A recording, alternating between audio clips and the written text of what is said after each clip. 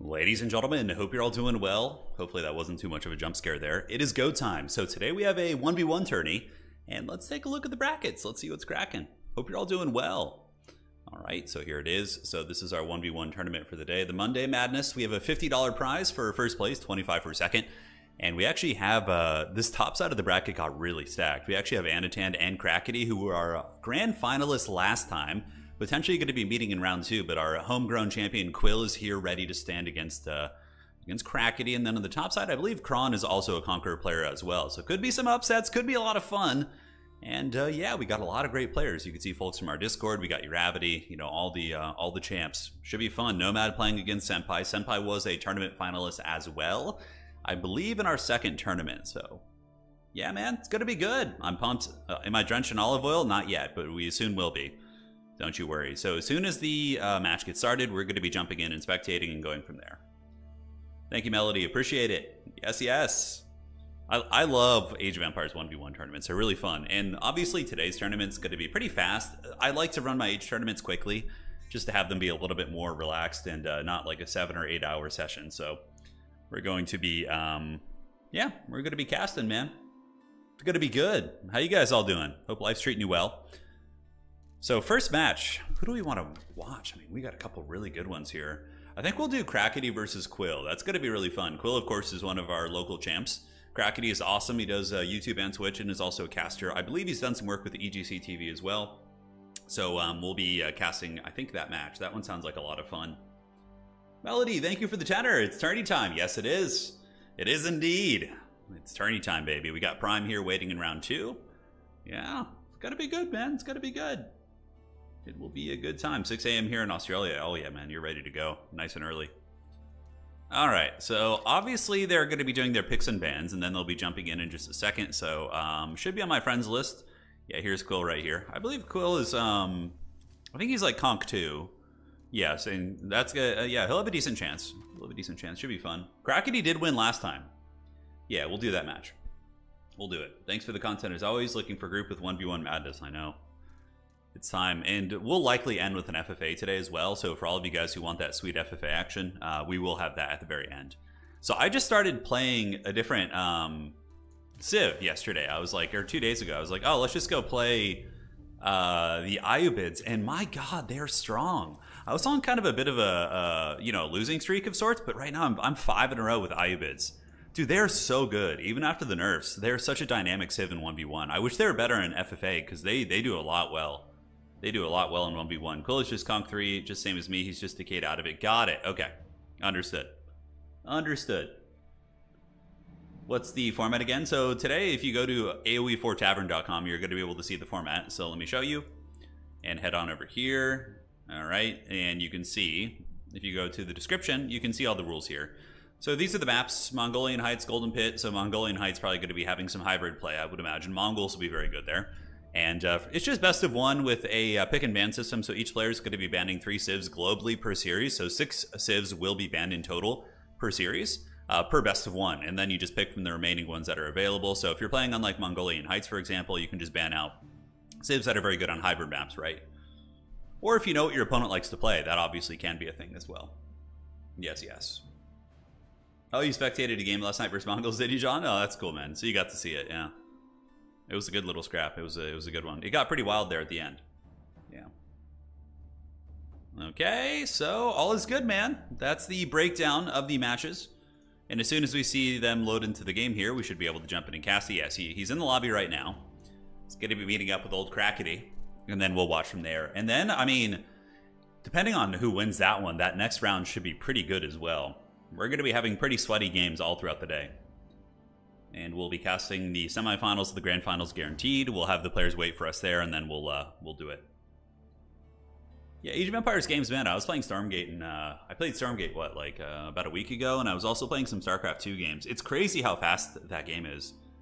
Like StarCraft and Stormgate, the matches are over so quickly. They're over so incredibly quickly. Like a lot of high level Stormgate games, once you get to a little bit of a higher rank, those ones are just over in like minutes compared to Age of Empires, where you're really kind of playing the uh, the long grind, which I honestly prefer. I prefer a little bit of a slower start into a more intense kind of mid game.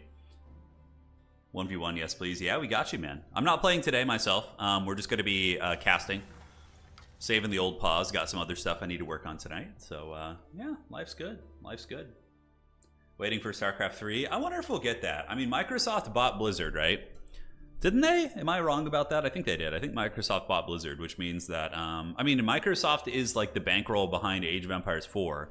So to start, do they really want to put out a competitor to Age of Empires 4? I mean, it is a bit of a different kind of niche within that genre. Age is kind of its own unique beast. I would love to see a, a, new Warcraft game or a new StarCraft game. I'm certainly not holding my breath. I feel like Blizzard's going more in the direction of like mobile gaming and kind of uh, that younger generation, of course, you know, to really cash in. But I don't know. I would love to see that. I would love to see that.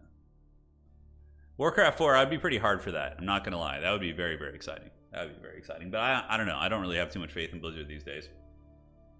Will Stormgate become a staple of the stream? Uh, it depends. It depends on how the final version of it is. Uh, as it currently is now, it's fun to jump into, but you know, with the limitations only having the you know tier two and only two factions out of three, it's it, it can you know it needs a little bit more a uh, little bit more polishing. But I mean, it depends. It certainly could be at some point. Yeah, it certainly could be. Need to give those Conk three guys a chance to win. I know, I know. Well, of course, uh, they would certainly have no problems uh, beating me up. Yeah, yeah. Blizzard isn't what it used to be. I agree. I agree. You know, I've, I've gotten my hope up multiple times over the past 10 years and just always been disappointed, like always. Yeah. It's a shame. World of StarCraft. Yeah, aren't they doing something new with StarCraft? They said something's happening, but it's not an RTS game.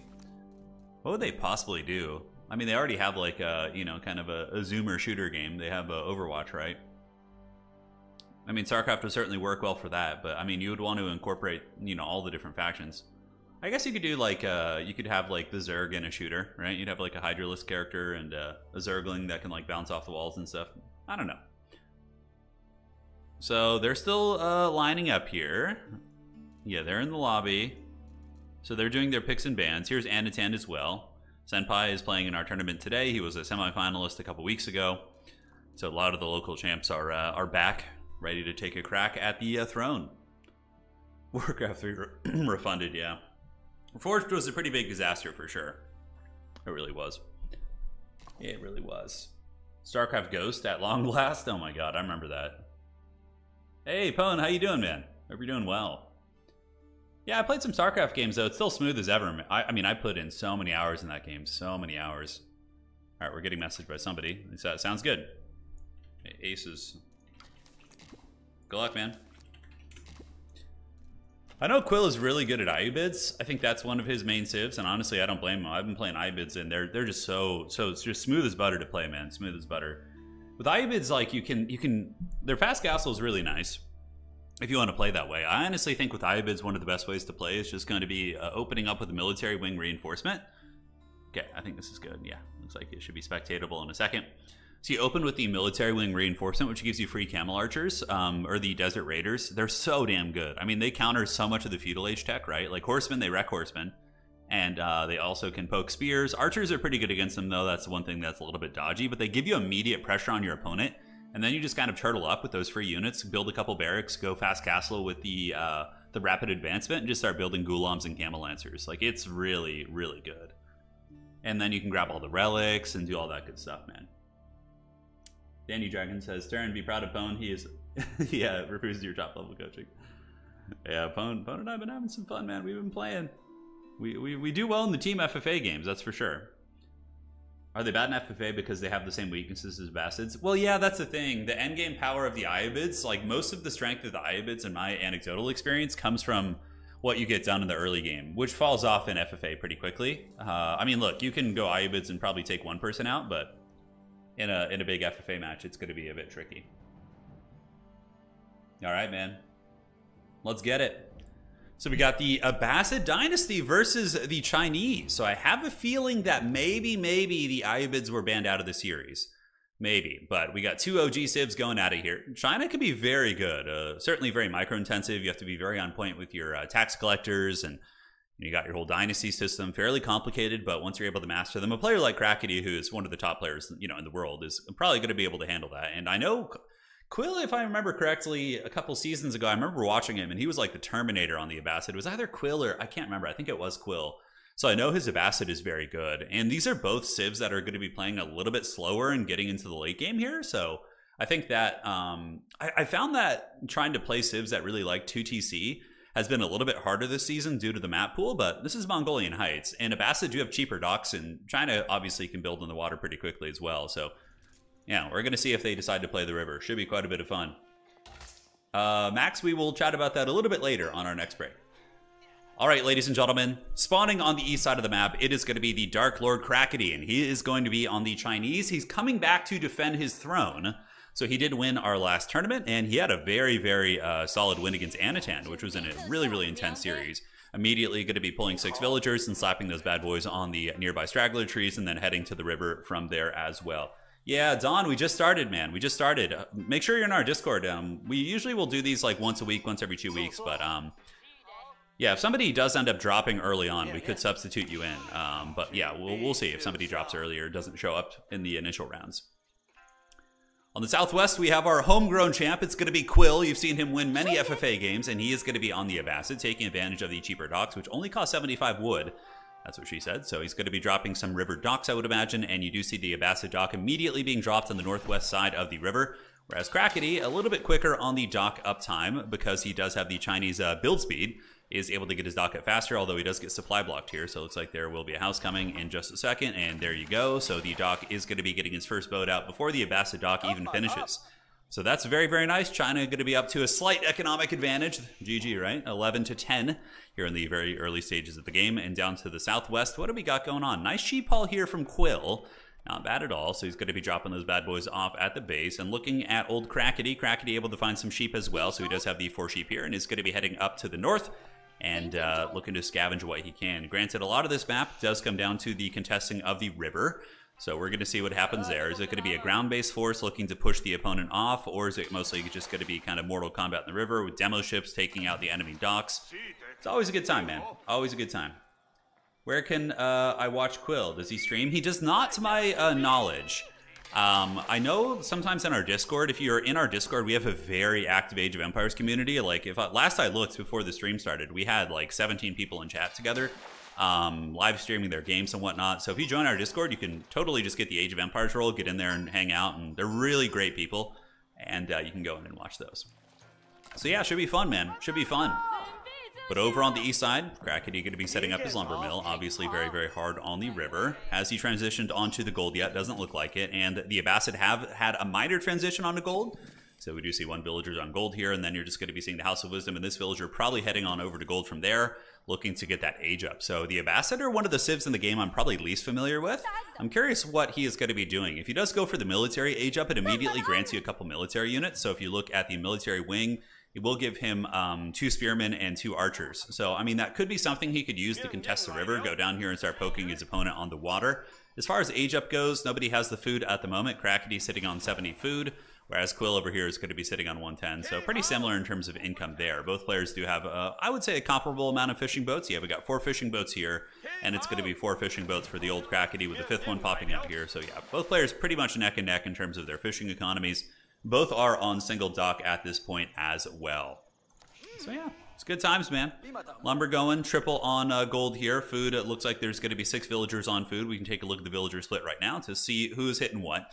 And currently, we do see Quill is a little bit more invested in food, whereas Crackety is going to be kind of staying in the river a little bit longer and uh, producing more fishing boats.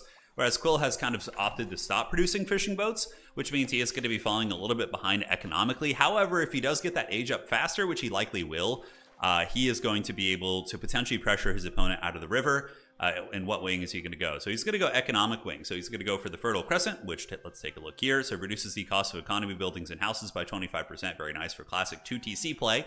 Uh, agriculture is also not bad at all. Gather rate from farms isn't bad, and improved processing is uh, obviously always going to be good. 8% more resources being dropped off across your entire faction in tandem with the Golden Age buffs that you're getting from villager gather rate is pretty damn solid, man.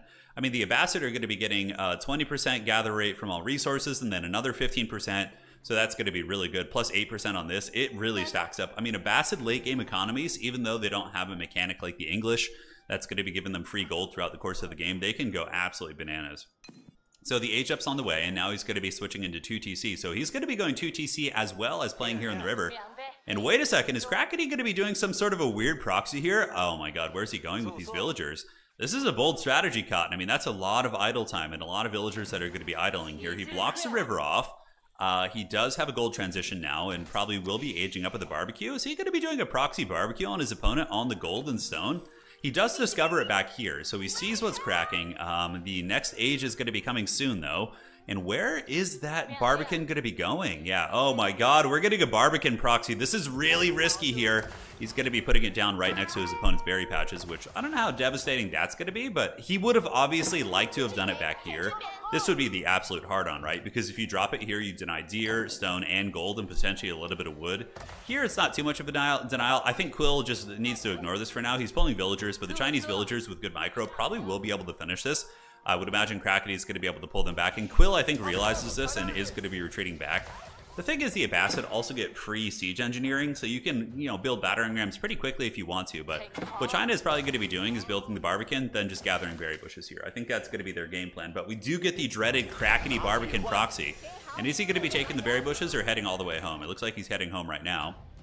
And now Quill is going to be maybe setting up a tower here. It looks like he's eyeing the river.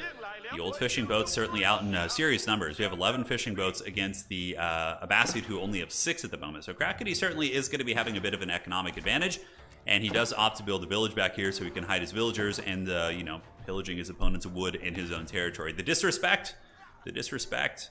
So early military kind of tech for both players. We do have a tower coming up here for the Abbasid, which means they're just looking to either go fast castle or 2TC uh, very safely without military, and obviously it's going to be 2TC with the Abbasid, right? That's pretty much what their dog and their mom and, you know, their third cousin is going to be doing every single game. So he is going down, and a little bit of long distance mining here, looking at the stone for Quill. So let's take a look at the total reserve here. Uh, Quill is sitting on 190, so he's getting close. It's getting there. Uh, down in the river, we do see Quill trying to torch down this wall, and he's going to get there eventually, although China gets that junk out. So the junk is in the trunk, and uh, this could be very problematic for Quill. We're likely going to be seeing his river economy getting torched here because Crackety is just going to be deleting these walls and probably sailing upriver very quickly. And do we see any military ships coming out? We do not see the naval arrow slits. He might want to get that, honestly. It will delay his second TC, but it's going to keep him from getting absolutely swept in the river because I think Crackety... i w I'm surprised he's not moving up here right now. Maybe he assumes his opponent has some sort of a military uh, boat as well. But we have the most sweaty duel of all time, baby. It is going to be the town center and the Barbican under the sun duking it out. We're going to see who's going to win that thousand year duel, who will stand the test of time. For China, no military tech, obviously going to be going Castle Age pretty quickly here. Um, you know, maybe we're going to even see a Song Dynasty. I wouldn't be surprised. Uh, Crackety doesn't quite have the food for it yet, but a Song Dynasty drops like right in here uh, would certainly help with the taxes and get that villager augment going. Or we could see a really fast castle out of him, and then maybe just a bunch of palace guard rushing in, maybe some knights or lancers. Um, you know, we'll have to see. We'll have to see what they decide to do. So Crackety going to be scouting up and about. He does have his uh, scout hugging the northwest side of the map. Going to be eyeing and seeing the second TC pretty quickly. It's a nice second TC though. This is pretty good. Right next to the stone, obviously you got your deer right here as well. So if the river economy does get compromised, he's not going to be completely out of this game. But Crackety already has a bit of a surround. And look at this. We do get a proxy archery range here. Interesting. So maybe going to be building up some archers. Uh, overall, I would say Quill's base is going to be very resilient against the um, archery play. Uh, so far, I mean, is he going to go for battering rams? It's not going to be Zhuge Nu. He's not playing the OP Zhu Xi. Although now he's going to be able to make Zhuge Nu, so maybe he will. Okay, so it looks like he's going to be going for the kill on Quill here. Uh, we do see the blacksmith coming, which is a huge indication of siege engineering. So probably going to be seeing Zhuge Nu being pumped out in droves. Uh, and yeah, he's going to be coming to do a little bit of towering. Yeah, he's really trying to just clamp down on Quill's base here. And we're going to see what Quill's going to respond with. And now we see triple archer range come out. And Abbasid are really good at sustaining these big militaries. They definitely got some uh, tricks up their sleeve. We do see the economic buildings being cost reduced. The river economy still online. So Crackety has not opted to go upriver. That could be extremely punishing against Quill. We see another tower coming down, so the Chinese tower is going to be here. Villagers are being pulled right now, but there is a single archer, and he does end up jumping in. Is he going to be able to reach the, the villager building? He might be able to if he manually targets here. Yeah, looks like unfortunately it's shooting the tower, so that's not going to be doing too much. And is it going to be a Zhuge Nu switch? It is. So we got Zhuge Nu, we got triple archer range coming out. It's going to be triple archer on triple archer. Going to be very, very sweaty for sure. Um, I would imagine Quill might want to mix in some horsemen at some point. He does have that arrow slit tower. And now that villager is going to get picked, so I don't think Crackety is going to be able to get that tower up. And um, we need to see a blacksmith coming out for sure. Blacksmith with the ranged armor upgrade would be super clutch here. But yeah, Crackety's going for it, man. He does have a Song Dynasty, so his eco is going to be respectable. He has the Imperial Examinations to get more taxation gold. We got Siege Engineering, followed by Steeled Arrow and most likely Iron Undermesh, and then he's going to be ready to party with the All-In here, and it is going to get crazy. It's going to be getting crazy. And he also has the Barbican, which is so nice. Like, if the fighting is taking place here, he can pull back to his Barbican. He's going to have a little bit of fire support, but this is pretty gross, too. Like, he has the food economy to sustain this, and also look, looks like he's getting, like, kind of close to Castle Age level food. However, he's spending most of his gold on upgrades and whatnot, so... Yeah, I don't know if that's going to happen. So, obviously, we know it's about to go down. Triple archery range going to be coming out for Quill, and he does also have the Horseman being produced. And will he be able to defend this? This isn't going to be easy, but both these players are very good. Crackety, of course, is a high Conqueror 3 player, um, and yeah, essentially a professional level player. And Quill is very good as well. I've seen Quill playing against some of these pros on uh, streams and whatnot. Not streams, but yeah, on their streams on Twitch. And uh, he's been able to take them down. So this could certainly be anybody's game, but this is going to be a very, very tough hole. Dealing with these Zhuge Nu all-ins is incredibly micro-intensive for the defender. It is very, very hard. The Zhuge Nu just punish everything. Like, even Horsemen, their volume of fire can do some work. So we see eight archers here against seven. And now the old battering ram's going to be there. Oh man, we're going to be getting a hand cannon slit as well. That's going to be brutal. The hand cannon slit, of course, uh, does hit pretty hard, and uh, it packs a, a, serious punch. So multiple battering rams coming up, archers being produced. Not a single lapse in production here for Crackety. He has been producing nonstop, so clearly this build is very clean. It's very well executed. He has the Song Dynasty, a massive lumber economy here with the Imperial official supervising the drop-off here. It's going to make the Chinese rams incredibly effective. So Setting up shop here, so a battering ram knocking down one house, so that's going to be setting Old Quill back a little bit. Granted, he can build more houses here. He's got triple archers coming out, and the first battering ram of his is going to be moving up. Zhuge Nu, ironically, do pretty good damage against battering rams. Like, you can see the Zhuge Nu actually do some good work. And wow, look at that from Crackety, the MLG Micro, man. He actually blocks the freaking Ram from getting onto the tower with the body block here. He's got a couple horsemen coming out. Zhuge Nu proving to be extremely dominant here as they mow down many of Quill's attacking units. Archer's going to be counterplaying, but the horsemen do get wrecked, and now we do see the battering rams on top of the TC. And this is only going to get harder and harder, man. That Zhuge Nu blob is so incredibly hard to deal with. It is so hard to deal with. So Blacksmith coming down here for Quill. I would wager Iron Undermesh and or Steeled Arrow is going to be one of his first choices, but this is going to be an incredibly tough hold. We do see the uh, triple battering ram coming down. That's going to be so many, and um, I honestly don't see Quill holding this. I think it's going to be incredibly tough. Um, villagers here on Deer, and the river economy is still very much alive here for Quill, but we do see a massive score advantage as well for Crackety. Further upgrades, does he have any of these? He does have balanced projectiles. He does not have Iron Undermesh yet, but really the DPS output on these guys is what you're looking for. But yeah, a lot of horsemen coming out. We do have triple stable and triple archery range. The Abbasid are incredibly good at mustering big armies. Um, they definitely can. They have a good kind of baseline economy. But 33 Zhuge Nu against the combined uh, 18 military. I mean, the military difference is pretty big. 45 for Crackety against 23, so his military macro is insane. And um, that's probably honestly just going to be GG for old Quill. Brutal, brutal showcase of what China can do and they were able to really just get a little bit ahead in River. The Barbican Rush was a nice kind of foundation from which they could attack.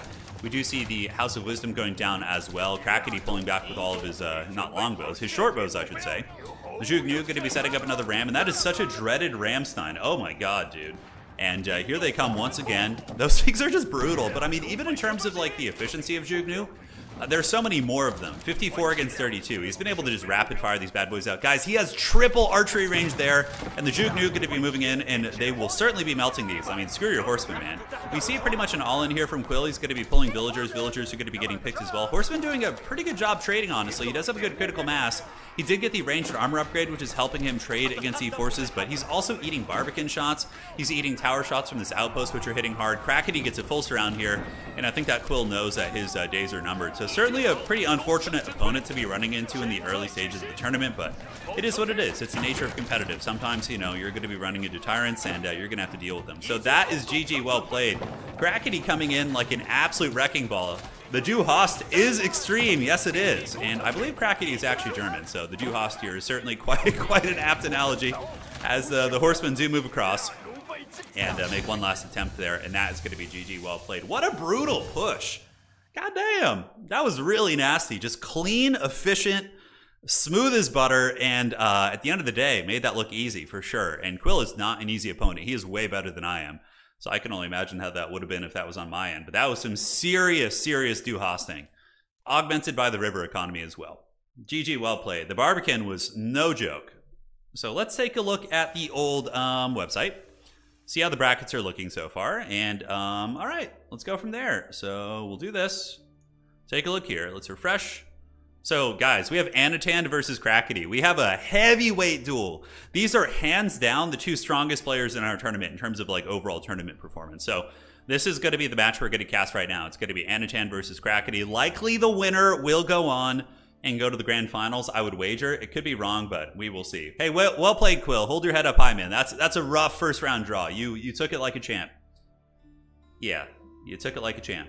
Lots of range seems to always be strong in RTS if you have enough. Outer region, yes, to an extent, but more so with China because of how cracked those units are. The Zhuge Nu are insanely good. Um, if you like, if those were mass archers, it wouldn't have been nearly as effective. Like the horsemen probably would have been able to kill them. Yeah. Yes, yes. Uh, well, the thing about water is both players have access to it, and both players benefited from it. So it was more so that the Chinese were just able to macro up an army quicker, and were able to really get the momentum with the Barbican and you know all that sort of good stuff. So yeah, Abbasid are tricky, man. I find that they're just kind of weak in the current meta. I could be wrong. I mean, we have our, our website stats, but they don't really mean a whole lot. I mean, Mongols have been doing very well. Ayyubid's also doing well. Yeah, you can see all the stats from the different matchups. However, like, don't really take these with much, you know, take them very cautiously because honestly, the um, the pool of the skill range we have of players is pretty pretty wide on our tournament, so it's not going to be the most accurate data set like it is for Total War. Yeah, the gold from the tax is good. So he's getting a lot of money from his taxes, of course. All right. So Crackety is... He can't already be in game with Anatan, really? This is the same game, right? No, I guess we're going on to the next match. I'm so used to casting Total War where you have to wait like 20 minutes in between games. All right, guys. This is our heavyweight match of the day. It's going to be Anatan on the Byzantines versus Zhu Xi's Legacy and Crackety here. So two pretty solid civs nowadays.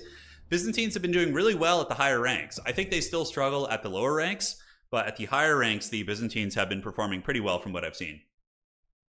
Don't cast aside my pupil Paul yet. He can totally take on either tyrant. Well, I'm happy to hear that. I'm happy to hear that. Would be epic to see an Ayyubid Mega Dong assault in the Grand Finals Mega Dong assault. Oh my god. Yeah. Yeah, Ayyubids are way stronger than Abbasid for sure, in my opinion. The the oil lords, yes. Let the olive oil flow through you. All right, let's see that. And outstanding. Cool, cool. So just answering question. So yes, four rounds. So just up to Gorge.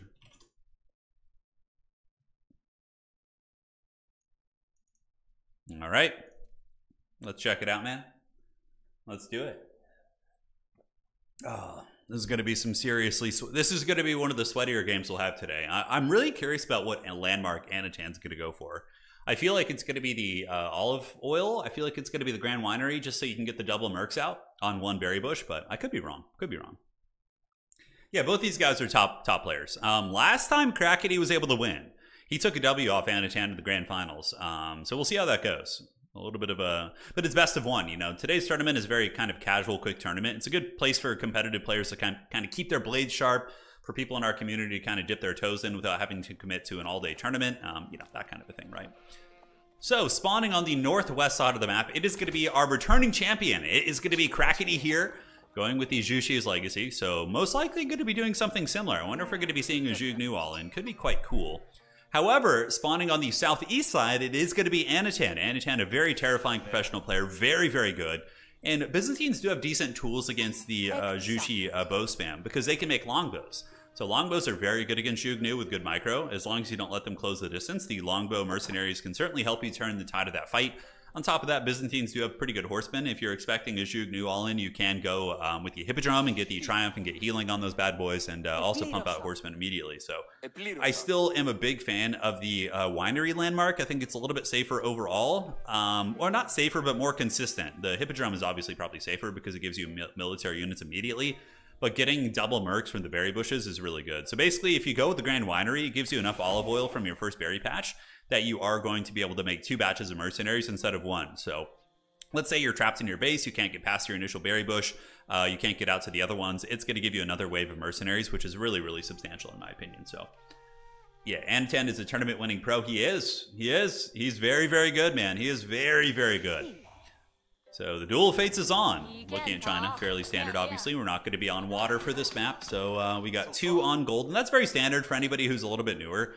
Typically, you're going to be opening up with uh, two villagers on gold, and everything else is often going to be going on to food from there. Um, sometimes you'll see three, although in this case, it looks like it's going to be three here from Crackety. So maybe something a little bit different here with China, maybe to get that extra gold for the Song Dynasty. Although, no, he's playing Zhu Xi, so it's going to be different. But um, yeah, I'm curious about how many we're going to be seeing here. Yeah, it looks like for the um, forces of the Byzantines, it is going to be two on gold and the rest of the villager allocation is going to be on food, which is normally how I play. Um, I'm curious what the triple gold allocation is here from Crackety. I don't play sushis, so maybe uh, it's something that's a little bit different for them. That a small bit of extra gold might help you with some sort of attack as you do age up here. So. Loving the content as always, Turin. Cheers to you from rainy Southern California. Hey, it sounds like we're neighbors. I live in the uh, Southern California region as well, and I hope you're doing well. We're enjoying the rain. We're enjoying the rain.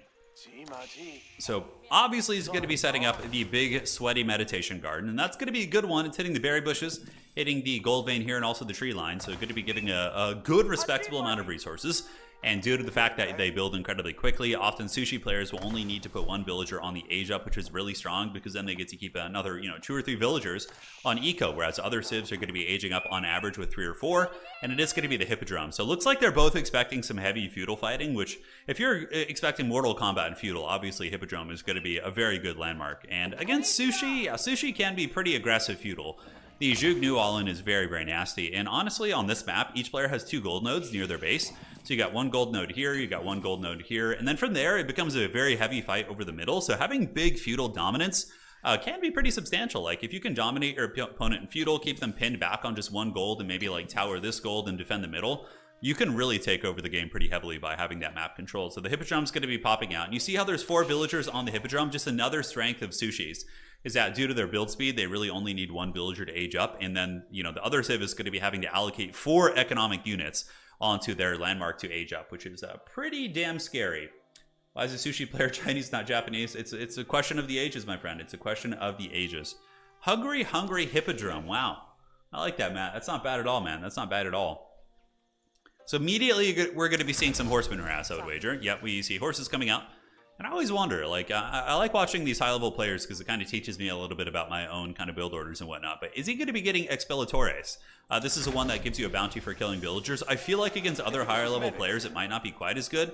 We do see the second cistern coming up, so that's going to be augmenting the build rate here. These villagers switching onto wood. Gather rate going to be getting a sauced up for the Byzantines, and Byzantines did get buffed. In the recent patch, they did get uh, a, a, there was some buffs and nerfs, but overall, I would say it buffed their feudal, which is the most was was the weakest part of their game in some ways. They're a little bit slow starting here, but the cisterns now give 10% base production speed instead of 5%, which is actually pretty big, right? And that's uh, that adds up. That adds up to a couple more units here and there. So Crackety aggression, we do see the archer range coming out and the walls on the side, so looking to prevent horseman raiding. Obviously, when you're playing against horsemen, mobility, having walls on the flanks is very useful. Uh, that's going to be kind of keeping your opponent right in front of you, where you can just kind of fight them off in a choke, choke point with a bunch of Zhuge Nu.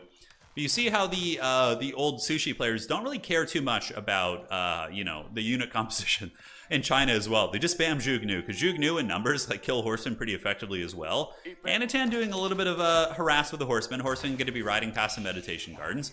Uh, obviously looking for uh, some scraps, and he did not find the villager down to the south side. So Crackety's villager here is going to be able to easily get the wall off and that will be securing a nice little alcove with which you could maybe build your granaries, right? You have the boar, which would be a nice transition, then granaries down here too. So yeah, it's just going to be attacking the meditation gardens. When the meditation gardens do get attacked, it does lower the efficiency of the resource drop-off. Uh, is there going to be a second horseman coming out? No, just one and an, a mercenary house. So I'm really curious what he's going to go for. Typically, I would say against Sushi, is it going to be the longbow mercs? It could be. Granted, Keshiks are also quite good. I mean, they're still armored cavalry units in the feudal age, which is very, very powerful. So yeah, we'll see what Anatan decides to do here. I'm going to be taking notes. That is for sure. So is there a hole here? I don't know. It kind of doesn't look like it. I don't think anything can get through there right now. So we do see a scout from Anatan torching down the walls on the backside. In the meantime, horsemen throwing at the old meditation garden. They've done about 250 damage so far, which isn't bad. But Crackety, he really likes his Zhuge Nu, man. He's going to be heading across. And uh, what are the mercs going to be? The mercs are going to be the Silk Road mercenaries. So Javelin Throwers makes a lot of sense, too. The Javelin Throwers are going to be an excellent counter against the Zhuge Nu. They have the ranged armor. They have the ranged advantage. Because uh, right now, Anatan is going to be not only finishing Wheelbarrow, but potentially getting pushed off these resources. Uh, obviously, Crackety is coming for blood, and uh, looks like he's going to be doing a full frontal wall. So we do see it. Villagers setting up the walls here. Zhuge Nu chasing off that horseman. Granted, the horsemen are picking off reinforcements. This is really good. Really, really good. If you're playing against English, playing against China, anyone who's going to be spamming kind of a linear unit type like longbows and or sushi uh, Zhuge Nu, Intercepting the reinforcements is so incredibly good. It, it, just pulls your opponent apart. Anatan has insanely good micro. You can see all of his uh, Byzantine horsemen are encircling these sushi archers, and this is starting to look a little bit dodgy here for the sushi.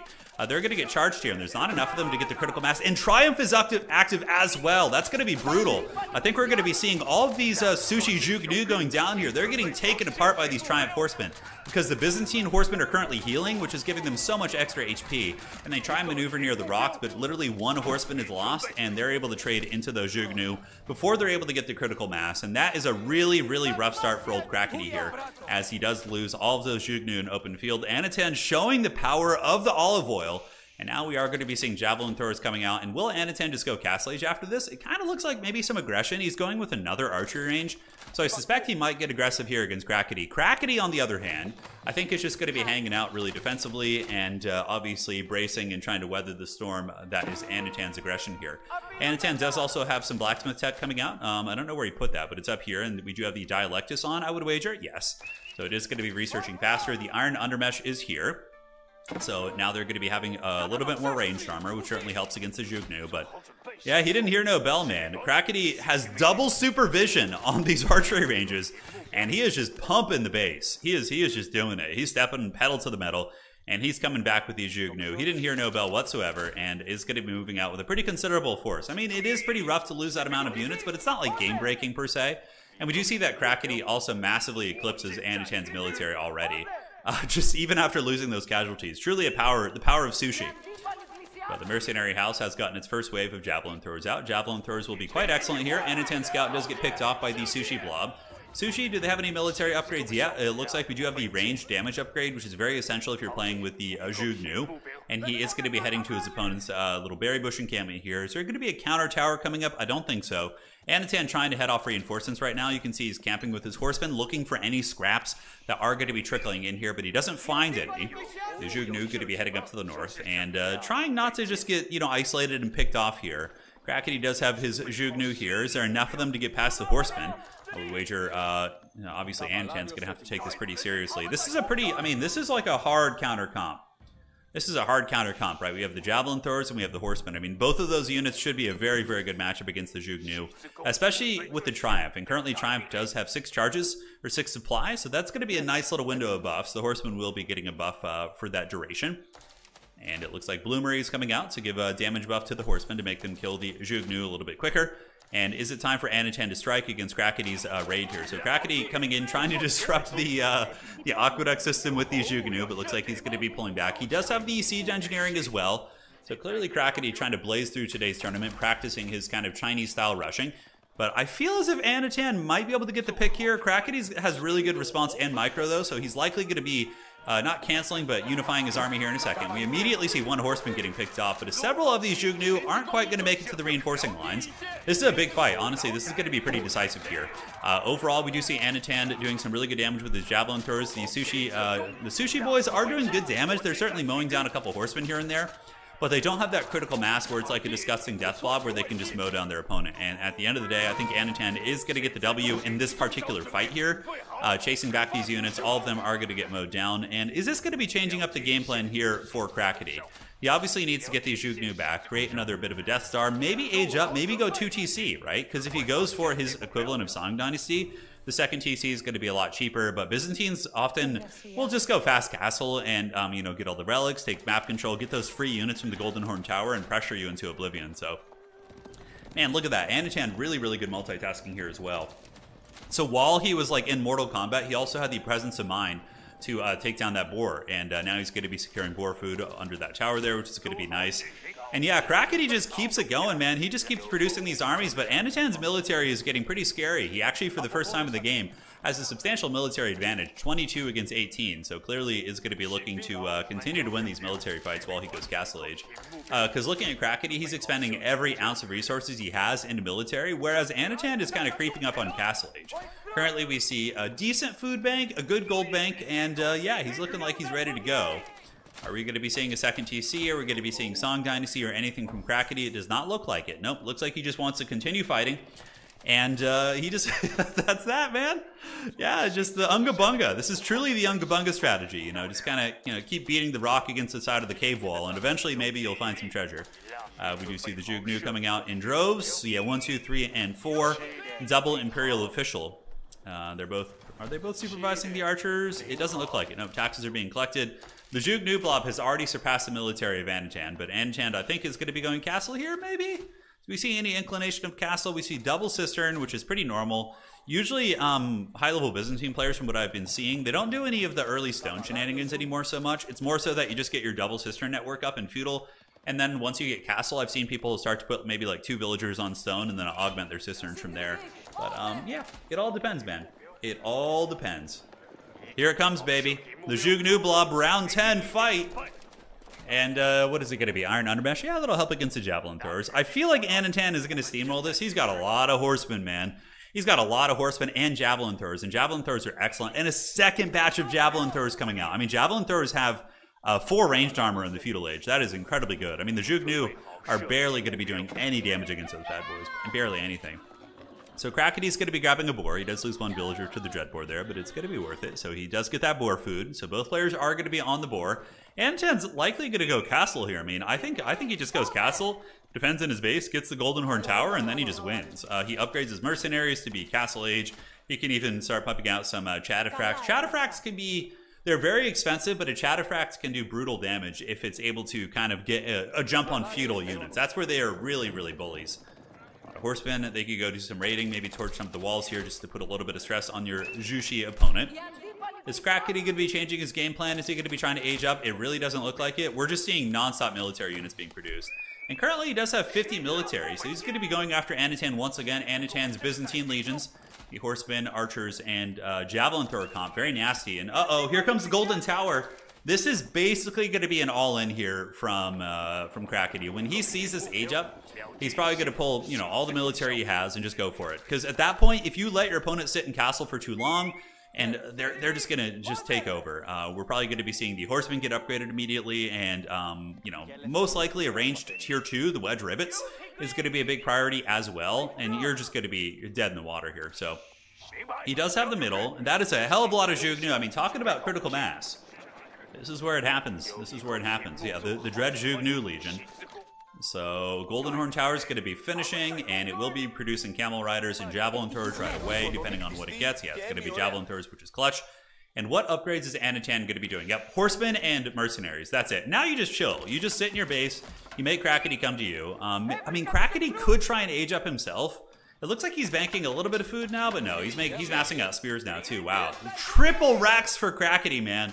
Yeah, he's going all in, but his opponent's going to be Castle Age here in a second, and Anatan's army is no joke either. And if he gets Castle Age, he'll probably be able to overwhelm his opponent. Um, likely using the archers to pick off the spearmen. See, I don't have good enough micro to do that, but players like Anatan do. And yeah, he's going to be getting the mercs. And man, Byzantine's tech is so quick because of the Dialectus. So they're going to be getting 90% faster research speed. This was nerfed in the most recent patch, but it's still insanely good. So when Byzantines age up, they can get that next technology so, so incredibly quickly.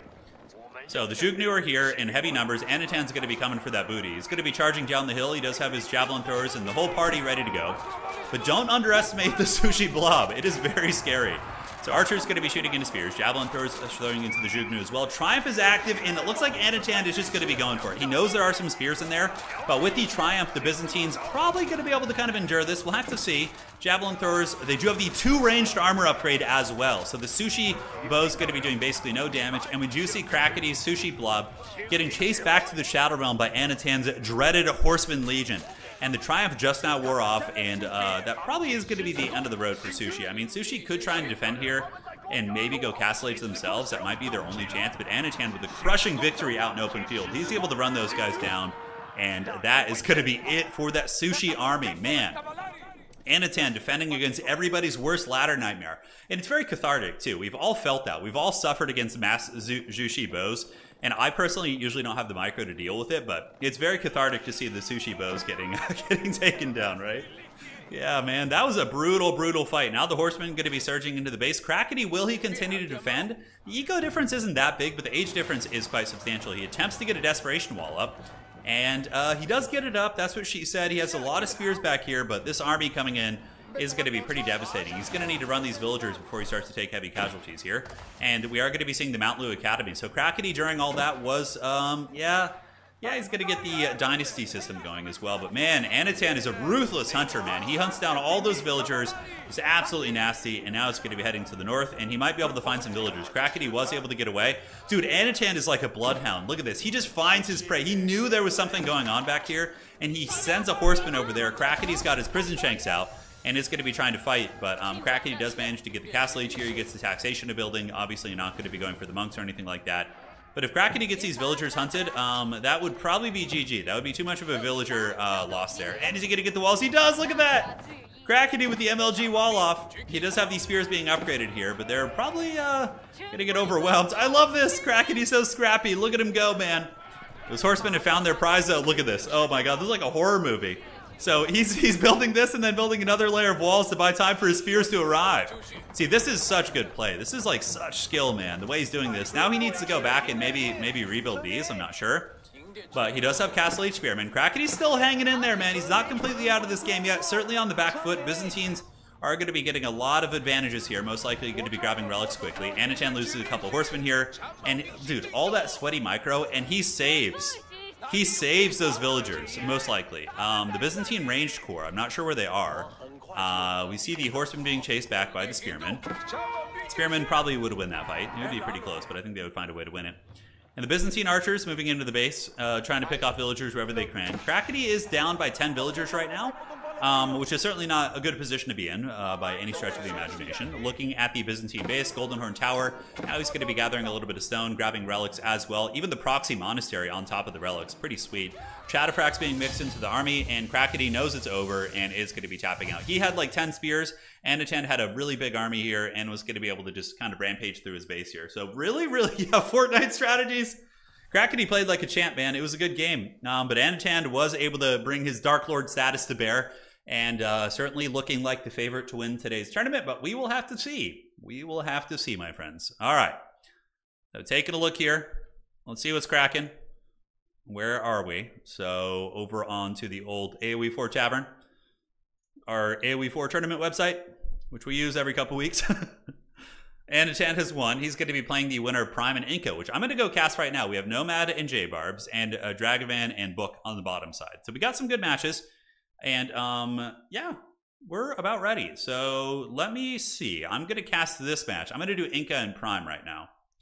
So let's do that. Prime is, of course, uh, he recently reached Conqueror 3, so shout out to our boy Prime. He's in the big leagues now, so we're going to see if that translates to some tournament victories here today, as uh, they're going to be getting their match going in just a second. We will cast that one. Man, really, really good matches we had early. Really, really good ones. Yeah, those were, those were super fun. All right. Yep, uh, 1245, so they were doing their picks and bans four minutes ago, so we should be getting into this. The thing about Prime is he's a Japanese main. I don't know how good he is at other civs. So if he gets those banned, it could be a little bit of a problem, right? Out of regions like, well, this tourney goes so much faster, I know. It really makes you it makes you look at Total War differently, right? Yeah. It's fun, man. The word clubbing makes you tired. Yeah, I, I don't think the last time I went to a nightclub would have been oh man, I can't even remember. Maybe what year is it? 2024. Maybe like 2014, maybe 10 years ago. I would say. Yeah, it's been a long time. Arena Emperor in chat says, I can confirm Prime doesn't practice other civs regularly at all. So if his opponent knows what he's good at, um, this could be a problem for Prime. Could be a problem for him. We'll have to see. Okay, so let's see here. Guild is playing some quick battle games after his uh, his attempt earlier. Have they started yet? I don't think so. Yeah, they're still they're still looking for the lobbies and whatnot. Yeah. I don't know what year it is, man. I don't know. I just like to dance. I danced 15k steps last night. That's pretty cool. Yeah. It's certainly good exercise. Certainly good exercise. Imagine you're a knight and you see a giant skyscraper olive rolling down the Yeah, Byzantines I think I feel are a very high skill cap faction, but I feel like in the hands of these like top level players, it, they can be um, they can be very very good. Okay, so they're still playing. We could jump into another game. Let me check. So we got Book playing against Dragovan. I believe, yeah, they're both, those guys are both really high level too. Uh, I don't know if they put a spectator on. They might not have, so we might not be able to cast that one, which is fine. We'll, we'll remind them for the later rounds. But um, it looks like they might either just loaded in or, um, yeah, we're not sure. We are not sure. Once you reach 30 nightclubs are too much effort. Yeah, it's like, it's a lot, you know? It's a lot. Uh, Matches, yeah, they're browsing custom here. Sometimes the... Is Nomad still playing? Did he win his game? Let me check. We could cast his match. Nomad versus J-Barbs. Okay. Okay, we could do a little Nomad action. For some reason, though, I think my friends list is, like, frozen. I don't know if they put a spec slot on. They might have. Hmm. So, I don't see the option to spectate them. I'm not seeing options to spectate any of these games. I wonder if they just forgot. Yeah, they usually you would be able to spectate here. So I feel like something funny is going on here. Maybe I need to restart my game real quick. So let me do that, and uh, we'll see if that fixes it. Because those little menus can get bugged out at times. Could be a little bit weird. If you could teleport to a specific time in the past, oh my god, I don't know.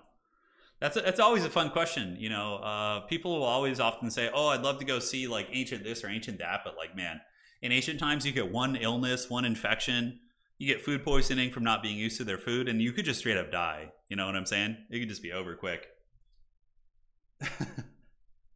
yeah. Being immobile and having McDonald's is part of the American culture. In some parts of the country, yeah. Like I would say, if you're so I my family comes from essentially three regions in the United States, from California, Texas, and New York City. So I have a bit of expertise with uh, many parts of our um, many parts of our country. I would say that in the South, like in Texas, and you know, um, I also have some fam- family from Oklahoma from way back when.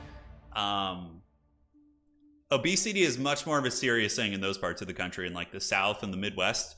On the coasts, obesity is still really serious compared to much of the world, but yeah, not as much, quite as much as like going to the South and kind of seeing all that. Yeah.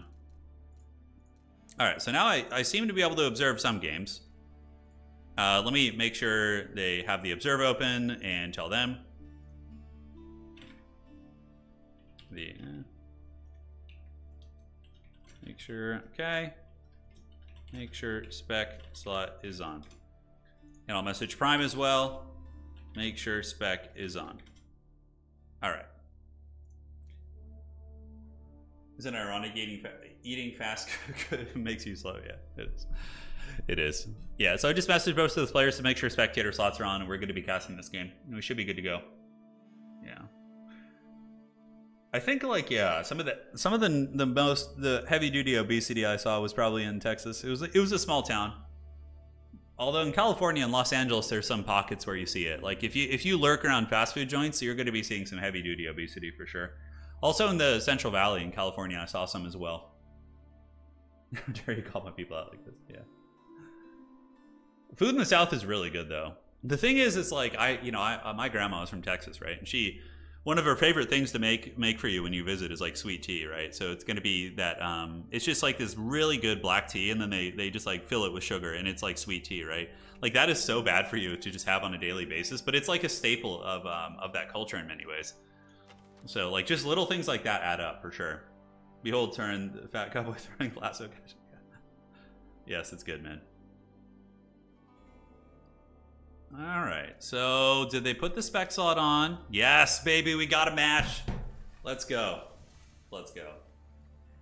All right, so both these players are going to be kind of knocked off their mains. The Incan is uh, won our very first tournament we had on the website. He won it with the Mongols. I can't remember who he beat in that. I think he beat Quill in the grand finals. It was a really, really good match. But it's going to be the Incan on the French versus uh, Conquest on the English. Both these players, I believe, are between Conqueror 1 and Conqueror 3, somewhere in that ballpark. So this should be a very sweaty match for you guys. Should be a very sweaty match.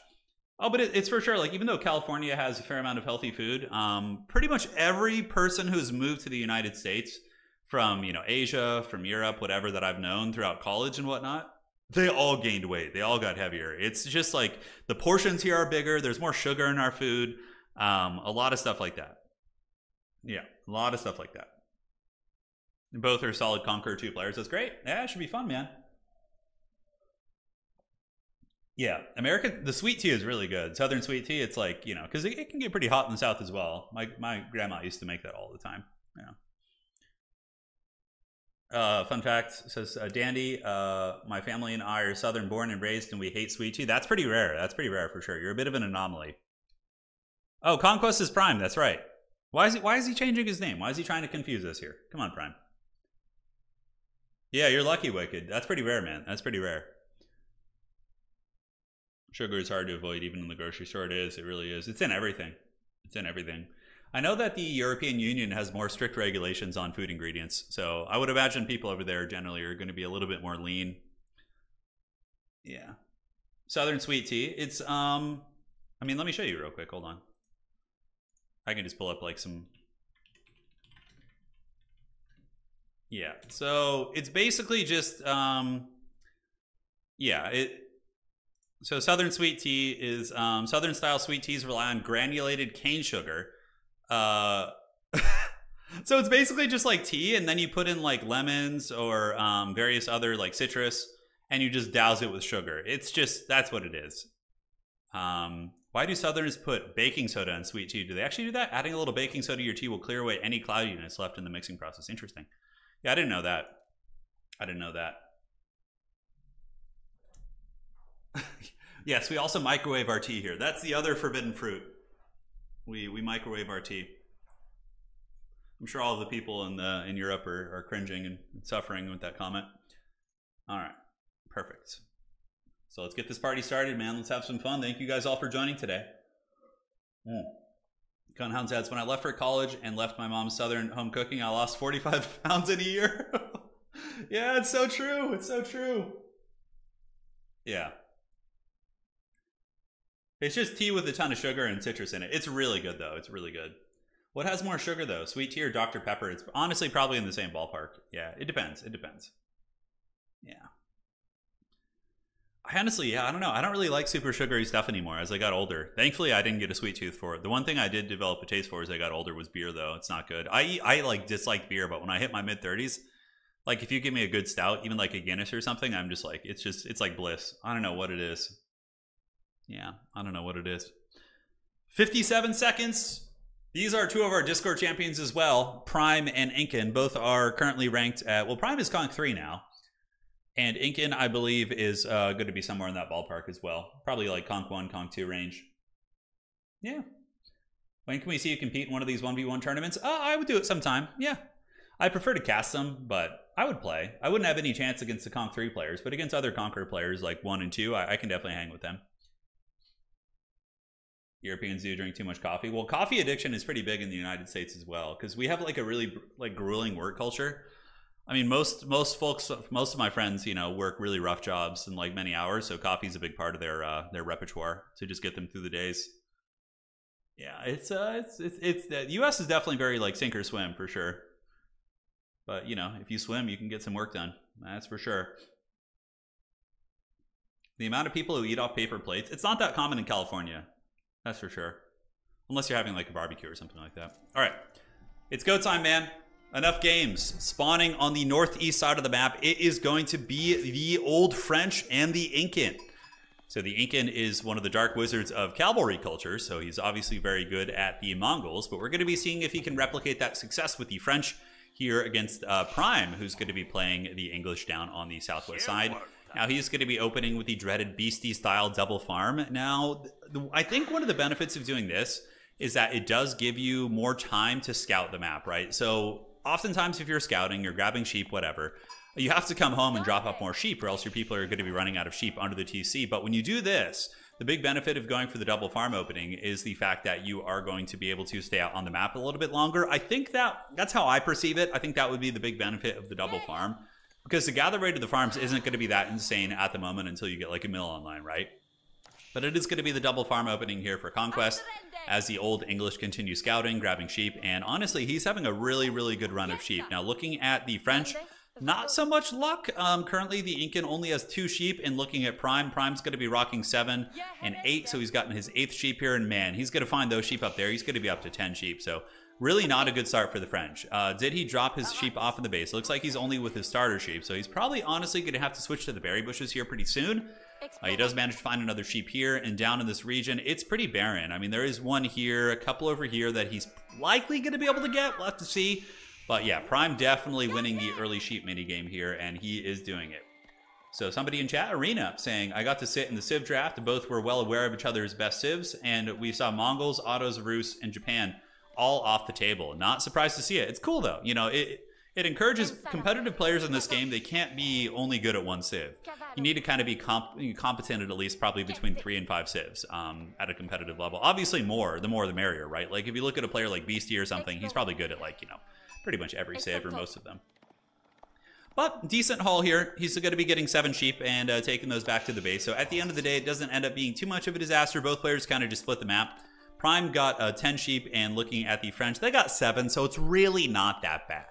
Uh, overall, he's going to be okay. If Prime had been able to kind of snake these sheep near his base before going, that would have been pretty um, pretty serious as well. So Council Hall coming out for the English, and we are going to be seeing School of Cavalry. Current villager allocations are going to be four villagers on the School of Cavalry age up, and it is going to be four for the English as well. I wonder if this is going to be a big feudal fight. Personally, the way I play English is kind of like a bit of a mouth breather.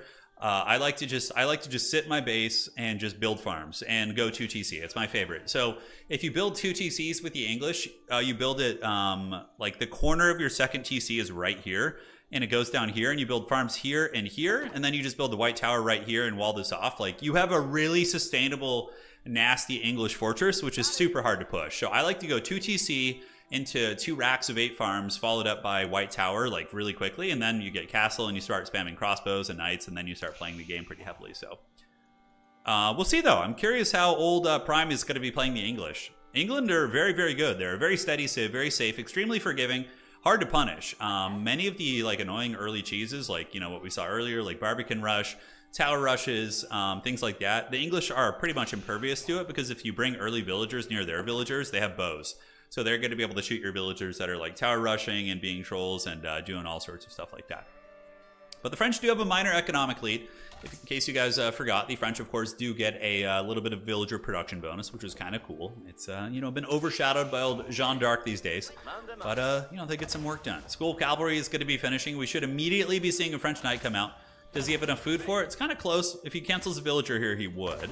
But um, you should always get a French Knight out very quickly just to go harry your opponent and keep them honest, right? Like if it'll force a tower, it's going to force maybe a couple military units out, gives you map control, lets you uh, really kind of take initiative on the battlefield here. So we are going to be seeing our first mill, and are we going to see Strelbora coming out right away? Um, we do not see the stone transition, so we don't see that. So looks like he's going to be on one TC, and that's not a bad strategy either. Going fast castle with the English and then building the King's Palace is totally viable as well. It gives you your second TC, make sure you don't have an age disadvantage, and uh, you know it ain't bad. Also, something to note is there's no trade on this map, so it's not like you need to worry about like. Oftentimes, one of the disadvantages of like turtling English players is you're going to be yielding things like trade and relics, but on this map you only really have to worry about relics um, because there's no trading posts. I mean, you could trade if your opponent gave you a, market or something and didn't notice. You could do some dreaded Smeagol trading, get extra sneaky there, but I don't think that's going to be the case. Uh, no military being built here by Prime. Uh, we do have the early wheelbarrow coming out, and we are going to be seeing walls here to deal with the French knights. And where's the first French knight? Is he going to be going 2 TC French? It doesn't look like it. No, he's getting straggler trees here.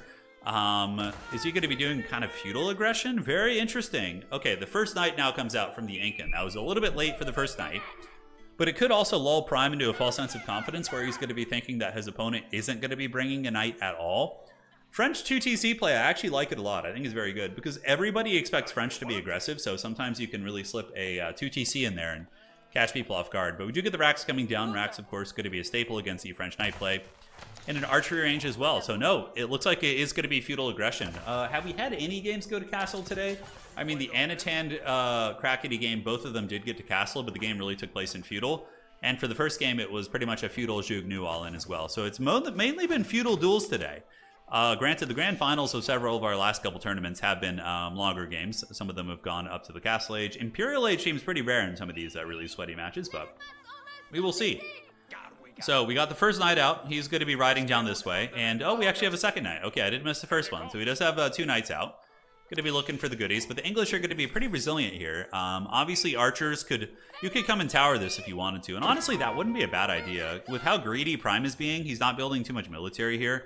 Although he does have some spears and bows, so he's not helpless in that regard. He's going to be bringing the spears down and try and head off that scout. He could get towered here. The French could pull a villager, and this would be actually one of the more devastating tower positions that I've seen in a while. It's pretty hard to do it against Strelbora, but with knights and archers protecting it, you could drop a tower here, and it would be hitting both of Prime's gold. So the only other way he could get gold would be going to the middle. That would actually be an insane presence of mind from uh, Incan. And I think I think that's worth doing. I think going all in on feudal here and then towering your opponent's gold would be uh, one of the more devastating plays that you could possibly do. Granted, English feudal armies are pretty damn strong. Um, they got spears, they got the longbows, which are amazing. They also have access to men-at-arms, so they, they do a lot well. They could definitely push back the French armies with good micro. We're going to have to see. A lot of it comes down to the micro, right? Like longbows picking off archers, uh, French spears picking off the spears of the English to allow the knights to chase down the longbows. It's a very cagey very high micro fight, which is what I don't like. See, I'm a bit of a mouth, breather myself. I like when I can just make like one unit type and just kind of go for it in the feudal age. That's why I've been playing Ayyubids and just using like the, the free desert raiders while I go fast castle. Feudal is my biggest weakness as a player. I'm very bad at it. Um, it's what holds me back. So, looks like the Royal Knights, some of them are going to eat some spears to the face. That is not good. He takes a lot of damage on those Royal Knights. They're very expensive. And now we're going to be seeing a 2TC transition, which I don't hate. I think that's probably a good idea. You got the English kind of thinking you're going to be getting aggressive here. Although we could see Conquest, aka Prime, moving out. He does have one farm uh, situation getting uh, getting going here. So, so far he's going to have five of those. The Knights are running, trying to turn around and pick off that old scout, but now he's going to be retreating back. And, yep, French are going to be going 2TC, towering up their gold. And have we seen the second TC yet? No, currently he's sitting at 225, so he needs a little bit more. But it looks like Prime is actually going to be getting aggressive here. He moves up. Archer is going to be forced back for the French, and the Knights are going to be circling about looking for an opening, and they'll probably find one here. We do see the villager trying to wall up the uh, eastern flank. Two of the French Knights going to be creeping around the sides. They don't have the healing. They don't have the Grail Juice yet. Uh, so far, we got three archers and five spearmen. Tower is going to be getting finished, and there's going to be another archer coming out. No blacksmith, so we don't have any ranged armor upgrades for the French to help against longbows. And uh, yeah, the duel is on. He gets in the tower, gets a couple nice shots into the scout there, but the scout's going to be able to heal. Arrow slit's going to be popping off, and now as soon as you see that tower in Prime's position, you know that your opponent's going to be either you know going castle or is going to be going 2TC. Like uh, you don't really build towers if unless you're going to be going fast castle or you're going to be going um, 2TC. And in this case, it is going to be the double TC. He's got a little palisade coming up. Archer's going to be scooting out. And are they going to pick off that scout? That would be good. That would definitely deny the fog of war. And we do get the arrow slit coming down. Tower's going to be garrison. Prime going to take some casualties here for sure. He's going to lose a couple spears. One spear does go down, and the French archers are able to push back the English archers, so those bad boys are going to be fleeing the old scene. Up on the top side here, yeah, more houses. Second TC, and it's going to be set up near the deer. This would be a good second TC spot, like right here. You get the deer camp, and you'd also get the berry bushes, so two for one food. A little bit of a skirmish in the tree line, but the English do have superior numbers. It looks like they are going to pick off a lot of the French archers, but the French also going to be taking some L's as it pertains to their hardened spearmen in the front line. So some of the French knights could certainly come in in concave. Looks like Prime is going for blood. Yeah, Prime is going to be going hard in the paint. He is he's going to be doing what we saw from old Crackety earlier, which is uh, just a lot of pressure. And England is pretty good at this. The English can really, really just put waves and waves of pressure on you because of their early farm economy. And they can even go castle behind heavy pressure just because of how damn good their food is. So here they come.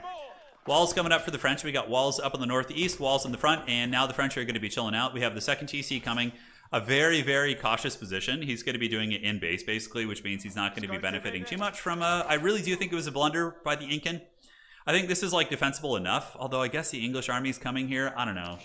It's a little bit dodgy, but this TC will provide extra villagers. But like the problem for the Incan guys is his food economy is going to be really, really in bad shape here. Currently, we see a couple French archers going to be circling about, being chased by the longbows, the dreaded Strelbora. More French knights coming. But um, yeah, food's going to be dodgy. Sets up more towers on the berry bushes here. Definitely needs to get some food up here. I would have liked to have seen more of an effort to secure that food.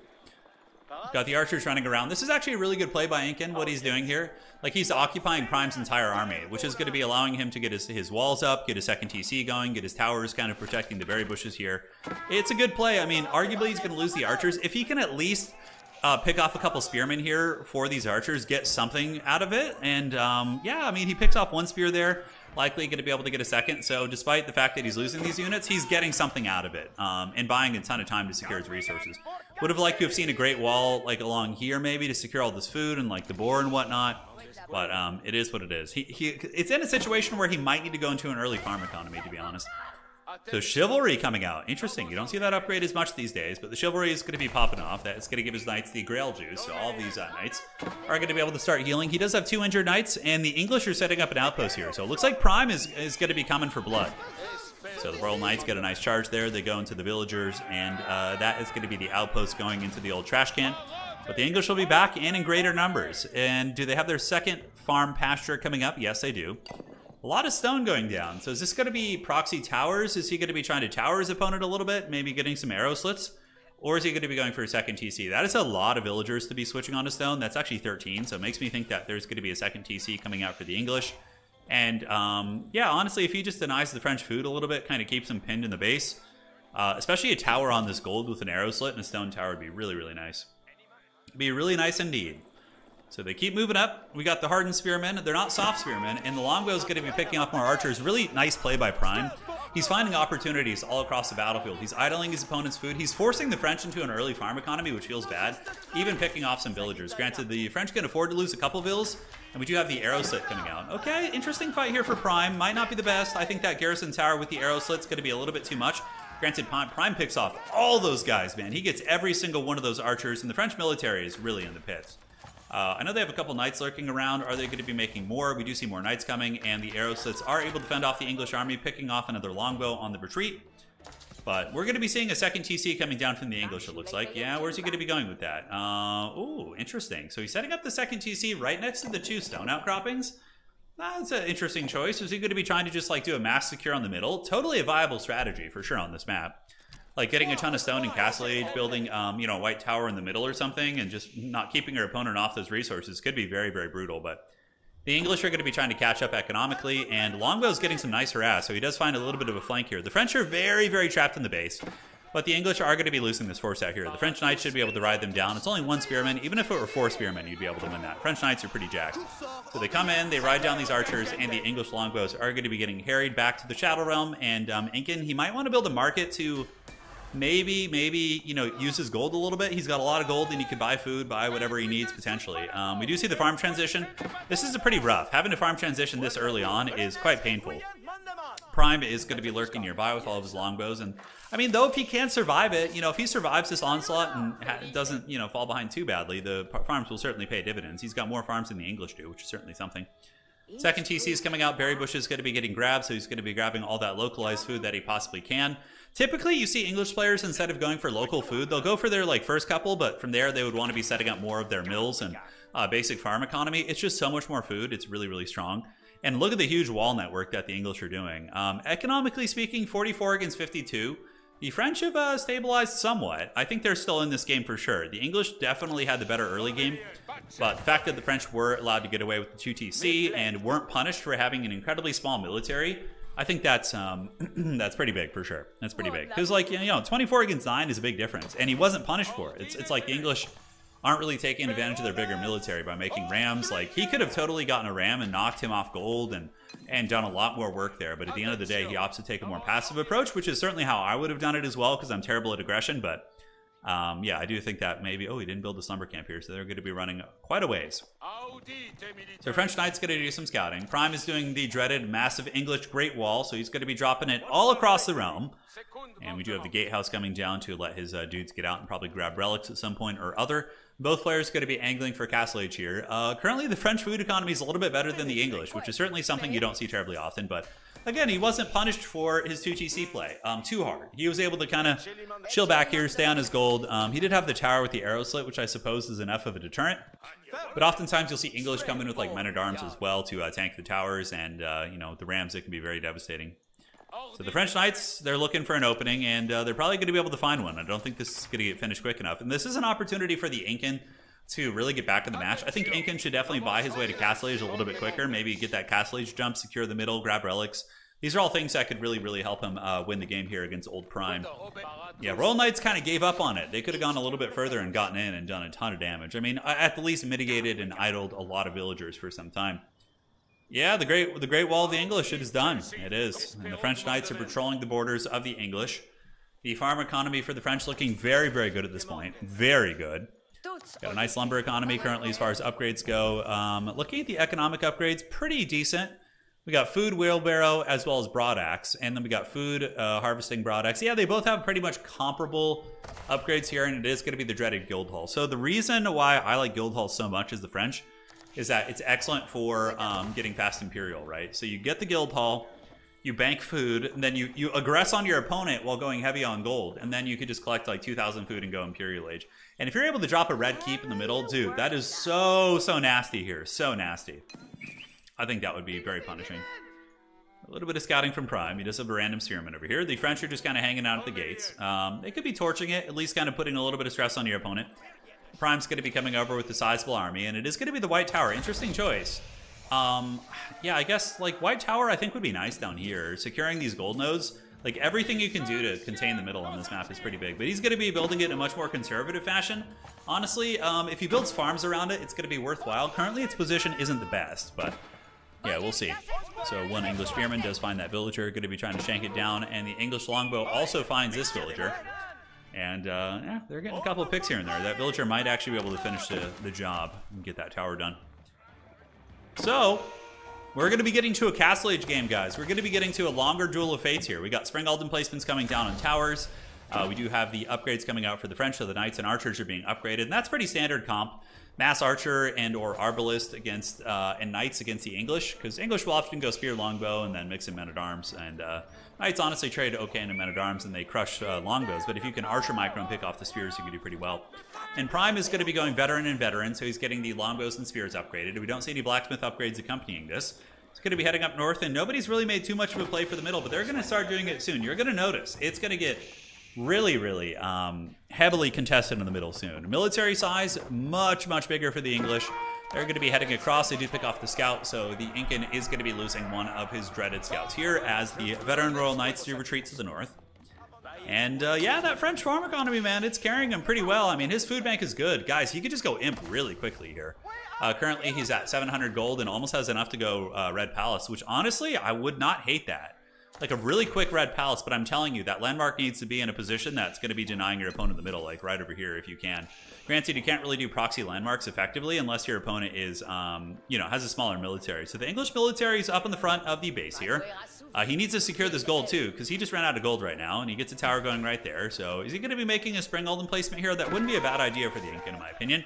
But looks like that tower is going to be getting torched down. He does wall this off, so we do see the wall of coming, and Incan is going to be heading up to that gold vein right there to secure that. In the meantime, Prime is probably going to be transitioning into a bit of a farm economy. He does have the prelates coming out, not prelates, but monks. So I like that he is making plays for the relics on the map. And the glorious English farm economy is going to be popping off here soon. The White Tower, that position, it's a bit of a shame. If it had been right here, he secures three golds for himself and doesn't need to worry about anything in the middle. Doesn't need to worry about anything, but it is what it is. So spears, veteran longbows, and crossbows going to be hanging out in the center of the map, and the French very much on the back foot going to be trying to get the Great Wall of France over here on the far side, as uh, the French do have an economic advantage, but it's kind of an insignificant one at this point. Looks like he's spamming Arbalest. He has way too many queued up here. Definitely needs to get a bunch of um, archer ranges out uh, if he wants to kind of get those numbers. And Arbalest will be okay. The Pavises make them decent against longbows, but overall, you can't afford to be pushed off your golds on this map. You really can't. And um, yeah, what is he banking here? Is he banking food at the guild hall? He still is banking food. He's got about 300 food right there. These guys going to be hanging out nearby. Monastery coming down from the French. Going to be trying to get relics where they can. Granted, Prime is already way ahead of him in many regards. Prime looking extra villainous this game. It's looking like he's in a commanding position. I think that the French need to get... They need to go to the middle. Yeah, this is good. This is a really, really good uh, play here by Incan. I like this a lot. Drop a fat erect keep in the middle of the base. Helm's Deep at home, and then you secure golds. And then you can even build trebuchets and try and knock your opponents off the middle golds and whatnot. Um, that's going to be securing like one gold for now. Oh, so here he comes. Is Prime going to be discovering this in time? There are French Knights nearby to help protect it, so I think it's going to be okay. So there goes the keep. He's going to be securing a gold, which is really, really big. Without that gold, he'd basically be getting put in the old trash can. Uh, do we see siege engineering? Any sort of inclination that there's going to be more aggression coming in from the English? Um, I don't know if we see that right now. I don't believe we have siege engineering yet for the English, but England is going into overdrive. You can see right now they're going to be starting to really get that sweet food economy. They have surpassed the French in food, uh, 1,300 per minute and uh, they are just getting a bunch of racks, a bunch of archery ranges. Very classic English. English are usually a very infantry-focused faction. Granted, horsemen can be good as well, especially against the French. So spears move in, knights getting immediately crushed. The English archers and arbalists returning the favor a little bit, picking off a couple of those spearmen units.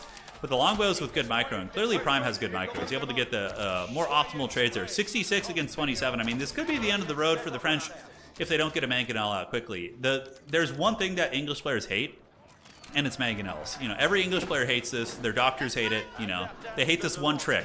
And that one trick is the mangonel. Mangonels are the scourge of English players. Because English players, for some godforsaken reason, including myself, have the biggest aversion to building cavalry units. And if you're able to get the uh, get mangonels, I mean, they're devastating against archers and spears and things like that. So okay trading here. You know, the Incan is doing a, a decent defensive hold. The, the, English macro, though, is pretty insane. Their food economy is able to really just put it into overdrive. It looks like in the middle, the English do have plenty of gold. Um, looking at any Castle Age, a Berkshire in the middle could be cool, um, for sure, to really kind of lock the French out of their gold. But the French were able to get this, so they're going to be calculating here. But like a Berkshire right here would deny all these golds, and um, then maybe like a tower right here would be the play. Looks like English going to be setting up there on their own, and the aggression is on. So English longbows shooting into the French Knights. French Knights do have a little bit of a ranged armor uh, upgrade spam. A lot of crossbows being mixed in, so they will be excellent against the Knights. And here it comes, baby. Here it comes. It's going to be the Mangonel. So that is going to be the catalyst which changes the dynamic of this fight, 100%. So the French are actually holding well. Um, despite the English having superior numbers, we do see the French Knights fighting valiantly. And the French archers, though, are slowly being picked off to the point where it's only going to be the knights. Um, here comes the Mango. Tower did not get finished. Granted, they do have the attack speed from this tower back here, and we don't see a springald placement or anything like that. Would be nice to actually get a springald here with a stone tower. That could be a very, very good denial. But yeah, they're going to need to get some springs out of their own to try and deal with that. Castle going down, Siege Workshop, French, of course, cackling on that middle gold. And the Guild Hall, the food was collected, and now it's been switched on to stone. Really interesting. Mangonel's going to be moving up, and double Mangonel. And I told you, Mangonel's the scourge, the absolute scourge of the English. Someday, uh, when you watch like Conqueror 3 English players, I know that Prime is Conqueror 3 on uh, Japan, but I, with his English, like when you watch Conqueror 3 English players, they usually build a lot of horsemen. Uh, you know, and then eventually they'll switch into men at arms spam and things like that later on. But yeah, horsemen is a big part of their game plan because they know how devastating the uh, how devastating it can be to deal with the mangonels, right? All right, so he's going to be going into the middle. We do see a tower attempting to be set up here by the Incan. Certainly a very sweaty game. I would say that Prime's a little bit ahead in this situation. I, I would say he's had a little bit more command over the game. He has the economic advantage finally. His middle control is going to be good, and we got trebuchets coming out, and we all know that English trebuchets, they know how to thump. They do some serious work. the French setting up a nice economy around the keep, which is going to be reducing. The keep influence is great. 20% uh, cost reduction on all those knights and arbalists and things like that. Just an absolute thing of beauty here. Yeah, the English are still knocking pretty hard. We see the Mangonel's going to be coming back, trying to bonk these guys on the head. We're going to see if they get it. Looking at the relics for both players, uh, we see one relic here and two relics for Prime already. So Prime is certainly uh, playing the map a little bit better, but understandably, right? He has map control. He's got the comfort. Oh, a lot of crossbows get nailed there. Really nice shot. Really, really beautiful shot by the Incan. Despite being on the back foot, you know, he's playing a very, very good game. But the problem is if you let this go to Imperial Age, that is where the English become the Dark Wizards. When English get Imperial Age and they get the, the enclosures going and their farms start printing gold, uh, you know, it gets really, really dodgy, man. It gets really, really dodgy. So heading to the south, I think for the English now, you stop pressing the French base. You can even let them have this gold and just push the French out of the middle. And if you're able to push them out of the middle and just kind of starve them in the corner, uh, I think that's how you win this match. I think that's how you do it. So looking at the farm eco, it's pretty good for Prime. He's got a lot of nice farms around here. Definitely needs to build farms like closer to his landmarks because if this were to go late game and his opponent was to be calibrating him, he would be very grateful for that. But yeah, it was a nice mango shot. It really was. Trebuchet is now going to be teeing off. We got double trebs coming out, so the English have a big advantage as it pertains to the trebuchets. Horsemen being made as well as veteran royal knights, and that landmark is going to be paying the troll toll. But guys, we are going to be getting a late game match. We're going to be getting an Imperial duel of fates between these two players. Both players have kind of cut the middle in half. Um, looking at Imp, uh, both players kind of on the, uh, no, not in the French so much. French are a little ways off. And they're actually collecting stone, which is interesting. I think collecting stone at this point probably isn't the best idea. I think just going gold would probably be a safer bet because stone uh, collects half as quickly as gold does. Granted, I mean, I guess you could drop a bunch of keeps in the middle, and that's very, very good. But the English are excellent at knocking down keeps with their trebs. We do see a Spring Springald coming out from Prime as well. Prime going to be walling off the entire map, uh, middle of the map, which is a great call. No Sacred Sites being grabbed yet. Definitely uh, would recommend grabbing those if you can for the English player, since he's got the map control. And the French actually get a bigger army for the first time in the game. 57 against 47. Look at that. Incan's coming back, man. This is gonna be this is gonna be a really intense fight. Those Mangonels were everything. They saved everything. Okay, I love this play. This is very Chad. This is exactly what I was talking about. A Berkshire middle secure here is going to be so good. It's going to get this gold, this gold, this gold. Um, it will also maybe even hit the tip of this. The Berkshire Palace has absolutely disgusting range. You might need to sacrifice a lot of your English army during this to make sure the Berkshire gets up. That's what she said. Because if the Berkshire doesn't get up, it's going to be a bit of a tough time. So they move in, and a lot of those villagers are going to be getting punished here. If that Berkshire doesn't get finished, man, you're going to have a bad, bad time. You need to make sure to get that up right now. So Springald's coming out for the English. Mangonel's doing some good work. Double Springald for the Incan as well. The English are certainly losing this fight. The French have the better artillery position. Uh, but if the Berkshire Palace finishes, it's not going to matter too much. It will force them back. And the English are insane at replenishing their armies. So it would probably be okay. And, oh no, finish it! Finish the Berkshire! Oh god, it's so tense. He's getting hammered. Garrison those villagers. He garrisons the villagers. And now he's going to be fine. So Berkshire Palace, Palace finishes. The first thing you always want to do as English when you hit Imperial Age is getting closures. It's going to immediately grant you like five, six, seven hundred gold a minute, right? So Berkshire Palace is up. Very nice. Look at the range on that landmark. It's so, so good. It actually just picks off one of the mangonels right there. He needs to get his villagers back to work here. He does have 14 villagers in there, and many of the Arbalists are being taken down. Are we going to be seeing the Red Palace getting dropped? Because the Red Palace can actually kill landmarks. It's pretty ridiculous. Uh, yep. Looks like those villagers are able to escape. Does he have enclosures coming? He does not have it being researched yet, so clearly, you know, it, it's big, man. Prime needs to have a market. He needs to be selling wood to get that enclosures up. Uh, enclosures is just such a backbreaking upgrade. And look at that. He pushes him off the gold. So the Berkshire Palace has enough range. It has enough range to get him off that. That's insane. So the only one you really need to defend at this point is going to be this one back here, which you should be able to do with trebuchets and your keeps and all that sort of good stuff. Incan is going to be hitting this gold back in his base, but he better figure out a plan quickly, man, because he is going to be running out of gold, and uh, the English are going to be taking over the middle of the map. The Berkshire Gambit has uh, has has certainly paid off. I've seen Red Palace be really dominant on this map as well, like a Red Palace drop in the middle, but Prime was obviously a little bit ahead a lot of the game, so he was able to get imp quicker.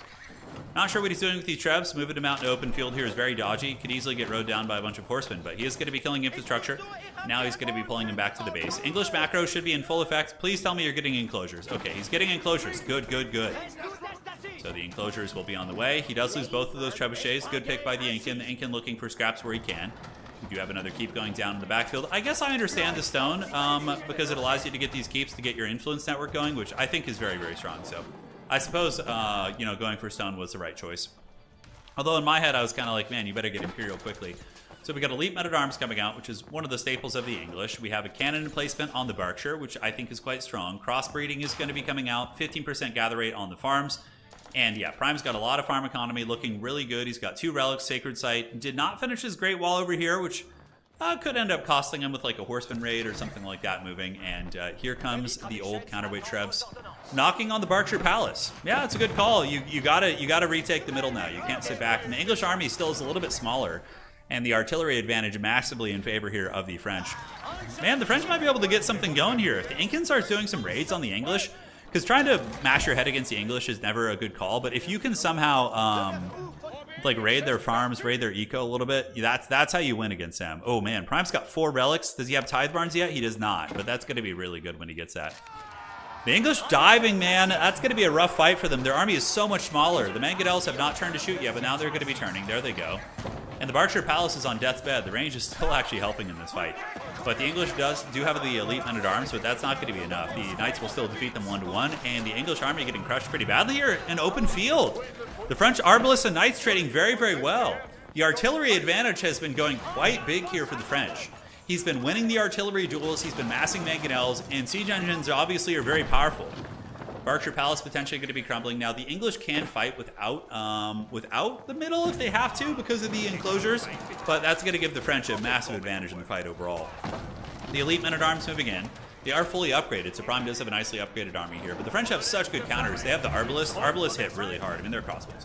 So they do um, 20 plus damage against these bad boys. The Men-at-Arm Legion coming out. And the Berkshire Palace has fallen. The French could be back in this game, guys. If they manage to get back on gold here, get that party going. They're about to mine out here, so they really need to get that gold secured. We do see the landmark being built. Prime needs to take a step back and get like 50 springalds. Uh, he needs to get like like eight springalds. He needs to get a couple mangonels behind that and get some hand cannoneers mixed into the army. But you see, this is the problem with English players, including myself, is um, they just spammed it. Like they're like, okay, there's one unit that would counter this entire army, one, and that is going to be horsemen. If the English player just built like maybe 10 stables right now, uh, he doesn't have the wood for it. But if he built 10 stables and spammed out elite horsemen and got biology, he would crush the Incan's army. Incan would absolutely get steamrolled, but he's just building men-at-arms, which are pretty hard countered by the Arbalests as well as the uh, French Knights, right? So Berkshire Palace is going to be coming back up. Just absolute desperation repairs. Men-at-arms looking pretty sauced, and hand cannoneers now mixed into the army as well. The Berkshire Palace is back in business. Trebuchets might get picked off, but despite Prime not trading the most efficiently in the army fights, he still might be able to win this simply because he has the Imperial advantage.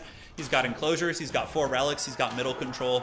There's many things Prime is doing very, very well. The only thing that's a little bit off is going to be the army count. Um, and he does have the roll shutters, so he does have the range increase on the springalds and the attack speed increase, which is going to make them very, very good. So he does kill both of the trebuchets here, and now is going to be just sending in his men-at-arms, uh, with army tactics about to finish, mind you. And uh, yeah, that, that will be very, very nice. So we do see that go down here, and the old um, springalds uh, do win for the English. They do win for the English. And the French uh, are out of gold. They're out of gold, ladies and gentlemen. Grabbing a little bit of stone. Do we see villagers coming in here? We do not. And I think Prime is starting to take over this game again. Currently looking at the gold per minute for the Incan. It's only zero, actually. So he's getting none whatsoever. So his army is going to be devolving into archers and horsemen, which is going to be very bad, even against like elite men at arms. It's not going to go well. Prime finally starting to win some of these duels as it pertains to the artillery. He's getting some really, really nice shots shooting from downtown.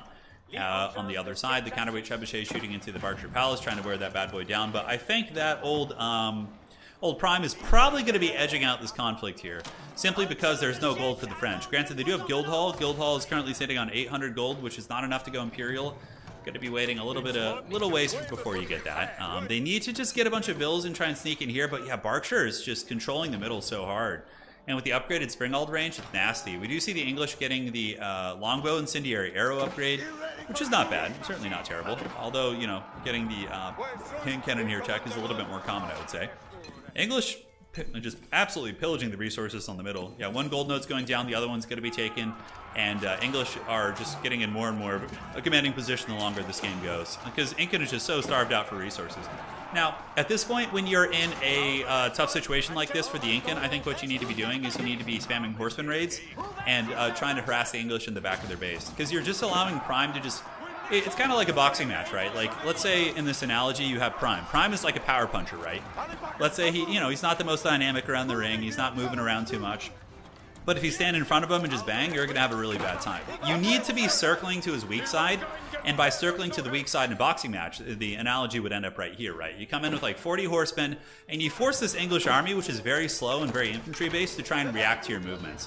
Like a horseman raid here would be the most devastating shit. If you came in with like 15, 20 horsemen, uh, this the, the, you would probably get like 20 villager kills, and on top of that, you would mitigate his food income. You would take some of the pressure off the front lines. Little things like that would be uh, would be very very good. But the Imperial English are cackling pretty hard now. They seem to have taken control. It's only a matter of time before Prime starts making some bombards, is what he should be doing, and knocking the uh, French off the front lines. We got men at arms diving in. Trebuchets are completely forced back. Prime doing a little bit of split raiding right now, which is very, very good. So here they come. The Palisade wall is going to be uh, getting torched.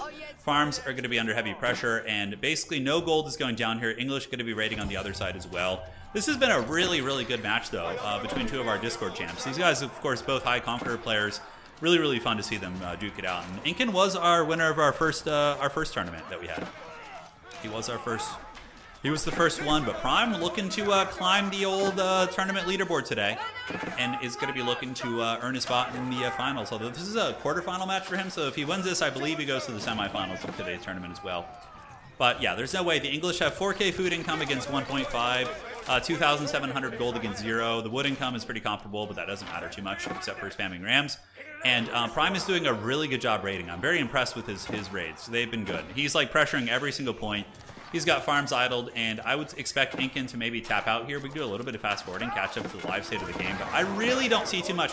He's switching into Mass Horseman, which is good for defense. Incan scrapping really hard, but his opponent is all up in his base. We got Men-at-Arms coming out.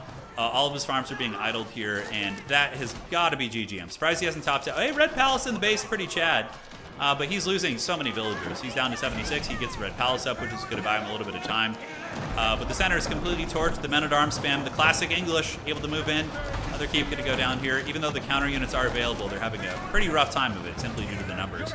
And uh, ladies and gentlemen, I think Prime's got this. I mean, he's got both sacred sites. They're not fully walled off, but they will be soon. He's actually building stone walls to uh, keep his opponent from getting to the sacred sites, which is very Chad. And um, yep, the men at arms just keep moving in the base. We can keep fast forwarding because this one, ladies and gentlemen, I think is 100% over. I would imagine they're both watching in chat right now. It's a great match. Both these guys played super strong.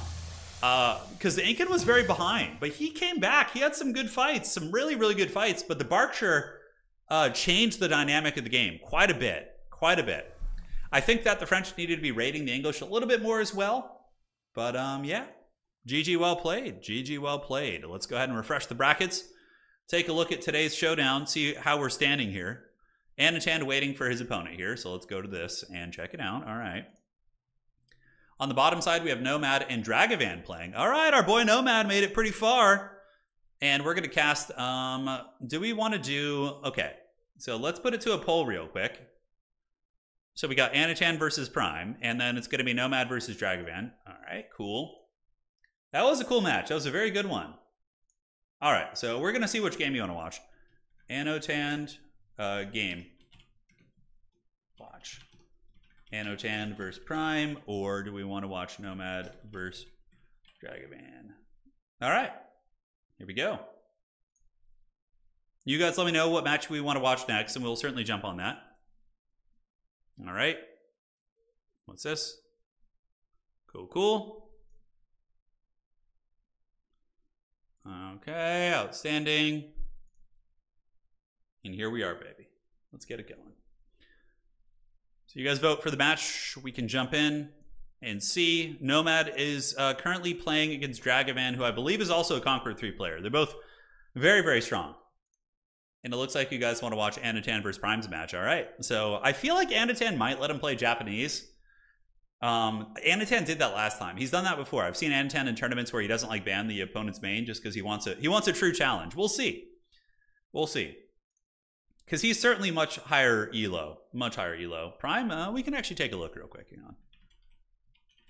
Okay, so Anatan, I think, is like 2200 plus, right? He's got to be around there. Uh, so Prime is currently, if we look at Prime, Prime is um, yeah, he is currently 1600 elo, which is really good. That's that's like the very beginning of Conqueror 3.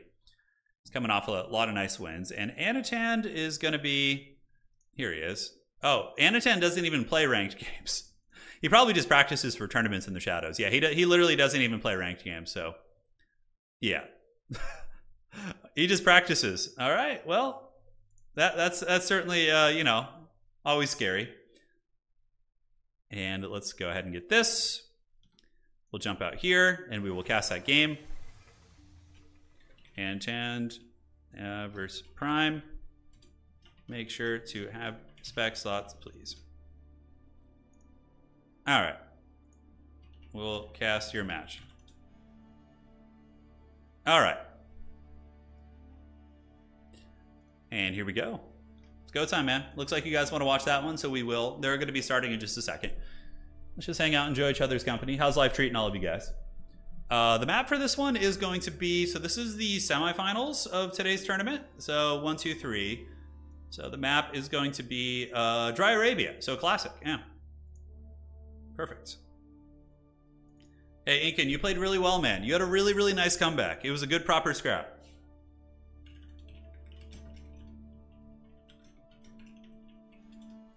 All right. So just chatting with some of the players real quick, making sure they don't have any questions, and we will go from there. I'm sitting in the picks and bans right now. All right. Is Anatan just going to be chatting it and not banning anything? That'd be kind of interesting. Zach in chat saying, I won your first FFA over the weekend. Hell yeah, man. Winning FFAs is not easy. You know, you're going against seven other players. So congrats to you. Congrats to you. That's great stuff. His his uh, name on ladder is Pivotand. Hang on a sec. I think I wonder if that because if you say if you say pivo in Polish, it mean it means beer, and if in I wonder if because I think he's from Belarus. I'm not sure. Um, I wonder if it's the same. So is he just beer beer and it's hand on ladder? That's pretty funny. Let me let me check his um. Check this. Hold on. Uh, Pivotand. Oh yeah. So we found Anatan's ladder profile. He's Conqueror 3, 2,000, almost 2,100 elo. Oh, that is no joke, dude. It looks like he plays a lot of Ayyubids, which, uh, and Order the Dragon as well. Yeah. Little order games mixed in there, always fun. There's still a plan for you to do a podcast. Uh, no, it's going to happen, Gunhound. It'll happen, yes. It will happen. Mainly more focused on getting the tabletop stuff together. Um, which is a lot more work than you'd expect. Like we're out there every night in the garage painting and assembling minis and stuff. So, but you can't really start a tabletop Warhammer channel with only two armies or three armies. We only have two right now. We have well, we have three. We have Empire and Warriors of Chaos fully painted. Tomb Kings are just we're just getting started on painting. They've all been assembled for the most part, but we just need to paint them now. So, uh, once they're painted up, is like it's go time. Go time. Yeah. Pivo is beer in Slavic countries. Yeah, so it's all over all over the Slavic countries. Got it. Yeah, because I know in Polish it's Pivo. Yeah. Okay. So have they started yet? Where's our boys at? Browsing custom. All right.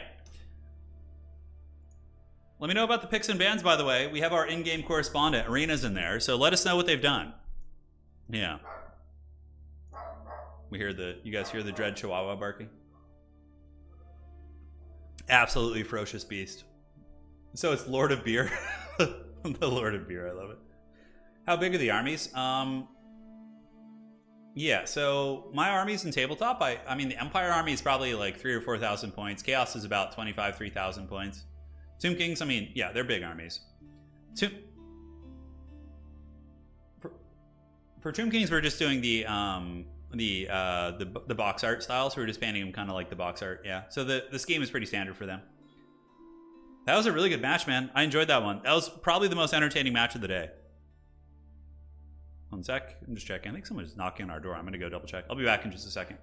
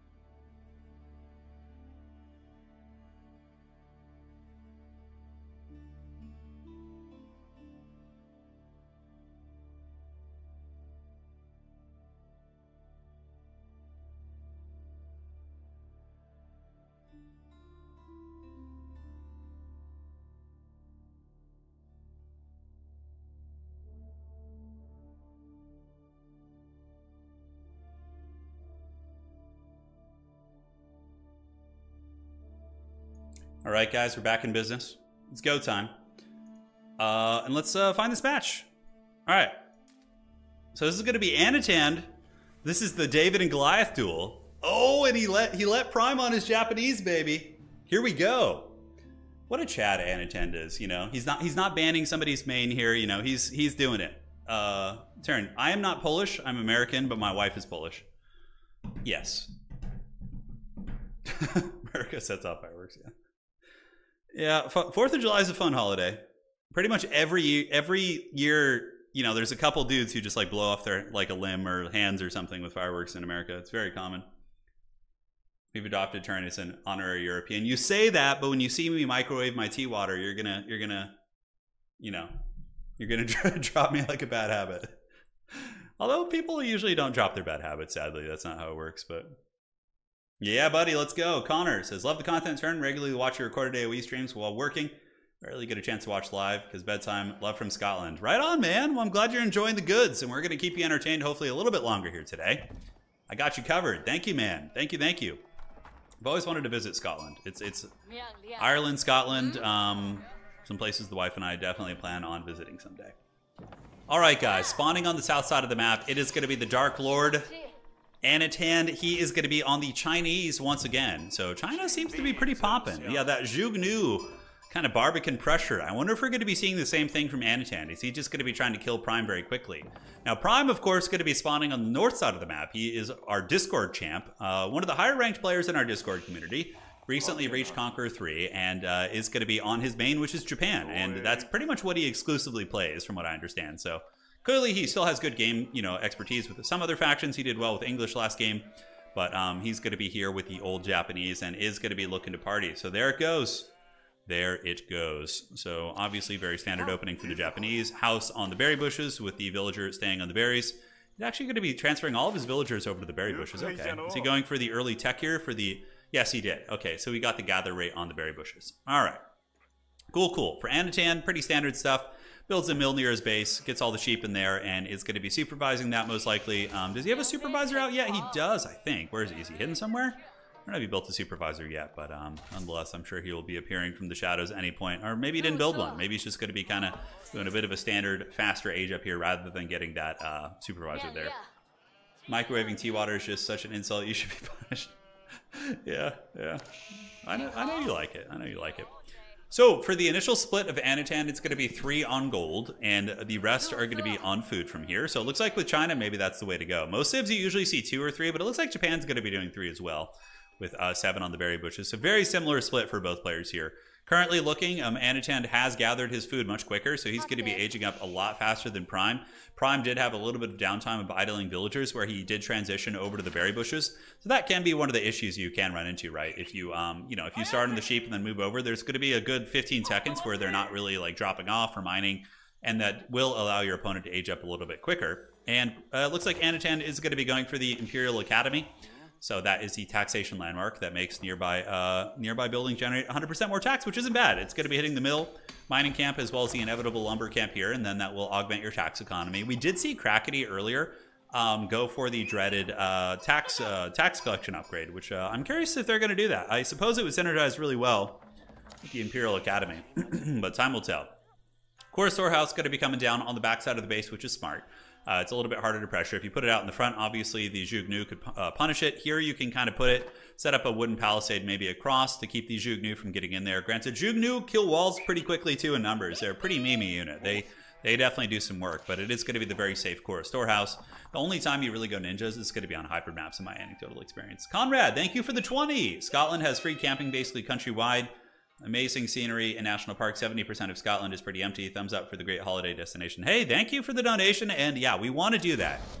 I have a lot of Irish ancestry, um, and uh, you know, from that part of the world as well. Um, I don't know about if I have any Scottish ancestry. Maybe I have to do like a DNA test or something. But regardless, I've always wanted to kind of visit that region and uh, check out that those landscapes and see all that lovely stuff. Okay, so Kura Storehouse popping off four villagers on that. China's already aged up. Are they going to be going for a quick Song Dynasty? Looking at Anatan's bank, um, we do see him not making any military buildings right now, still gathering a fair amount of gold and uh, relatively heavy on food as well, which makes me think we're going to be seeing an early Song Dynasty. Now, the question is, are we going to be seeing the dreaded barbecue proxy? I don't think so. I think he's just going to be playing very tight into his base uh, building the Barbican to secure some resources and going from there. But yeah, I'm, I'm hyped to see this because Prime is he's uh, been an absolute terror in most of our FFA matches with the old um, with the old Japanese, and he recently just got Conqueror three with them. So I'm, I'm curious to see what chops he has. as far as the build goes, what's going to be happening is going to be a fast castle. So Prime is building a tower, which is just a deterrent against Zhuge Nu. He's going to be going fast castle. He's going to be going floating gate. He's going to drop off the Yorishiro inside the stable and probably get mounted samurai, which are a pretty good counter, obviously, against the Zhuge Nu. Barbican of the Sun coming up for the Chinese. So China, are they going to go 2 TC Song? That would be pretty greedy against the Yorishiro play. Because if you go Yorishiro, Fast Castle, Japan, they can really punish 2TC with those Samurai dives. The deflective armor plus like one ranged armor upgrade, which they get for free from their forge, is just really, really good. So that could happen. Yeah, we're going to end with an FFA for sure. So pulling bills over to the berry bushes, uh, jumping off the sheep once again. He keeps switching back and forth, which is uh, which is curious. I wonder why he's doing that. He'll like work on the sheep for a minute, and then he'll go here and um, looks like he's walling he's walling off the Kura storehouse and that means there's going to be farms, but it's going to start generating wood quicker. Okay, very interesting tech here from Prime. I suppose that is going to give him um, that's going to give him the tools he needs to build military infrastructure. Yeah, he's got the two farms. It's going to put one, two, three more farms probably before it gets blocked. And when it runs out of places to put down farms, what it does from there is it starts generating wood. Okay, we're going to have to kind of see what this is. What are the elo of these players? Prime is 1600, which is the beginning of Conqueror 3, and uh, Anatan is about 2000, 2100 range. So he's obviously much higher ranked, but you know these, these guys would run into each other on ladder if they were playing. Um, so yeah, it, it's totally, totally possible. Totally possible. Granted, of course, Anatan is the favorite. He's he's a professional player, so um, you know this is, this, you never know though. Any given Sunday, man. Any given Sunday. So Song Dynasty and China looks like they're going up to castle now. We see 557 against 205 here. Uh, 440, uh, 459 against 440. So yeah, these players are rocking and rolling, but it is going to be fast castle. And interestingly enough, guys, I think Anatan might get castle a little bit quicker than Prime. It's going to be tight. He does have the tax collection. Did he get the uh, imperial examinations? He did not, so he doesn't have this. Pretty good upgrade though. It definitely definitely can get you some good bang for your buck. Like from here, they would be collecting tax drop-offs of 80, which is really strong. So this upgrade would pay for itself very, very fast um, after a couple drop-offs from the old mill, which has 294. that's why if you're playing China, by the way, you need to be very careful about deleting your uh, eco buildings. Make sure to check their tax first, or else you're going to be losing out on a ton of resources potentially. So Prime switching over to the berry bushes. Looks like he's going hard on the berries here. Um, Anatan is going to be getting castle faster than Prime, which is pretty impressive considering he's on a Song Dynasty as well. So he basically built two landmarks. Really, really a testament to his uh, to his eco here. But we've seen mostly feudal games, I guess, although not so many. The last game was a pretty long castle game here. Uh, we do not see the daimyo manor being set up, no stone being gathered by the Japanese. And uh, Old Prime, yeah, this is an interesting tactic with the Kura Storehouse to try and generate that wood from there. That's that's pretty cool. So astronomical clock tower from Anatan, and Prime is going to be aging up right now as well. So they'll be aging up within like a minute of one another, maybe like 30 seconds of one another. It looks like, and it is going to be floating gate being dropped back here. Yes, floating gate coming down. Yorishiro stable play. Now, what military tech is Anatan going to go for? Likely Spearman, maybe an Estabese, and Palace Guard. That's a pretty good comp, uh, mixed in with some crossbows right? Because if you're expecting Japan to go with cavalry, which they pretty much always do these days, not always, but you know what Japan does in one v one in my anecdotal experience. Now my experience is like low, like lower conqueror, but um, typically Japan is going to open up with the Yorishiro fast castle. They'll use the monk to start grabbing relics while the samurai pressure your base, and then they transition into mass barracks and go for uh, with bannermen to just get a ton of damage. It's really, really good. Um, but yeah, I'm curious what he's going to be doing here. We don't see any military buildings yet for Prime which is a little bit concerning. I mean, uh, what is he going to get? Yeah, we see a couple of vills on wood here. And they're going to be dropping off the Kura storehouse. I do like kind of using the Kura storehouse as a bit of a lumber drop-off spot. I think that's a really kind of uh, cheeky thing there. But um, yeah, China is Castle Age, and now we're going to be seeing China going with Lancers. Okay, yeah, he's going to be going pedal to the metal against his opponent, and he's supervising as well. Anatan's play is just so clean. It's always really fun to cast his games. Really, really fun. But yeah, the Chinese cavalry is coming. The Lancers are on the way. Now, Mounted Samurai do win one to one, but I'm a little bit concerned that Prime doesn't have any military out yet. He's going to make a stable, right? No, he's going racks. Oh, he, he scouted the cavalry, I think. He must have. So he's going to be going into racks, but what is he going to be rapid firing? The Yorishiro is going to be coming down to the barracks. Now, when you put the Yorishiro from the floating gate inside of the barracks, it basically makes it so that barracks is going to be counting as triple barracks, which is very good. So he's going to be popping that. It's going to be Onna-Bugeisha. Interesting. Uh, so the first cavalry have arrived. Is he going to be garrisoning in the tower? He is. I don't think any villager casualties will go down. And, oh, that one villager could get hunted, but it looks like he's going to be okay. And Anatan's going to be scouting, but he's going to be having lancers all over the place. He's got monks out on the map already. certainly very, very scary, man. And you know, maybe at the higher level of play, China's making a little bit of a comeback here. Yeah, I've been seeing like they've been getting picked a lot in a lot of the high level matches I've been watching. It's been very, very fun. The Lancer here is uh, charging on in. Onna-Bugeisha is going to try and put up a fight here, but the Onna-Bugeisha are not even upgraded to veteran yet, I don't believe, so they're going to be a little bit potato, and now he's going to be switching into spears. The technology is going to finish very quickly. Knight moves in. Uh, is he going to garrison the TC to try and finish off that Knight? Hard to say. Onna-Bugeisha chasing down this Lancer right here. Lancers will dominate Onna-Bugeisha in one-to-one fights, like hardcore. So yeah, a lot of spears coming out. Onna-Bugeisha also being mixed in, and Anatan is taking map control as well, and switching into crossbows. Yeah, he's going to be switching into crossbows or Zhuge Nu. It's hard to say. Honestly, probably Zhuge, because um, Zhuge Nu will be better against Spearman and Onna-Bugeisha comp, whereas Samurai crossbows would be the better choice.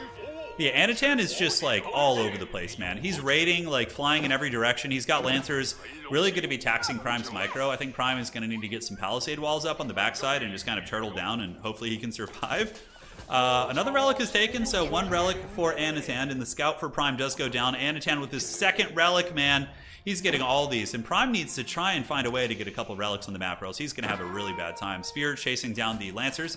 Lancer did pick off the Villager, and currently looking at the Villager count, oof. Man, China looking, he's making China look so brutal. Yeah. Uh, Romaine, yes, probably. But China is looking so brutal. He's up 46 against 34 eco guys, and he's getting the relic advantage, and he's he has the aggression advantage. He's idling villagers by forcing walls, and uh, now he's going to be switching into Master Zhuge Nu probably. Is that what it's going to be? Let's see. So he's got the Oh no, just crossbows, I guess. Yeah, which makes more sense. Obviously, Japan hates crossbows. Crossbows are good against most of their units. It looks like a couple spears do finally catch a lancer, but Anatan able to keep that micro going. Incredibly annoying, I'm sure, to have to constantly be chasing these units down. The Onna-Bugeisha might be able to get the hunt. Prime has not gotten his walls in. And um, yeah, the Dark Wizard Anatan continues on his rampage as he goes up to a pretty substantial eco lead. Looking at the relic situation, he's got two relics, armor upgrades, as well as uh, melee upgrades coming out. Lancers, dude, look at Anatan. He's pulling his injured knights back, okay? And then he's he's healing them with monks. He's got like a little healing station. That requires a lot of micro to do. So all the damage that Prime is doing is being mitigated by the monk healing. Dude, that is so good. That is so powerful. Like, he's going to have a surprisingly durable... Like, he hasn't lost many knights at all. I think he's lost maybe one. Looks like here he's going to maybe hunt down this uh, unit here. Prime able to get a couple relics, though, so well played to Prime. Despite all that pressure, he's able to get some goodies. And the Japanese infantry are hunting down the Lancers, uh, still chasing them. Wololo going down to the top side, forcing back that Lancer there, and uh, looks like he's going to get away. So the Monk does not get that. Prime able to get two relics, very well played against Anatan, certainly not easy. And Anno is going to be getting three he's going to be getting three of those. So it continues, ladies and gentlemen. It continues. Wolf trying to help the Japanese back in the base. Uh, he continues healing up his Lancers. And uh, we are going to be seeing the crossbow transition. Crossbows counter pretty much the entire Japanese core. I mean, Onna-Bugeisha can swarm them, but if you have a front line and then just crossbows, they'll it's so incredibly good. It's so powerful. Yeah, but the dreaded Chinese Lancer play certainly adding up. We do see the farms being opened up here from the Kura storehouse. I would really like to see some palisade walls to kind of secure the back of the base. We never saw these ones get finished either. So some unfinished walls that could be canceled. And man, Anatan finds that small Japanese army and just crushes it with his lancers. And he's also bringing monks for healing.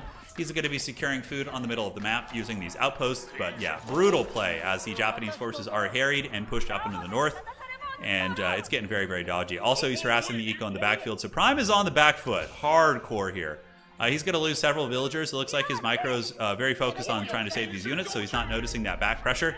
He does have a couple Onna-Bugeisha running this way, and Prime is just hemorrhaging eco at this point. This one knight has literally killed like six villagers. Uh, okay, yeah, that's like six villagers right there. That's going to be seven. That's probably GG. I mean, I don't see him coming back. Anatan is just such a Terminator. Um, yeah, and Prime is very. This is like the Prime is a Conqueror three player, right?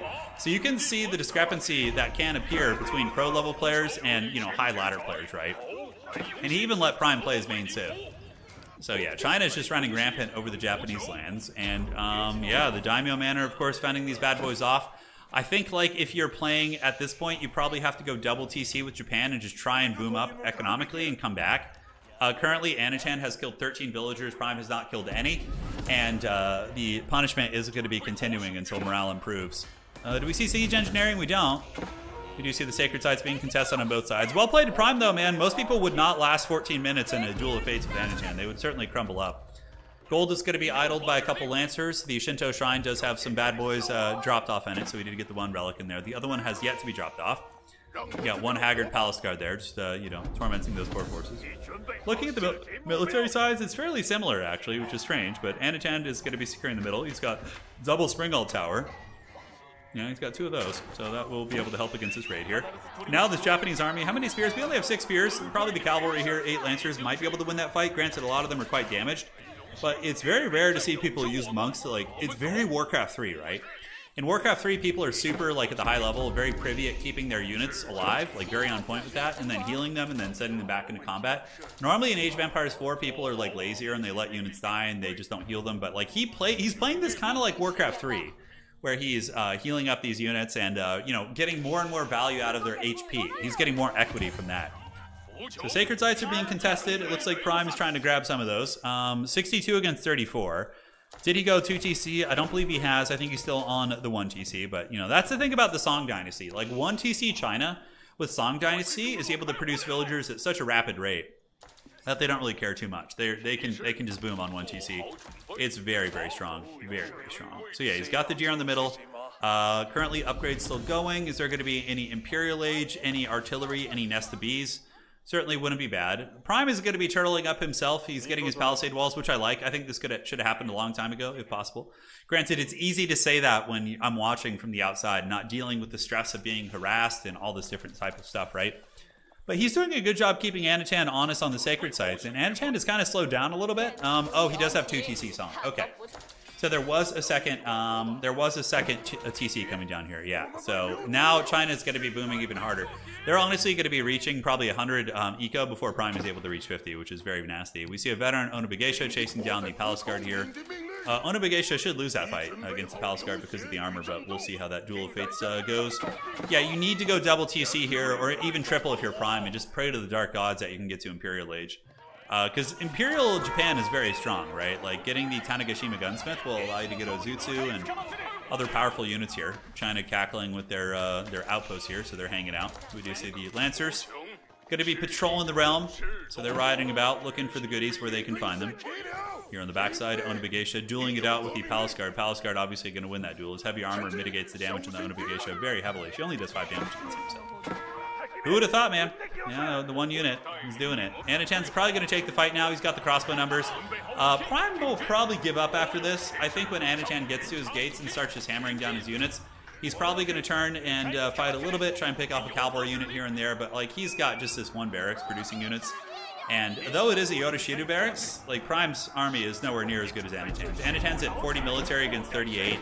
Uh, we've seen 24 villagers die for Prime. 24 villagers. This Chinese strategy, man, it's, it's crazy. It really makes you realize like how different the high level of play is. Like I, I always assume China's just good at palace guard rush you because that's what the potatoes at you know high diamond and low conqueror do.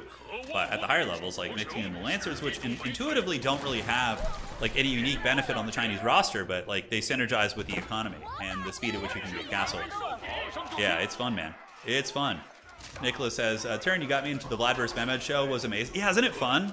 I mean, obviously it's dramatized and probably some stuff's like, you know, very, uh, you know, uh, what, what would be the proper term? Like, they're extrapolating based on limited information to make some drama, but it's a very fun show. It's very, very fun. All right, guys. So that's probably GG. Um, Anatan is going balls deep in his opponent's base. Conquest here, currently 16. Anatan at 4,300. God damn! This is looking just to be over. But shout out to our boy Prime. Let's give it, let's give a round of applause to our boy Prime. He made it far into this tournament. He made it to the semifinals. He beat some very good players, and uh, you know he'll he'll be back. He'll be back next time. But Anatan is going to be pillaging his lands, just absolute destruction as we see these villagers just scattering around. And uh, he tried to pull a Crackety here where he, he, hit all his villagers in there, but um, that ain't going to be enough, and we can fast forward. So hey, Prime, well played to you, man. You're you you're still our boy. You know, there's no shame in losing to Anatan. You lasted way longer than anyone would last, probably in our community. Maybe there's some folks who'd last around that long, but um, you did great, man. You did great. But Anatan is a Dark Lord. Ever, we need we need our Dark Lord, right? We need him so that people have something to aspire to. GG, well played. All right. So let's go to the finals. We might be in the grand finals already. Hang on. Let's check this out. All right, and check in the tournament. Anatan versus Prime, and now we have the grand finals. So Dragavan did defeat Nomad. Well played, Nomad. You had a good run today, brother. You had a very good run. So we got uh, Dragavan versus um, uh, Prime, which is going to be fun. Let me see Drag Dragavan. Let's see what his what's his elo. Okay, so Dragavan is also uh, he's a little bit higher elo than Prime, but not by much. He's like 1700 range, so he's a high Conqueror three player. Well, uh, a kind of a lower Conqueror three player, but still Conk three. Uh, so yeah, we're gonna have a good match here. Prime says, uh, finals are best of one. It's designed to be a fast tournament, so players can just like chill out and take it easy. Because a lot of tournaments in RTS like can just go like six, seven hours, and I think that's one of the turnoffs people have. So I just like to have fast and furious tournaments. Um, I will do a longer one someday when we do our qualifier. So I'm going to take the top eight players on our leaderboard and do like a special event at some point. So um, that'll be pretty fun. I don't know when, but maybe, maybe, well, how many civs are there actually? So it would be dependent on how many civs there are is what we would do. That would be the plan. Okay, so let me make sure they refreshed and reported the score properly. Uh, so make sure you're you report the score. Okay. Annotant. One sec.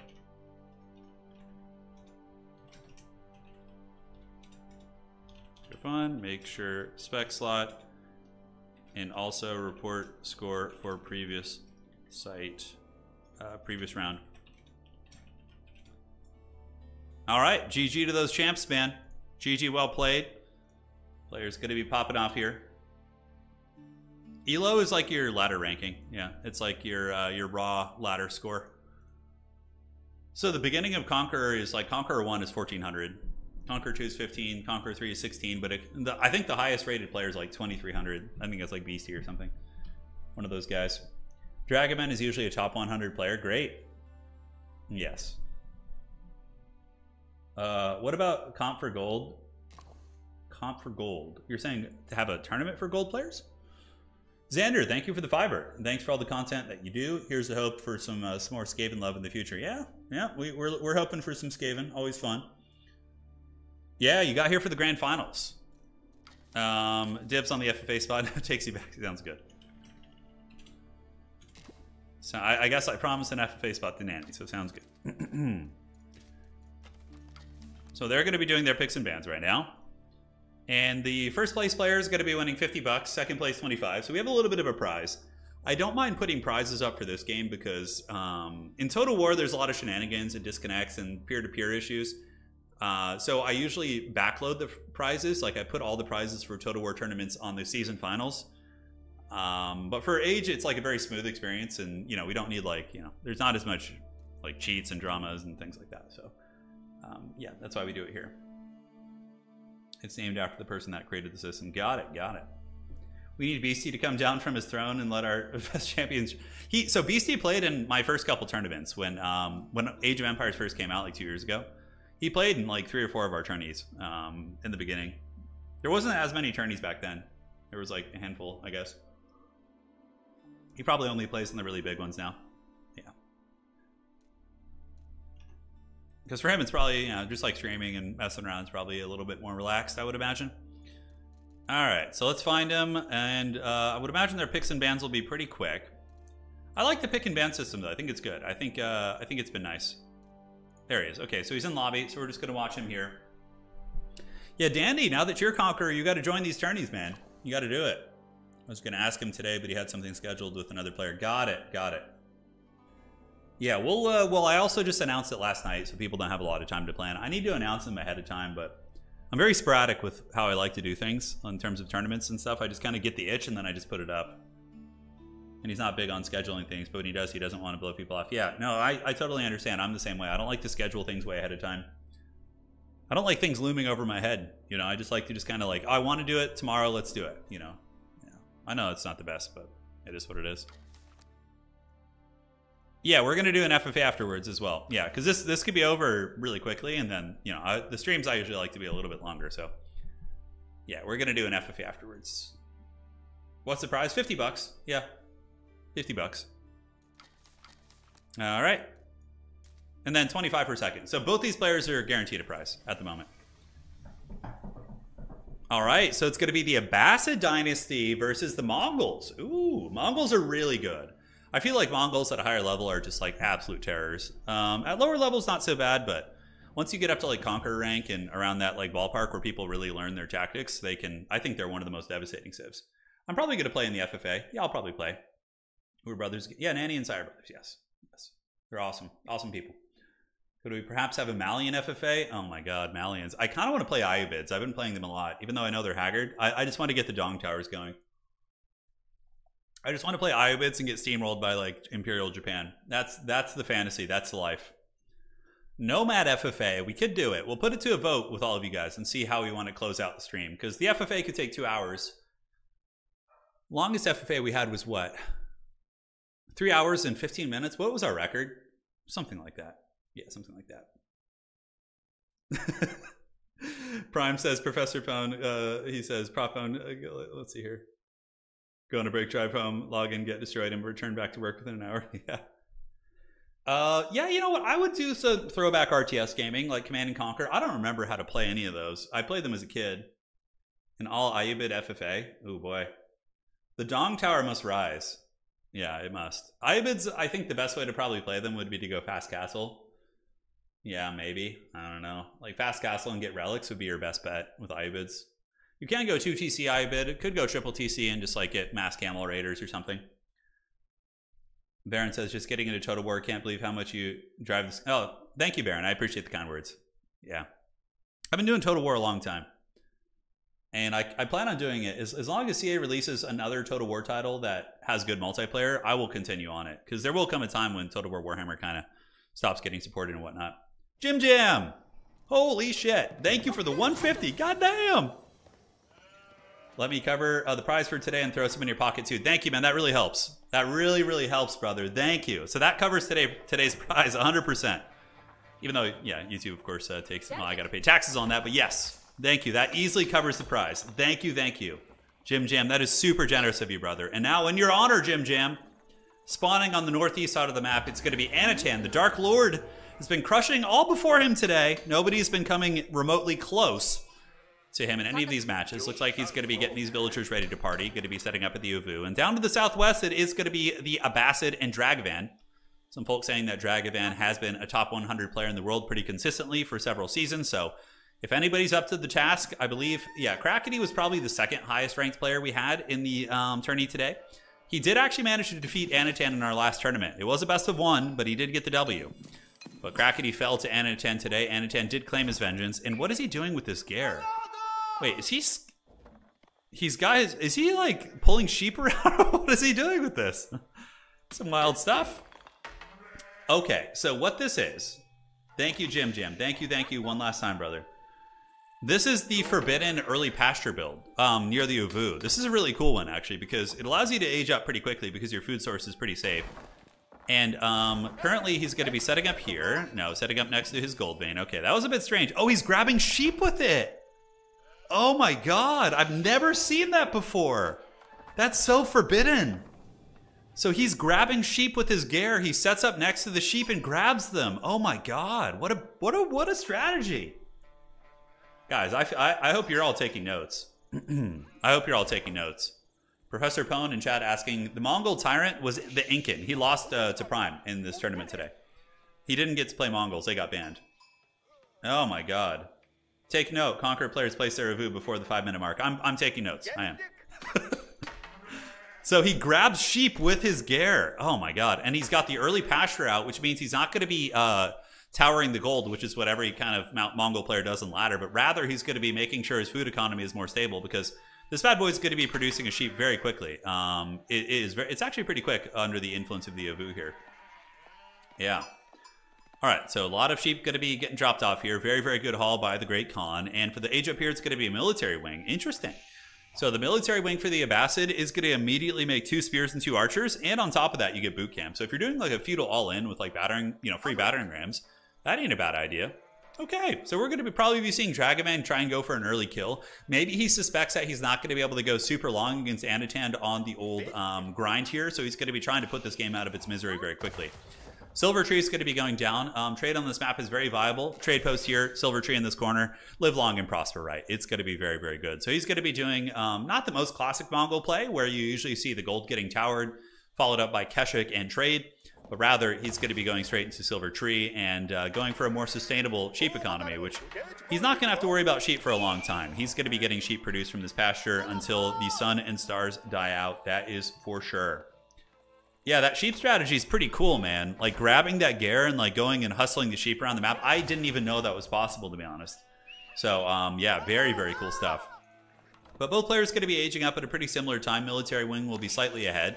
And um, he could go harass Anatan's gold. Certainly wouldn't be a bad idea. That'd be really strong. Take those two spears, take those two archers, shut down your opponent's gold here. And uh, yeah, that's going to be denying Keshiks and a multitude of good quality units here. But the Khan is going to see it coming. Antan will probably have a uh, countermeasure in place. He may panic build a tower, you know, grab these three vills and just set up a tower there really quickly, which would pretty much mitigate all the harass. But we get the archers, we get the spearmen, the military wing units are going to be out. Anatan just poking away here. Couple archers going after the Khan. Um, and yeah, they are able to keep him honest. But dude, Anatan is so persistent. Look at that. He's got that one guy down. Spear's going to be heading to the gold vein. And what is the response going to be from the Dark Lord? Uh, looks like he keeps circling with his Khan here. In the meantime, stable coming. The Abbasid looking like they're going to be just going for the kill. And this is the exact same thing I would do. I know I'm I he's Anatan is probably stronger in every aspect of the game, but like your best chance is like an all in. I think that's uh, like trying to play a long game with these guys is brutal because when they get a lot of units, they can harass from so many angles. Their micro gets really out of control. Uh, we do not see uh, a tower being set up here, so the spears will knock him off gold temporarily. However, he does have 200 gold in the bank. So he's going to double produce Keshiks, likely. Um, Stables is going to be the answer here, and we do get Horsemen coming out. Camel Riders, uh, of course, are nice later on, but for now it's going to be the old Horsemen. So yeah, here they go. Horsemen coming. Uh, we do not see the boot camp, so it looks like he's not going to be going too hard on that. Spearmen do knock Anatan off, and he is going to be setting up a tower here on the other side, which will unfortunately let the archers probably still harass. Couple spears coming in, Anatan is going to be forced back, and the double Keshiks will be out in a moment. And what other tech is he going to be getting? I do like this harass a lot from Dragavan. I think it's nice. It contains and, um, yeah, it kind of contains him on the gold. Where is he going right now? Is he checking for trade? I think he's checking for trade. Yeah, he's running up here, but um, yeah, interesting stuff. Horseman chasing down the Khan. So we do see double horseman on the Khan here, at least one of them actually. Khan's still trying to pick off those gold bills. Um, he might actually die here. The Khan is a little bit slower than the horseman. Horsemen are slightly faster than him. And it looks like uh, he's going to be retreating with this army. He doesn't want to get taken down by the Keshiks, because Keshiks would probably win this.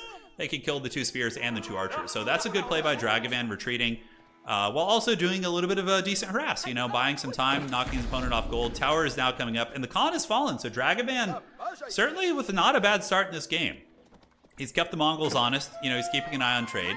We now see the Keshiks who are going to be taking out all the wolves. And the reason why they're taking out the wolves is so the traders don't have to deal with them. And now the trade is going to be flowing like the salmon of Capistrano. So classic Mongol army comp, Keshiks and archers. And then when you get Imperial Age, you use the Steppe Redoubt to get, you know, a shit ton of uh, crossbows. Or you can use Kurultai to just go for the kill if you want to. Uh, both are very viable strategies for the old Mongols. But we've seen Abbasid twice today, I think. Yeah, we saw them earlier. They did lose that one. But um, yeah, I've watched Dragavan play on ladder before. Um, I do watch a lot of Age of Empires streams late at night of high-level players.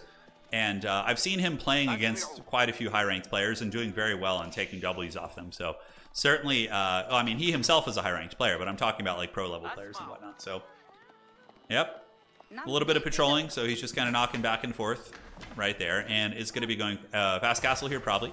Where's the silver tree going to go, by the way? Looks like he's moving it to the corner. Is he going to be trading this way? Oh, okay. Looks like he might move up here and maybe do a trade down this way, which might be a little bit less expected.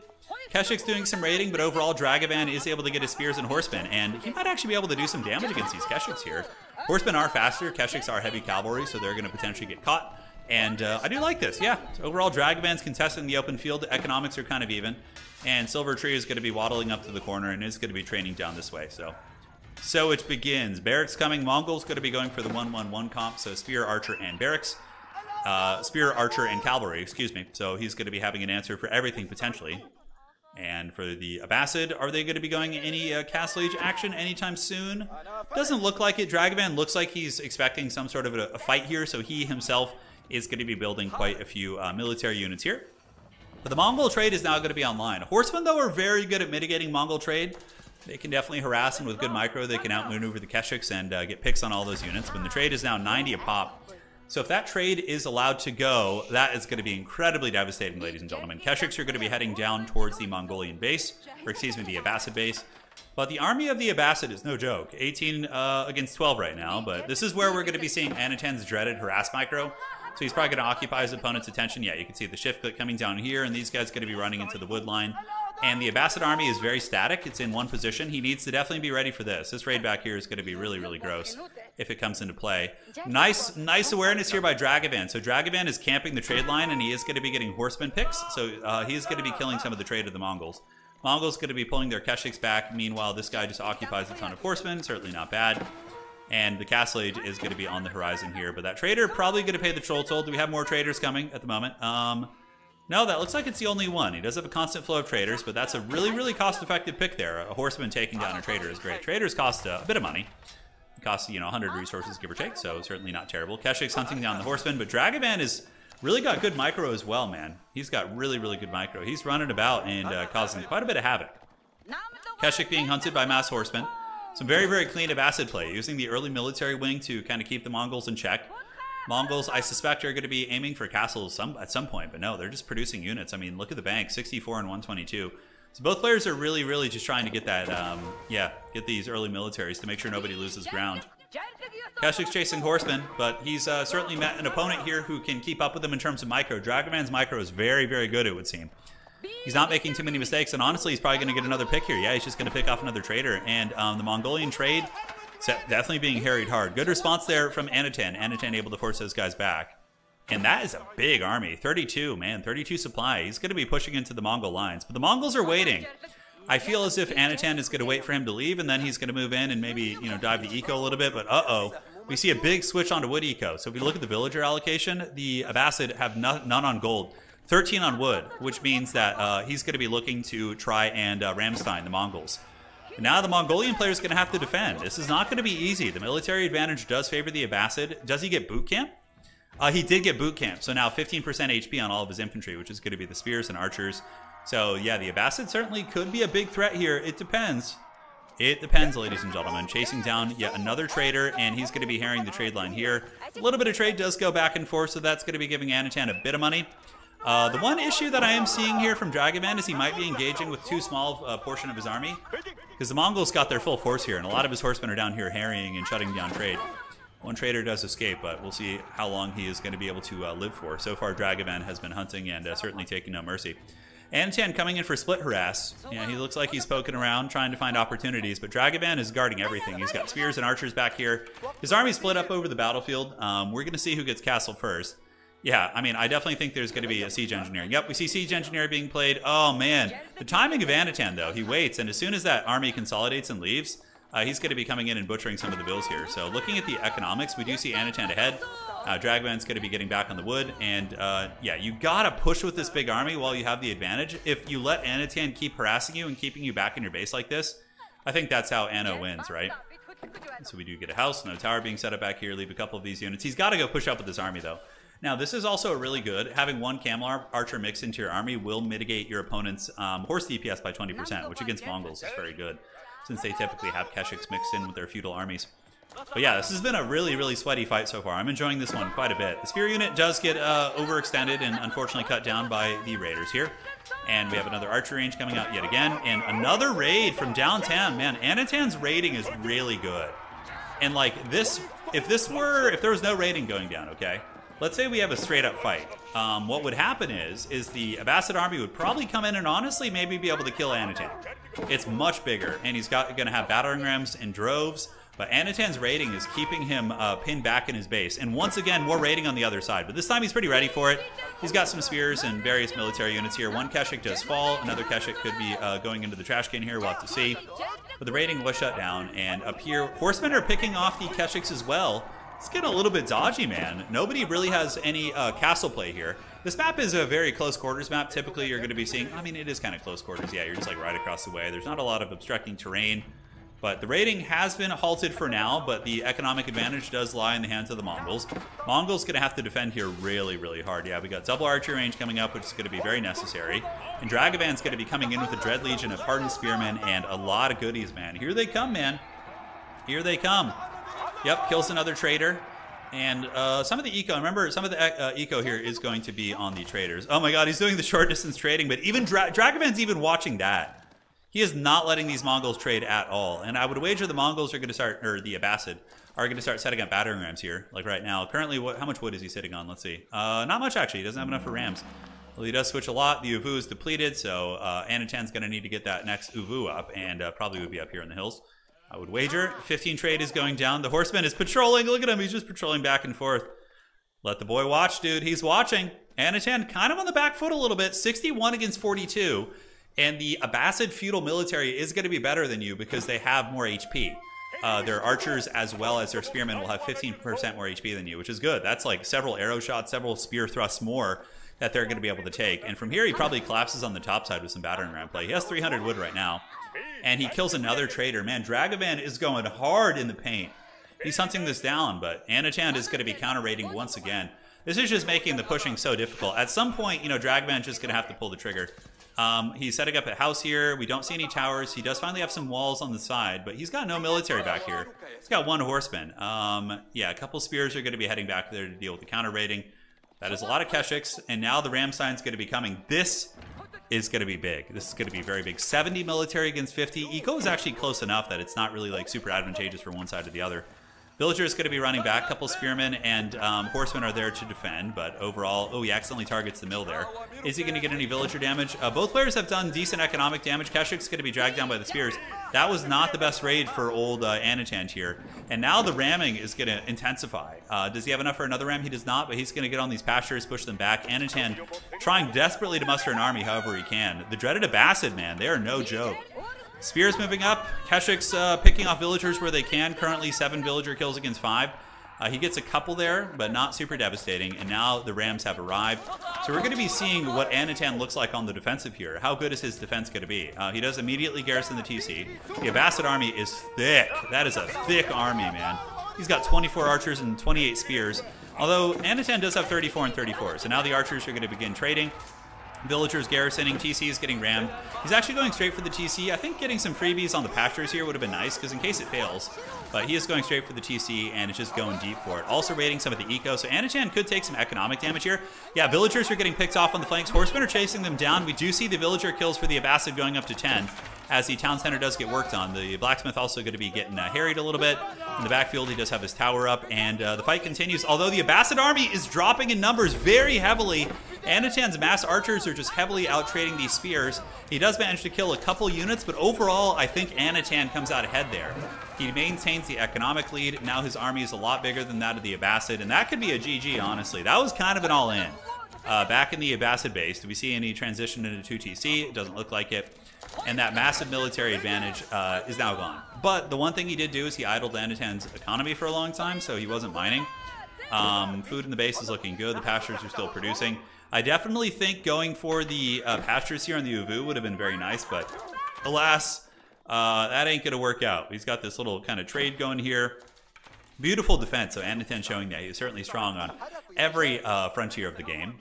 Yeah, no Castle Age on the horizon. Anatan does have 500 gold in the bank.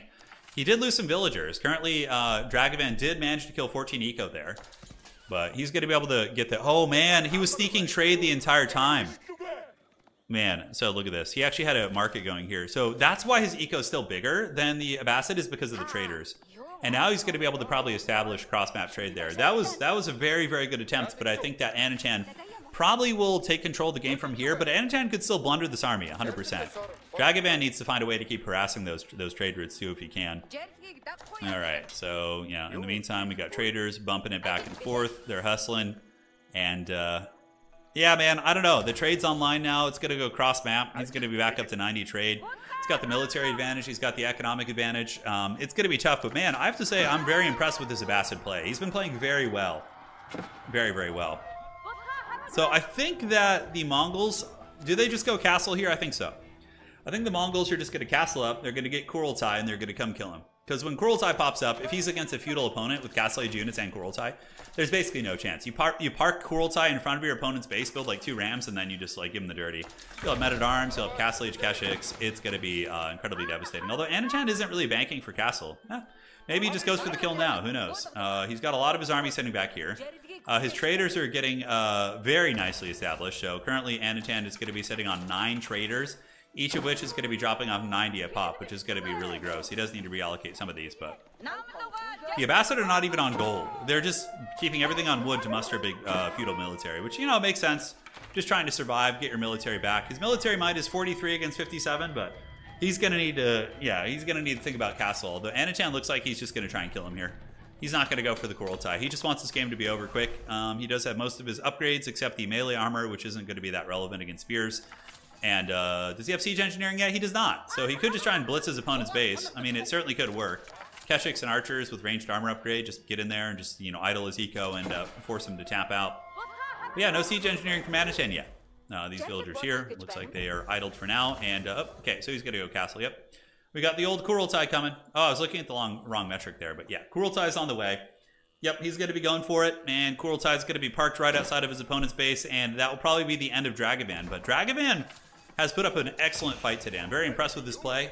He's playing, you know, a professional player, and Dragavan seems like he's certainly, uh, you know, a contender, right? He musters well, his micro's good. Just a bit of a miscalculation, perhaps, on the all-in uh, cost him. Because it was kind of like a bit of a standoff, right? Like both players, uh, Dragavan's Conqueror 3. It was a bit of a standoff, right? Like both players were kind of, you know, not sure. They were both massing feudal. Nobody was really getting an advantage, but I like going for the kill, though. I, I like that play from the Abbasid. It just didn't quite work out. So yeah, go and harry some of the trade here. He's got some towers being set up. Um, are we going to be seeing military wings? Still no gold. Okay, he's back on gold now. Kurultai is about to pop off, though, and as soon as Kurultai pops off, you're going to be seeing Castle Age upgrades for Keshiks and Archers immediately. So, ready, one, two, and three. So we got the Archer, we got the Archer upgrade, and where's the Keshik upgrade? That should be the other one. Although, maybe he's just going to go with the Archers. Uh, yeah, Keshiks. Okay, so he's got all those. Now he's going to head into the middle. Um, and this is the last stand of, Dragavan. Dragavan's going to move up with his army, but he's going to get Kurultai in the face. Kurultai is going to roll up, give healing. It's going to be very nasty. Yep, see the Kurultai is on the way. Mongols definitely don't want to fight until they get their castle upgrades. I mean, but they can. They have such a numerical advantage. 51 archers against uh, 29, soon to be castle with the ranged damage upgrade as well. It's going to be uh, pure brutality. So where are the Keshiks are? The Keshiks doing a little bit of raiding? They are. Horsemen coming in. These archers better be careful. They don't have their support. The Keshiks are now going to ride back to the middle. Uh, the Keshiks have been upgraded to veteran, so they're ready to party. The Kurultai took a little bit of damage.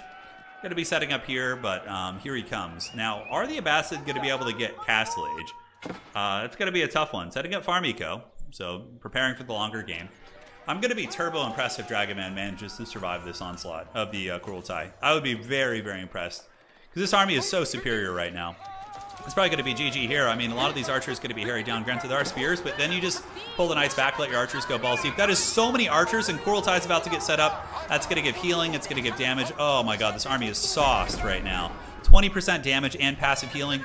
The horsemen just getting mowed down by the archers. At this point, it's such a technological advantage, it doesn't even really matter if you have the counter unit right. It's going to be a very, very rough time for you. So Anatan, the Dark Lord, arrives with his veteran Keshiks, and the Kurultai is going to continue scooting up. You can see they're still in range. That passive healing is so good. It's going to be pushed off berries. The Keshiks uh, can honestly just rampage. Dragavan losing so many of his archers right here, and uh, this is going to be bounty for the Mongols too. And that is it. Anatan wins our today's uh, wins today's tournament. He was uh, looking for vengeance. You know, he did lose in the last grand finals, but today he comes back absolutely crushes all of his opponents, crushes the individual who beat him last time, and is here for blood. So GG, well played. He's going to be winning the cash prize, and Dragavan will be winning the second prize, which is also a cash prize, and they're going to be doing it. GG, well played. Good game. If you guys enjoyed the sweaty 1v1 action, do drop a like on the way out. I think Age of Empires is such a good RTS game. It's clean, it's fun, uh, unique faction identity. It's great, man. It's great. GG, power gamer indeed. All right. So, as is tradition, we're going to be closing out today's event with a um, with a uh, match here. So, should be fun. We're going to do an FFA. Uh, I did promise Nanny Yori a spot, so let me get Nanny in here first. And then I'm going to open this up to everybody. Uh, Nanny, I owe Nanny a spot from something. I don't remember what it was, but we'll we'll get him in there. I trust I trust him. All right, so let's invite to the match.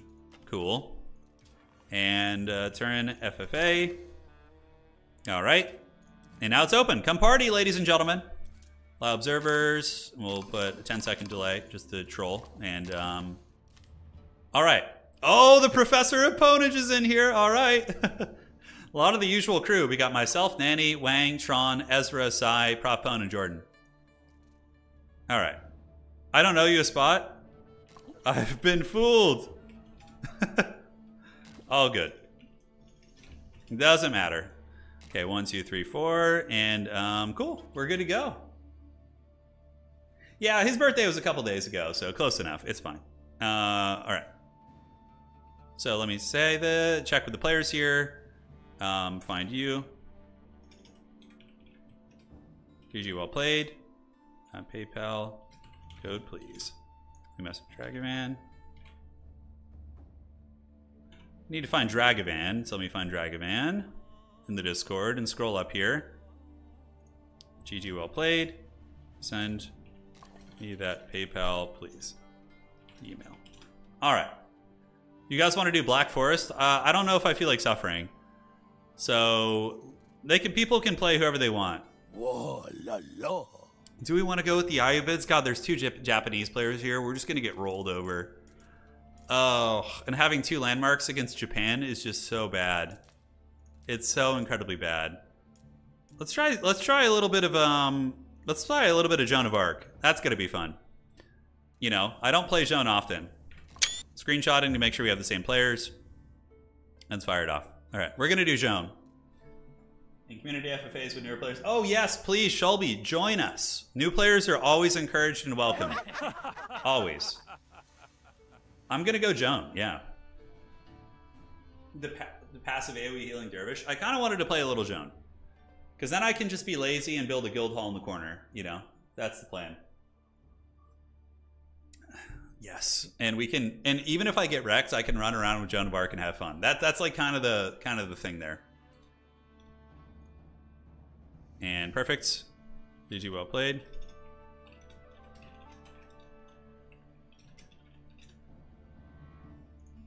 Anatan says he really likes the fast format. I agree. I think it's I think it's really good. RTS tournaments can be so brutal. It's definitely one of the big turnoffs of competitive play is the length of events. You have to like commit your whole Saturday, but like these guys only had to commit what, like two hours? Which is awesome. You get in, you play, you get some competitive reps. If you lose early, whatever, you go do something else. It's uh it's it's nice. Yeah, Shelby, please join us, dude. Please join us. the Ezra strat, yeah. Ezra's playing Mongols. Mongols are S tier too, because they don't even need stone to build a wonder. So they're just like they're just like cackling in the corners, right? We just finished the tourney. Yeah, we just finished it. I can spoil it for you, Niall, or you can check it out. But um, you let me know, and I'll tell you either way. Jean de Bombard, yeah, she's summoning bombard cannons from uh, from her backpack. Uh, HRE can be really good if they get relics. If HRE gets like four relics, they can be very formidable because their passive gold is pretty insane. And emergency repairs is not bad either. And their food eco is pretty respectable. Like HRE is not a joke in FFA. They're pretty good. But if you don't get relics, then you're just an absolute turd. You're just like awful. So it's it's it's scary. And we do have sushi. We have one sushi. Okay. And I, you know, as French, I don't really care about relics too much. Uh, I'm just gonna be. I have guild hall, so it's like whatever. Jean de Greenskins, what? that doesn't even make sense. Yeah. Made the salt flow. There might be a little salt here. We have some very good players. Oh shit, it's Nomad? Oh no, I didn't even notice that. Okay, well. Uh huh. Okay, guys, I forgot I had it on Nomad last time.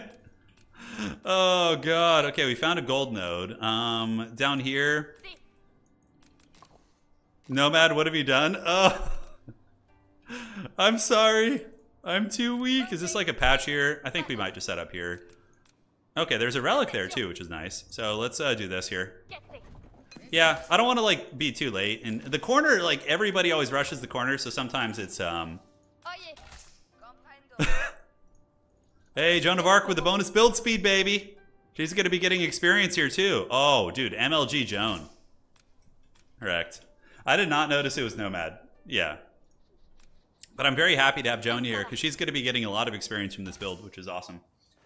And then she can go build the dock and go fishing and stuff, so that'll be the plan. Um, yeah. Cool, so we're set up here. At least you build fast. I know, I know. It's, it's great. Uh, China's probably pretty good too. Mongols are easy. Just run around. Gold, yeah, you know, please. He can figure it out. Uh, he picked Mongols. Professor Pone giving the sage advice of, uh, of horses. And uh, we're gonna need shit. I'm gonna have to find some food here pretty quick, guys. I didn't like settle near any food, but we do have access to this. Golden trees is, is always nice, and we can set up early farms if we have to. Yeah, Joan's gonna be like, I should run around with Joan, just like hunting. Yeah, she's pretty fun. She's pretty fun. Having, I mean, who doesn't like hero characters, right? Hero characters are a great, great time. So we'll need to build a scout right away. Um, in the meantime, you guys can jump on the tree line here. Okay, great. We need to start making bills. And uh, actually, we probably need to get a scout first to go get some sheep. Random Chad. Yeah, absolutely. Okay, so Jean d'Arc is going to do this. We'll send one villager up this way. And do we get the dock already? Yeah, not yet. I don't think we're ready for that. All right, Scout. Let's go see who settled near us. the Salt Lord, yeah. Hunting the oppressed peasants. That's that's what's uh, that's what's good in life, you know. That's you know, it's the way. Okay, I really wish I had some food here. This kind of sucks. I might need to go. Um, might need to go some early farms.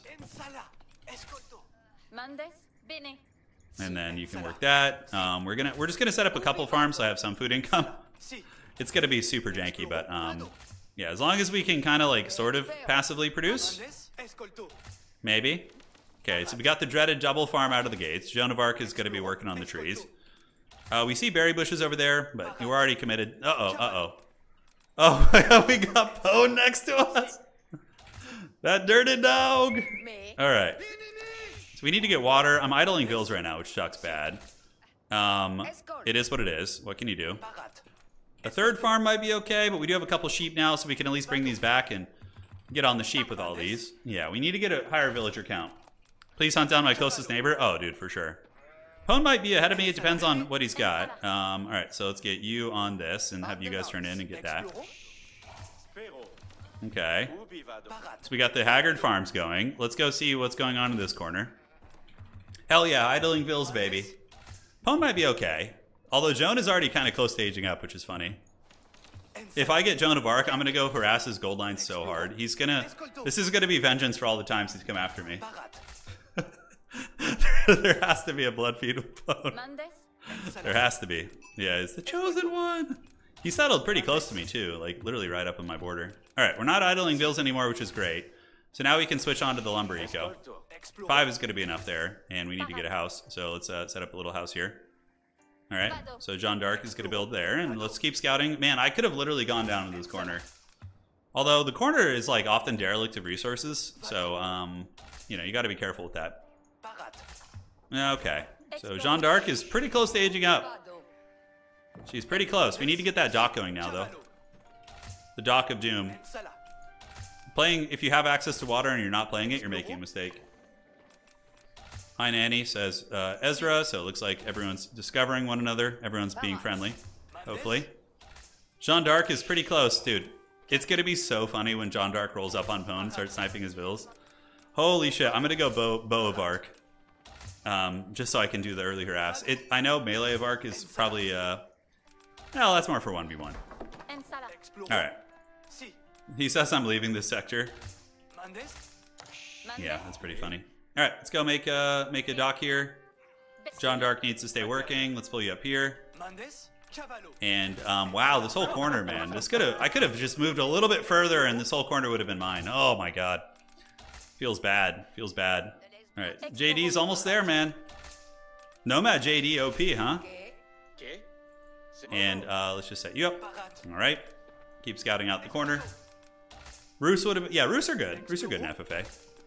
Rus are a very good civ in general. They just like are smooth and do a lot of things very well. All right, give me that JD. Okay, river fishing. Wow, I have this whole corner to myself. If I if I can get rid of Pone. Easier said than done, of course. Pone is a tyrant, so. Uh, all right. Let's come down here. Keep looking, seeing what we find. Uh, we can start on gold a little bit now. Uh, I've been scouted, so I think Pone knows I'm here now. The jig is up. Look, he says, "Oh God," that's his first uh, first statement there. That's so funny. All right, let's make two boats. Oh my god, what the hell is this? Look at this like glitchy ass fishing node in the corner. Oh god, it's JD time. Oh, give it to me. Yes. Let the evil flow. All right, so we're gonna do Path to the Archer. You guys ready? Let's go, baby. Let's go. This is so fun. Holy shit, I already have JD too. All right, let's go. Where them gold workers at? Hmm. Are you on gold? Oh, hi, Pone. Be a shame if somebody picked off that villager there.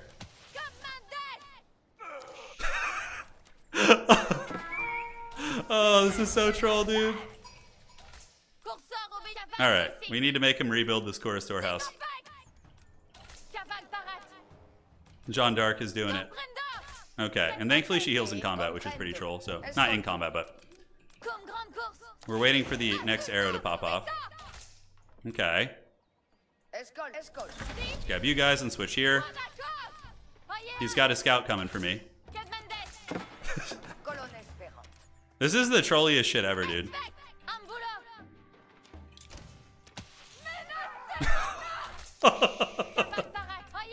this is so evil. This is so evil, dude. Oh my god, I even feel a little guilty for this. This is what he gets, though, dude. He deserves this shit. Okay, I should probably stop laughing and age up. Um. Oh. Okay.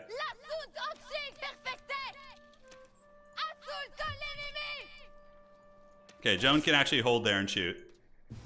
Grab a handful of you guys, do this, and uh, we're going to build the School of Cavalry right here. We'll build our other two landmarks around the map.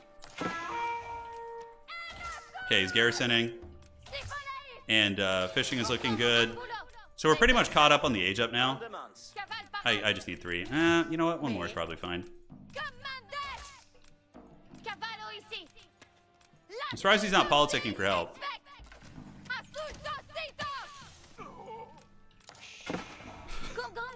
Okay, let's consecrate our town center. And uh, soon we're going to be aged up. And let's set up another house here.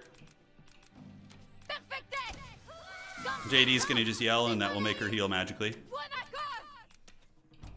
Oh my god, this is like... I'm getting a little experience for her too, which is great. Okay, my river is being harried by a Khan. Okay, that's enough harass, I think. I think we've I think we've done our part. Okay, he's trying to get out to the berry bushes, but not while not while John Dark is there. He might try and prison shank me.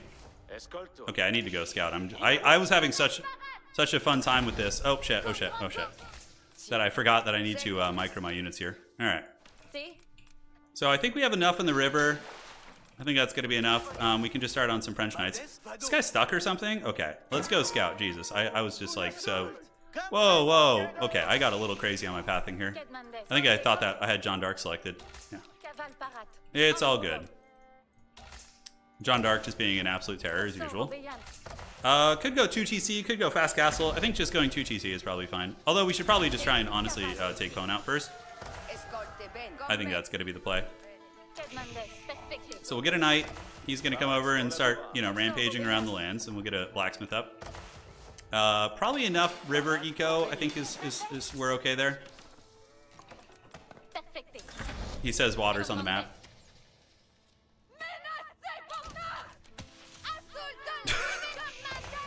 oh my god, this is so troll, dude. I, I would be so frustrated if I were him. And I just had like a JD spawning next to me. Okay, we gotta we gotta keep him in, in check though.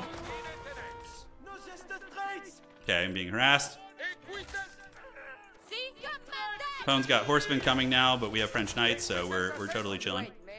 Let's get some archers coming out too. And uh, yeah, I think we just go for the kill here. We just get a blacksmith and do it. Ezra's still trading 52. Man, they're already politicking against Ezra? Okay. Must be pretty interesting over there. He's taking a lot of eco damage, ladies and gentlemen. A whole bunch. We got the blacksmith coming. Uh, you need to continue scouting if we can. If we get rid of Pone, we just have this whole bottom area to ourselves, which is so big, right? Oh, did we get that guy? I don't think we did. Okay. So it's just going to be Rams now. And uh, let's continue getting Knights. Do this. We got the Archer range, so we can make Archers now. Uh, so his turn, help me kill him. See, he's he's reaching he's reaching out for help. So this is where we need to um, we need to make sure to finish him quickly. Because if Pone gets reinforcements from the west, from somewhere or other, you know, we're going to be in bad shape. So we want to make sure that doesn't happen. Okay, he's making horsemen.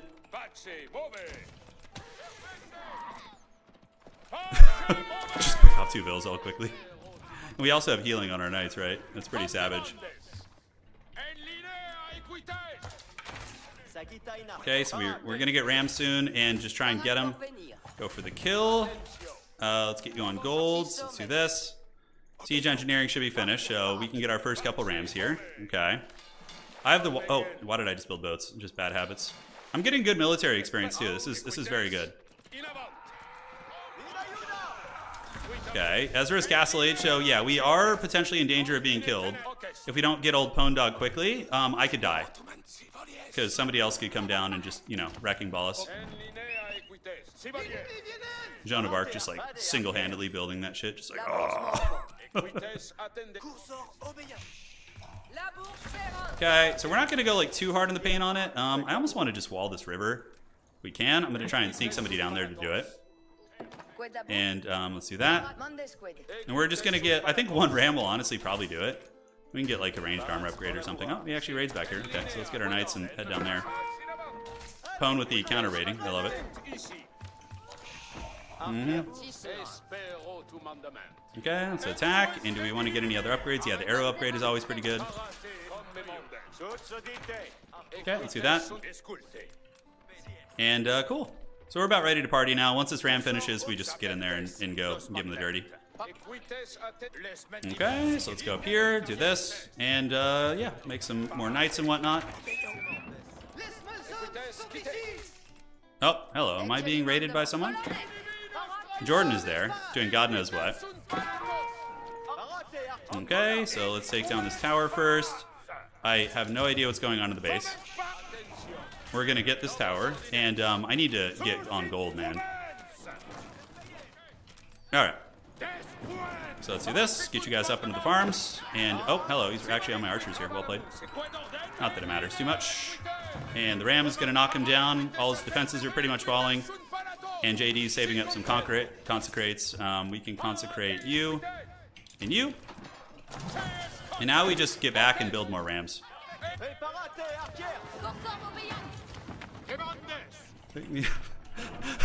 he said save me. Oh yeah, dude. I'm just dropping Haggard. Haggard. All right, so let's make a couple more rams and just go on for the for the death thrust here. And let's get the fishing upgrade. It's going to be worth it. Um, we never got that wall off on the south. Come on, some of you guys have to have caught the reference. Wake me up. Wake me up. Tron says I can save you. Oh man, I really hope he doesn't get any help because I'm like super behind by trying to kill him. Okay, so we're gonna get two more rams and that should be that should be enough. Because I could be in big trouble. This the squealing for help is is certainly not good. Uh, thankfully, Pone's not politicking too hard. He's not communicating very well with them. So that's good. Uh, all right. We need to get castle, man. This is like really haggard how we're not castle yet. And JD is going to come in and uh, let's consecrate that. Consecrate that. And now let's party. Okay, this should be enough. Is there any more river crossings? I need to I need to have scouted better, dude. It's so bad that I haven't. Alright. Let's run these guys down. Uh, JD can just pick off random shit, whatever. Yeah, he's pretty much dead. Unless he's able to get a castle landmark somewhere, which I don't think he will. Okay, he's got a couple spears coming in, so let's pick those guys off. No problem. You guys just keep parrying. We get him down, and um, yeah, now we need to go to the bottom corner and build a guild hall. So we're going to go all the way down here. All right. Should be quick enough. I didn't go 2 TC. It's all good. We can build multiple TCs right now. So let's get you guys, head over here, and get on uh, stone. All right. This is what this is what Pone deserves, though. He's he's been a villain in a lot of our previous uh, encounters in this game. If if he had but been a bro to me once or twice more. Okay. So looking pretty bleak for the old Shogun there. Oh shit! I forgot I have a hero character. All right, is she dead? Yeah, she'll be back. I'll, I'll bring her back in a second. Pone's got his prison shanks out. I need to get Jeanne d'Arc back for experience point reasons. So let's save these guys. He's a samurai fight to the death. I forgot I have a hero character that I need to babysit a little bit. Okay, so I'm just waiting to kill these guys before JD gets there. And, um, yeah. Uh oh Jordan's coming. Okay, is she gonna get castle here? Yes. So let's do the, um, hmm. Let's do the companions to get some men-at-arms. Okay, so we're on stone. Uh, Pone's getting some reinforcements, maybe. GG. He was too late. He was too late indeed. Okay, upgrades, upgrades, and um, is he not dead? He is dead. Okay. he says I was just kidding. That's so funny. He just was never gonna help Pone at all. I'm sorry, Pone. It had to happen. You always you always attack me, so I had to I had to try and deal with that threat early. Um, you know, I couldn't I couldn't have it. Okay, let's clear all this out, and uh, just so the Mongols can't have it. Yeah, it's hard. He didn't have water. Even though he could have had it, it wasn't like too far off here. Um, I need to learn what John Dark's buttons do. All right, we can just call out like free stuff and get that off cooldown, right? Okay, let's do this, and we can set up another TC here. And um, now we have Castle Age, so let's have that start gathering. Um, we can just gather stone for now. It's gonna be fine. Outstanding. All right, so the river fishing is looking good. Let's get a little bit more of that going. Uh, where's the other river crossing, by the way? We're gonna go like explore up this way and see what we can find. Oh, hello. What the hell is this? What is this shit? Is this what? Is this really a, just a fat army?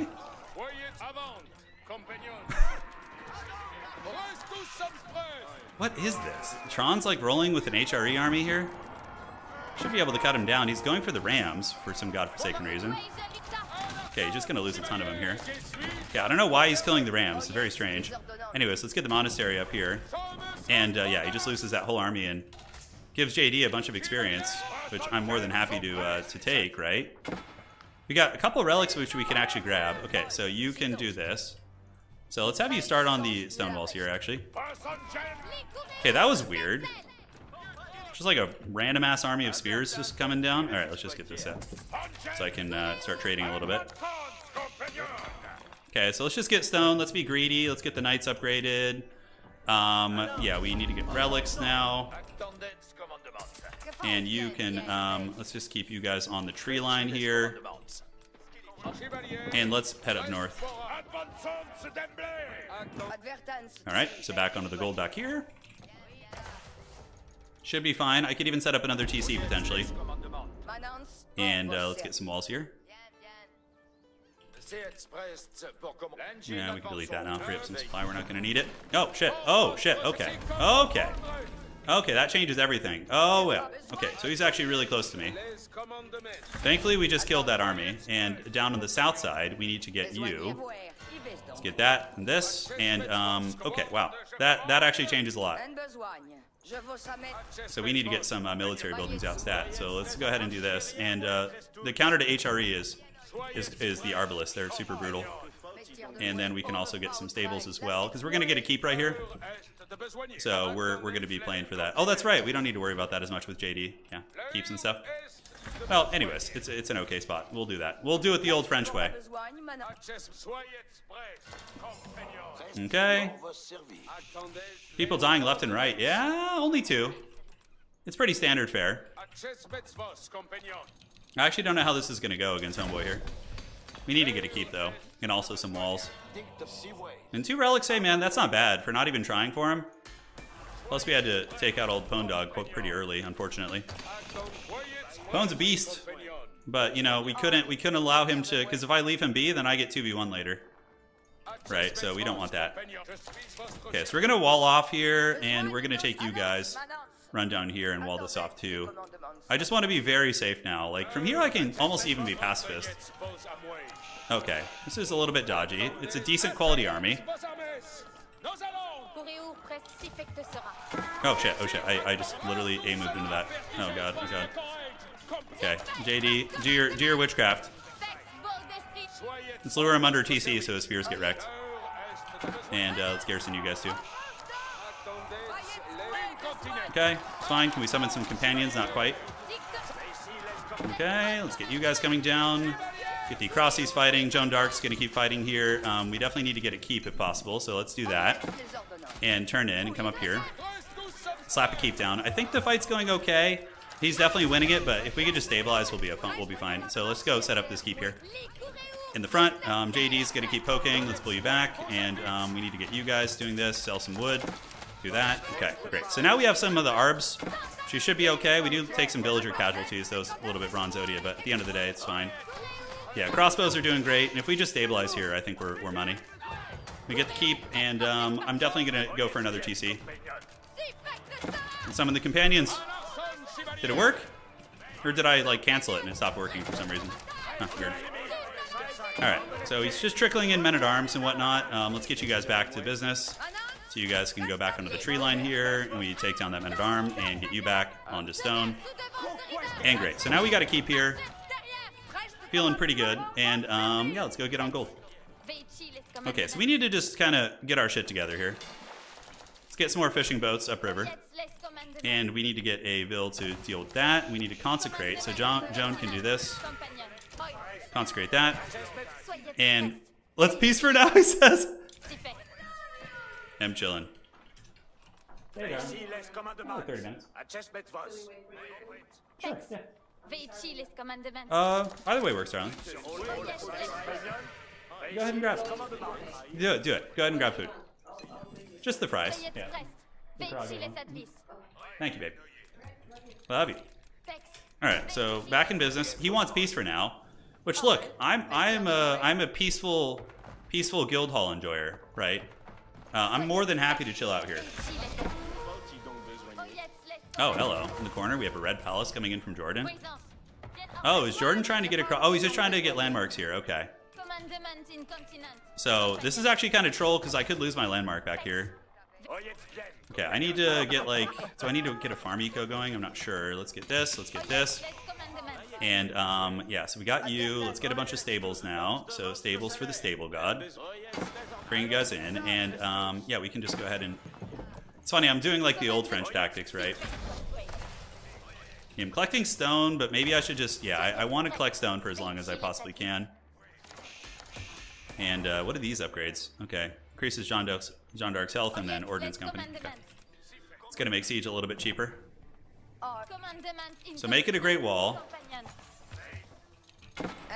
I'm down for a little bit of peace. Let's build a gatehouse here. We definitely go kill his Red Palace. I need to get imp myself, though. Um, yeah, I feel like collecting stone was maybe a mistake. How's our, our river eco? That's like our, all our food is, is tied up in the river. Alright, so JD's close to level 4. She's almost Bombard of Arc. Not quite yet. Um, we need to get this, and then we need to get that. So let's get the Great Wall of Swords going. We can get a couple more of you guys to go do this. And uh, yeah, we're hanging in there. I'm actually down to chill. Like I don't I don't want to get dragged into conflict yet. I I am not ready for it. All right, set up a tower there. Got to deal with that red palace at some point or other. Whoa, what were those bulls doing? What the hell? My pathing has just been wonky this game. It's my fault, obviously, but. Okay, so let's go here. One, two, three, four. Oh my god, no. I can't have the ugly farms today, guys. I can't handle it. My psyche can't handle the ugly farms. Three, four, five, six, seven, and eight. All right, so we just we're just chilling now. Let's let's like let's let's play like a like a proper French player, just like semi AFK. You know, I'm pretty sure this is all walled now, so we just got to go try and save our um, guild hall here in a minute. But I would rather get imp first. Okay, 28 on gold is a little bit overkill, so let's pull you guys in and then do that. Um, John Dark cannot summon cannons yet, unfortunately. Cannon of Arc is not gonna not gonna happen. Uh, Tron Tron couldn't have killed me. He spent his, sent his whole army in, and yeah, I have John, John Dark. I could easily hold Tron back. Maybe not at this point since he's imp, but um, at that point I could. Okay, so how are we gonna kill that stupid red palace? And then these guys are going. What's going on with these villas? They're just like going on vacation here, man. I think they were going to try and finish these walls or something. I'm not sure. Holy shit! Oh wow. Okay, I have a full-on rat infestation in my lands. Um, I have a red palace, which I'm probably gonna drop on his base here. I'm thinking. Okay, I was gonna go imp, but um, let's actually just keep that stone being gathered and um, wall this off. And we need to go deal with this rat infestation. Yeah, he's imp though is the only problem, so he might be able to outmuscle me in some ways. Okay, so let's go down here and um, we need to do this and set up a bunch of siege workshops. Yep, let's get the ranged upgrade. Wow, okay. I, I literally have a whole base going on down there. The guild hall is, uh, is it time to collect yet? Yeah, let's collect and go here, and we can do a little bit of this. And we're gonna head down this way with our troops. Yeah, I don't want him to be able to just chill in my lands. We need to get the Gambesons. Okay, so we got a spring tower there. Houses are being built out. Farm eco's okay. I mean, we have some resilience against the north. Not a whole lot, but some. And uh, let's hammer these guys. John Dark needs that experience. She needs blood. But even though I'm only castle, my army's probably a lot bigger, although he does have rams coming in. Oof. Uh, veteran spearman, so he's not upgraded yet. Okay, so we're fine. And you guys, in the meantime, yeah, we got you. Um, we need to keep getting that farm eco going. And uh, we do have the siege workshops now. Great. I could die to him. You know, I might have to do an emergency red palace in my base. But let's uh, get in here and see do what we can. Alright, so we're going to get the TC, and um, in the meantime, you guys come up and do this, and we'll get another little farm enclosure here. Yeah, this is where, like, I could get sandwiched, right? This is very dodgy. I didn't even know he was back here, to be honest. Yeah, so you guys just keep clearing. Get you guys, get that experience, and um, consecrate. Yep, give me the goods. It's got a lot of spearmen coming down, but we should be able to handle them. Let's uh, get these knights riding and just have Jean d'Arc's uh, bow legion fight there. Yep, come on over. And you guys can get on the TC, although we might want to fight together. It's got a lot of elite spearmen, actually. That's a hell of a lot of elite spears. Okay, do we get the companions this time? We did. We got the companions, finally. Oh, he's going to snipe JD. Okay, I think I can micro away here. Let's go ahead and pop the heal. So JDOP. Alright, so we got the wall off here, which is great. Let's get back to our lands now. And, um, yeah, that army got crushed. Wow. Is he like walling, counterwalling me? Why are you doing this? Why why are you like this? Okay, I could I could actually get 2v1 here. I might need to drop the red palace like right in front of my ship. But JD's gonna get imp imp uh, imp dark here, which is gonna be really nice. And okay, so Jordan actually blocked my wall, which makes me or Tron did, which makes me think he might attack me. But yeah, we just absolutely steamrolled that French player, which is great. So let's uh, continue down and get all the experience we possibly can. Okay, moving over here. Very good for us. Yeah, I didn't lose too much military, but oh, overall, um, I can't build there because of Pone's old TC. It's so haggard. Oh, where's the Red Palace to go? I wanted to like tuck it away somewhere else. But um, I think we need it in our base. So like we could just do it like right here to make sure our base doesn't get wrecked and we can just go farms around that. Yeah. We have the corner guild hall, which I need to repair, but yeah, we'll, we'll get there in due time. Okay, so he's sneaking some vills by. And we need to just secure all this. It's going to be a tall order, ladies and gentlemen. Okay, and rally, we can get all those upgrades. Just need to clear out this infestation first. Okay.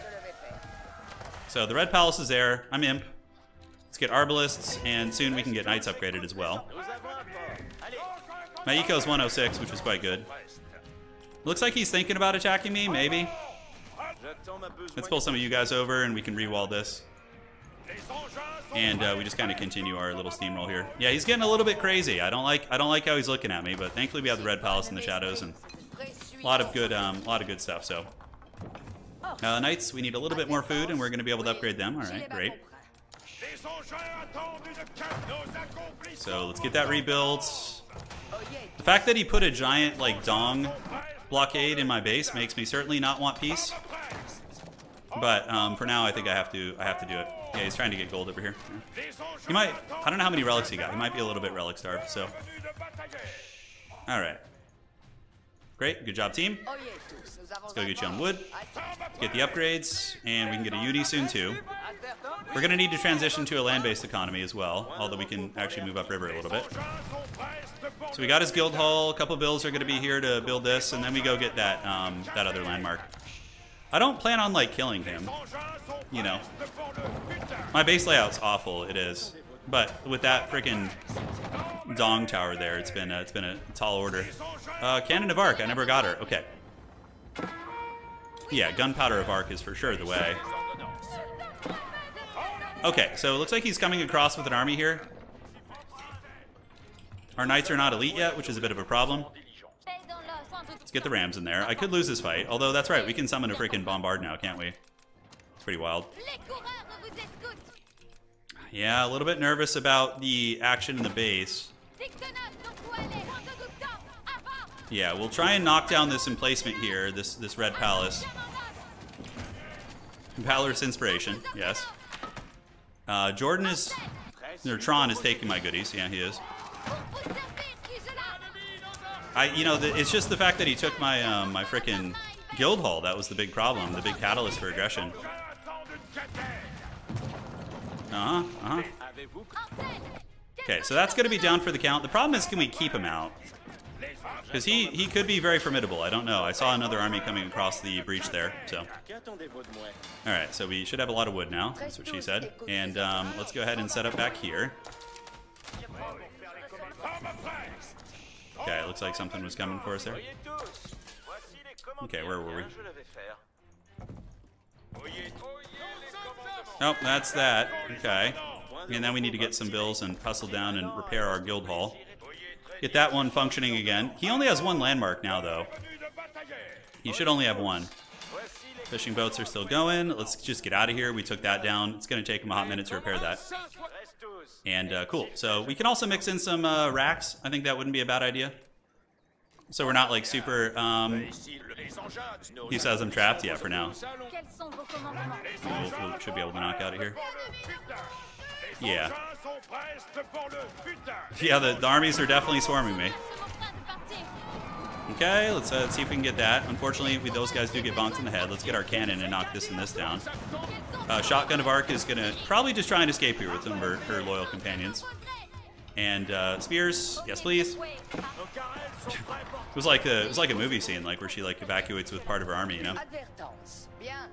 All right. Oh, that's pretty troll. Okay, I need to secure this too. The fact that we're being harried so hard on two fronts is very, very problematic. Uh, our food eco's not great at the moment. It will be soon. This. Okay. And we'll try and rebuild that. We got like all these Holy Roman freaking towers all over the place, just bonking us on the head. Let's get you down here, buddy. And I need to go ahead and get some uni upgrades soon too. Alright, so that's going down. Uh, is he going to give us relics here? No, he didn't put relics in it. I thought he did for a second. I was like, ooh, I'll take the freebies. Alright, uni. And Joan of Arc needs to start um, consecrating buildings. Alright, so we took that down. And let's go hunt all this shit. He might attack us after this. Wouldn't be surprised if he did. Good job, team. Let's go get on the trees here. Just freaking rat's nest, dude. Just got all these like goblins all over my lands. I'm pretty sure we could beat either of them one-on-one, -on -one, but like the problem is, um, I need the guild hall. So like to me that's more important. You know, the, the guild hall is. Alright, so let's get biology and let's get incendiary arrows. It's very good for us. Okay. He's mustering an army, so I think he's busy fighting somebody in the north, honestly. Kind of feels that way, doesn't it? Ah, oh, you got burgered, huh? It happens, man. Everyone's got to get burgered every now and then. Don't worry about it, boss. Okay. So, Ezra is doing it. Tron, for somebody who asks for peace, he's definitely not like the most chill. Okay, so that's gonna be mine. Let's take down the last of his like little rat's nest towers. Uh, our food eco is, is respectable at this point, but the fact I'm not banking Guildhall is so bad. It's like really Bronzodia. Alright, upgrades are coming. Blacksmith is looking good. Let's go ahead and keep consecrating here. God damn! All these like freaking nests. Uh, how's our military production look like? Yeah, it's okay. Gold could be a little bit better. Crazy how quickly they got through that, huh? So there's a little bit of gold left, but if we don't secure our guild hall and some trade soon or something, we're going to be in bad shape. All right, so let's go over here um, and knock these down with the two battering rams. In the meantime, you guys can come down here, and Cannon of Arc can summon some cannons, ideally. Yeah, we still have some gold in the back, but it's going to start running out soon. Summon the powder? Yeah, it is. Okay. So how's fishing looking? Fishing's looking okay. We see green over there. I need to knock that back, but I want to get rid of this first. The battering rams are on the way. That's right, I can make the companions from the keeps, can I? Jean's elite champions. Pretty cool.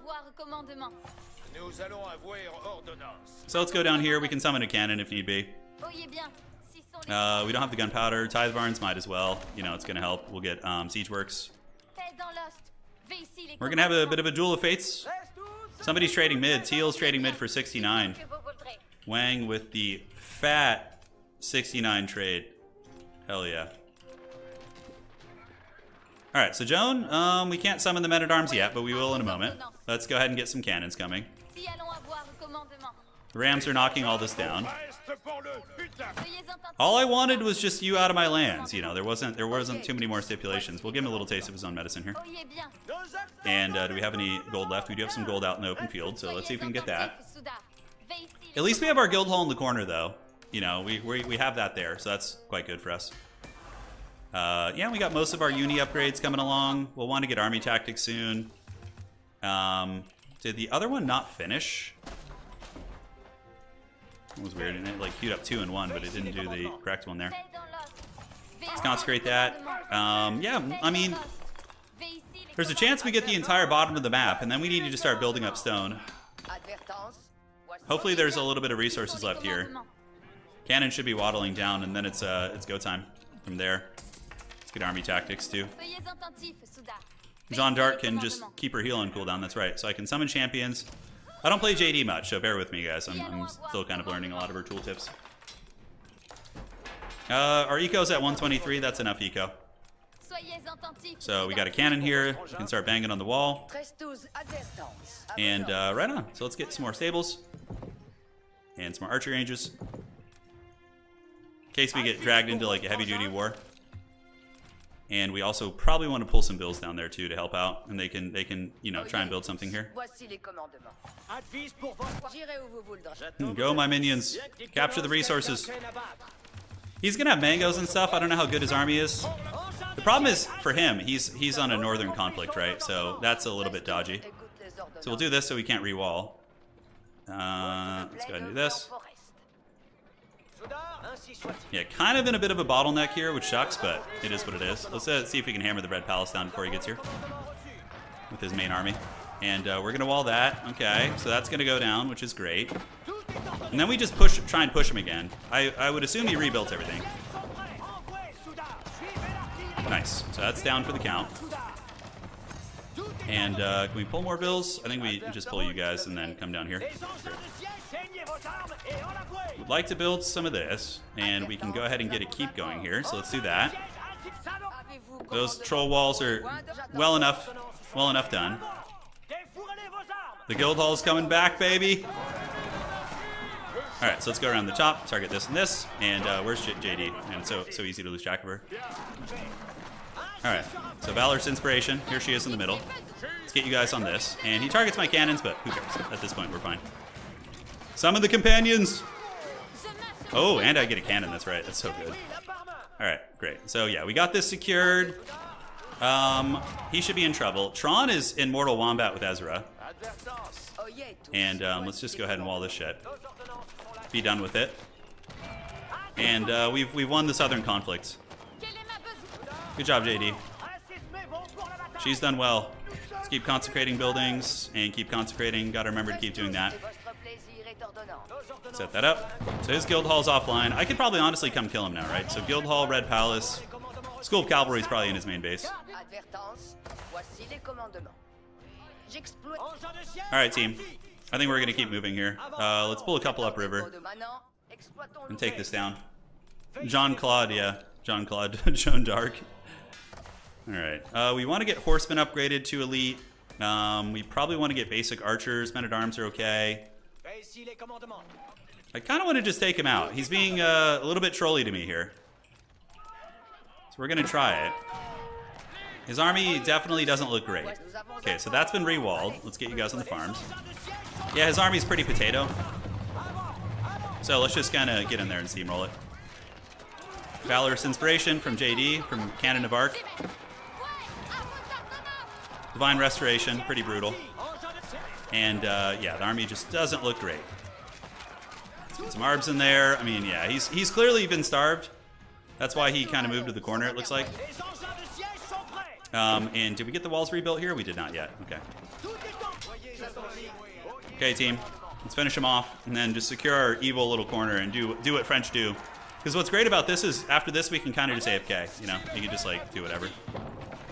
So Can uh, keeps getting knocked down. Joan of Arc, of course, does siege damage. All right. Nobody's really politicking against me, which is great. Let's get our knights to attack. And now we just need to find a school of cavalry. Okay, we... Ooh, buddy! Is that what I think it is? That looks like it's a sweet little market. Which we might be able to do something with. We see his two landmarks. So we just take him down. And um, we never got the gatehouse here, and then this would be that. Alright, guys. Looks like we've done it. Mission accomplished. And um, now we can set up some traders here.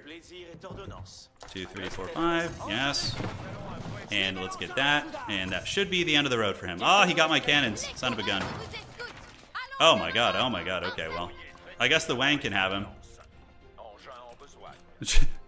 JD's like, screw this shit. I'm going home.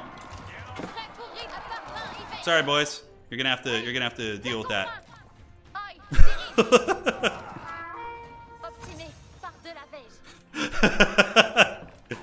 Jordan's like, no, kill me.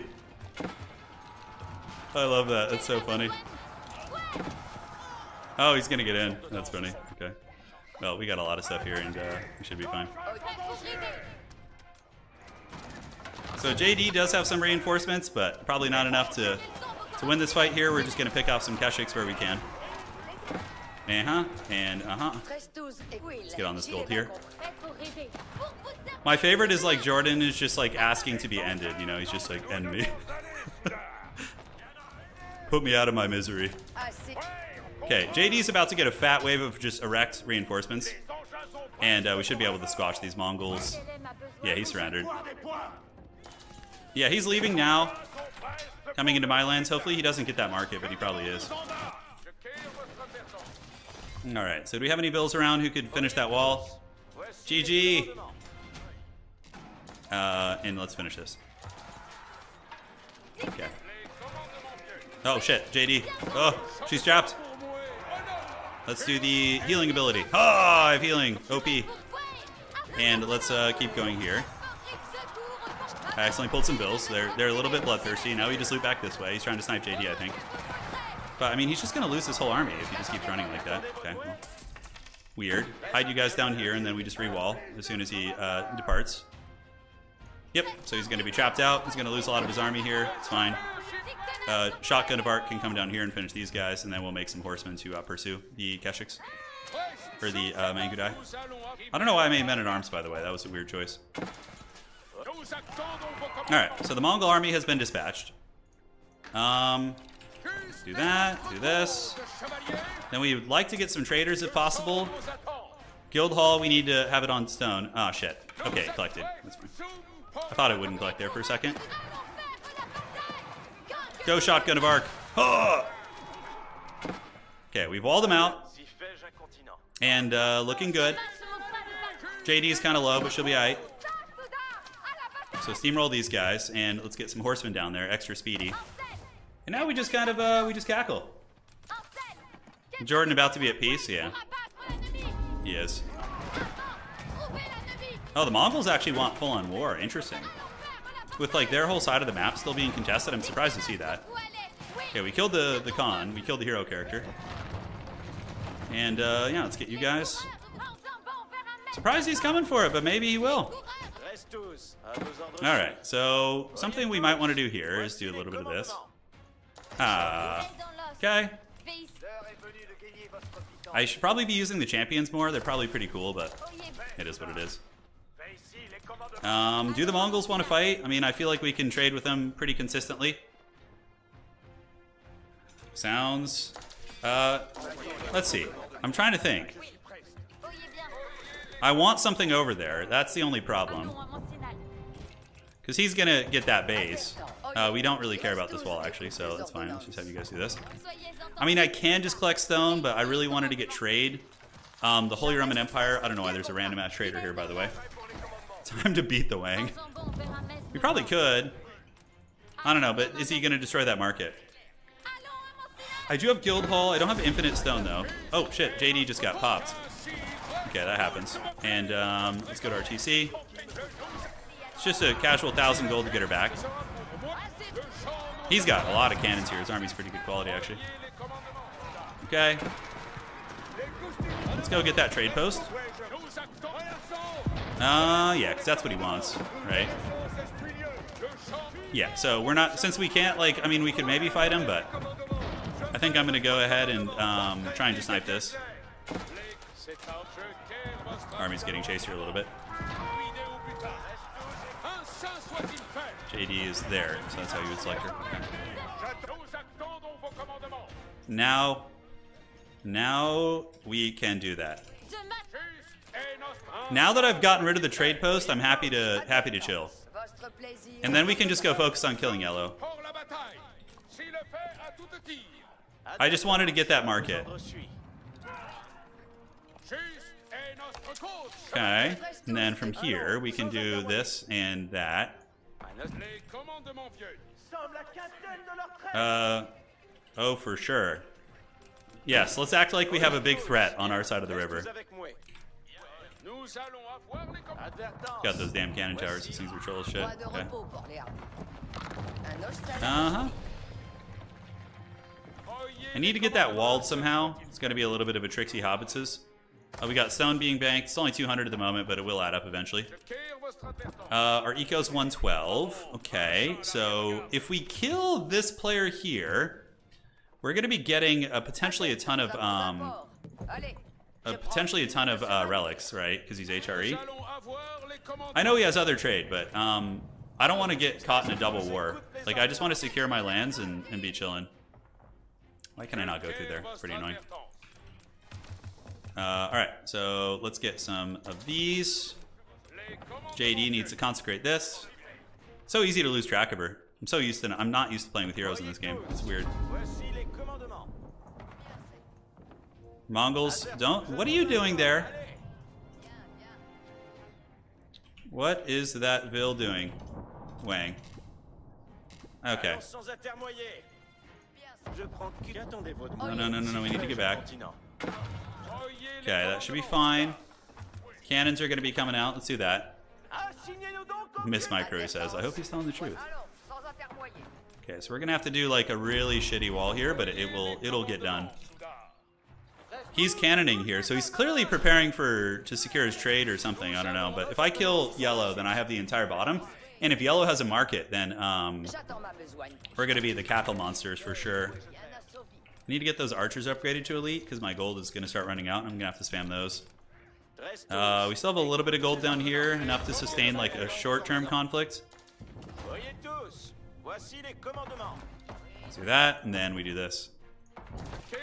I mean, I can guild hall. I have a little bit left here. Let's go do this. And um, in the meantime, we'll keep consecrating. Wang's little towers there are, are annoying. Wang, uh, you'll need to delete that cannon tower, or I will attack. It keeps killing my walls. I'm gonna offer him this and see if he'll he'll actually do it. All right. So let's get in here. Uh, one sec. AFK, 30 seconds. Please, mercy. Okay, I gotta let my chihuahua out. She's she's giving me that bark, but she's gonna have a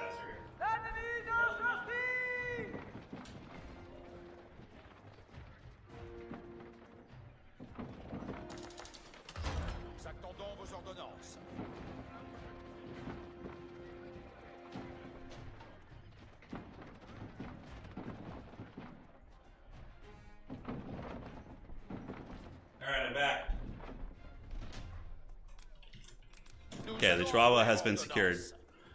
Uh, now what else do we want to get? Mangonel upgrades. Are the walls fully done, more or less?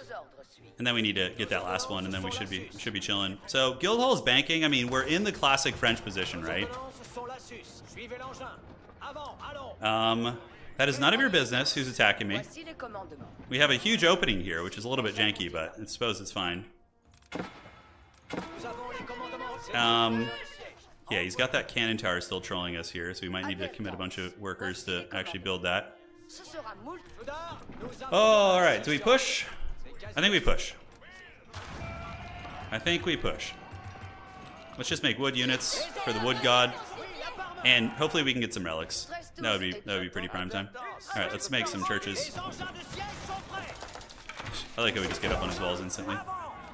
Yeah, we need this position. Wang has got Nanny plus Ezra up there. You know, like uh, those are two good players who should be able to kind of keep them honest. Oh my god, please finish that. Did they finish it? Okay, they did. Good.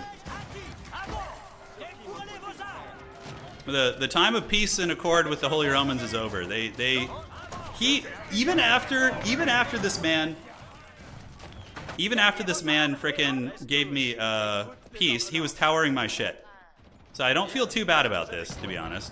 Uh, okay, we'll get that wall up later. Faites ça donc. All right, so you guys come.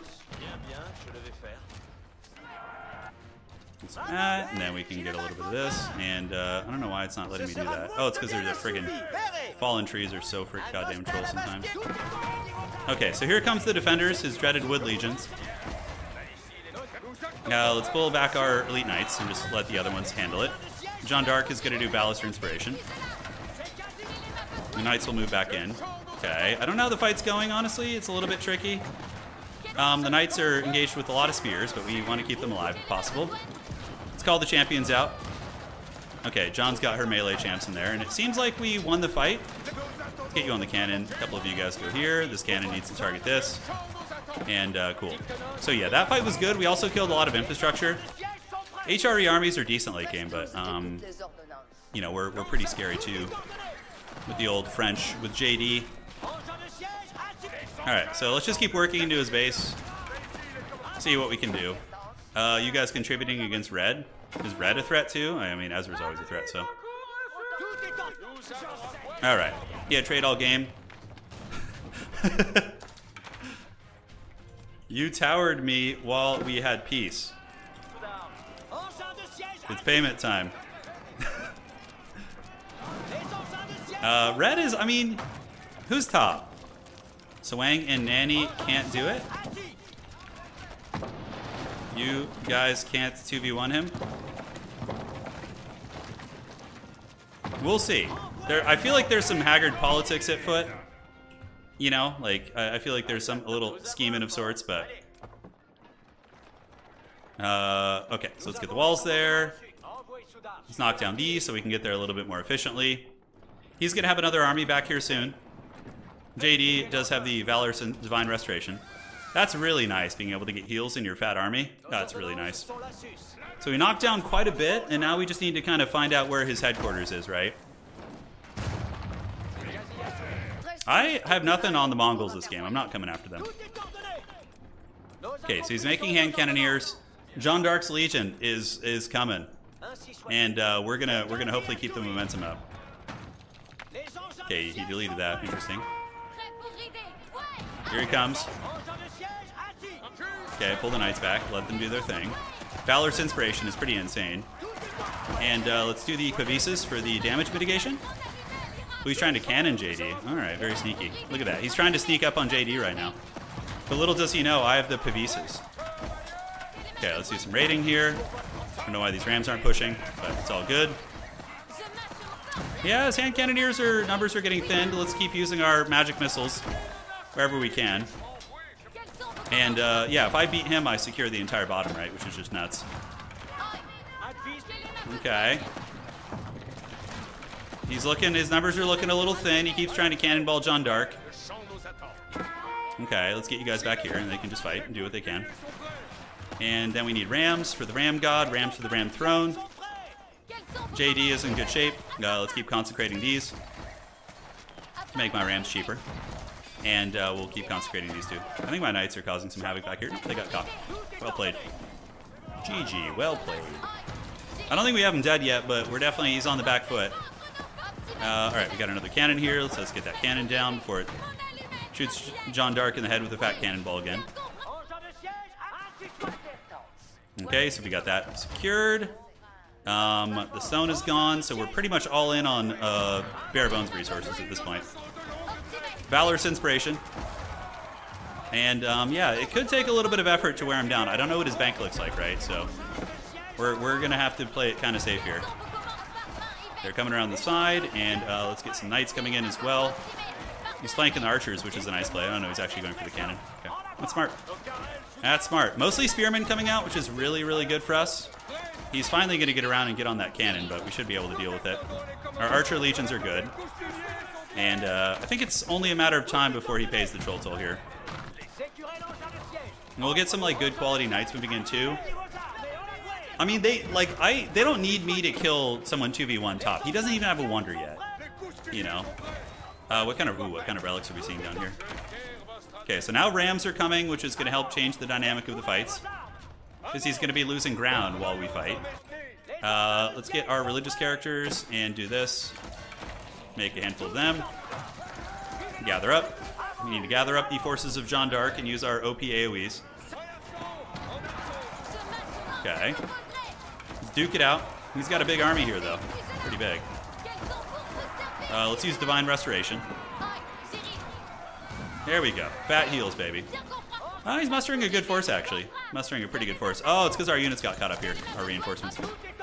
That's a shame. All right, let's pull you guys back. Uh, looks like there is an opening here we can work through. Uh, a couple archers are still surrounded there, but for the most part, they're probably going to fall. All right. So he's mustering a really good defense. Very solid. Uh, our food is good. Our wood, wood is good. Like, we're going to be able to sustain fight for a long time. I suspect um, we're going to need more archers and more spears. JD is going to get surrounded here, potentially. Uh, let's summon our champions. Here comes the champs.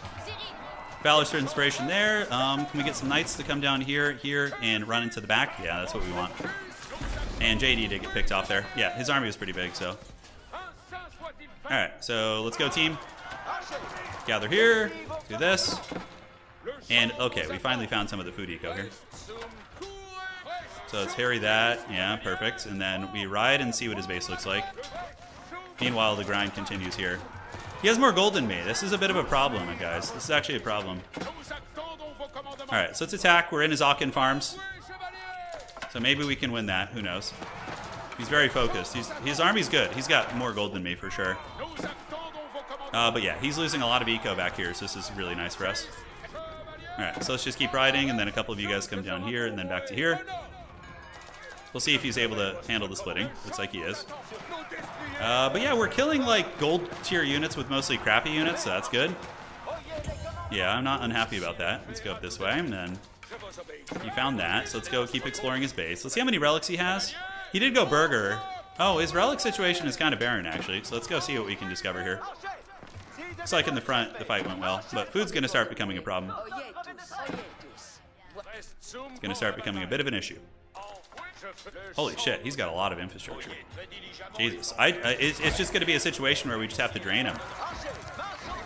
You know, it's uh, it's going to be one of those. Okay, and let's get the knights over here. Those guys are having their own little. Oh, artillery's pointless. He's going to be able to swarm too easily. So we need to uh, we need to do a little something here. All right, so we're out of wood. Uh, are we? No, we got wood here. Great. Se met advertance. Probably do this, get some farms. The fighting here is good. We're still grinding down quite a bit, but man, oh man, it's going to be hard to actually finish him. Yep, he caught those guys finally. Uh, so let's go the here, then here, and then we can go down here. Yep, that's going to be the route for them.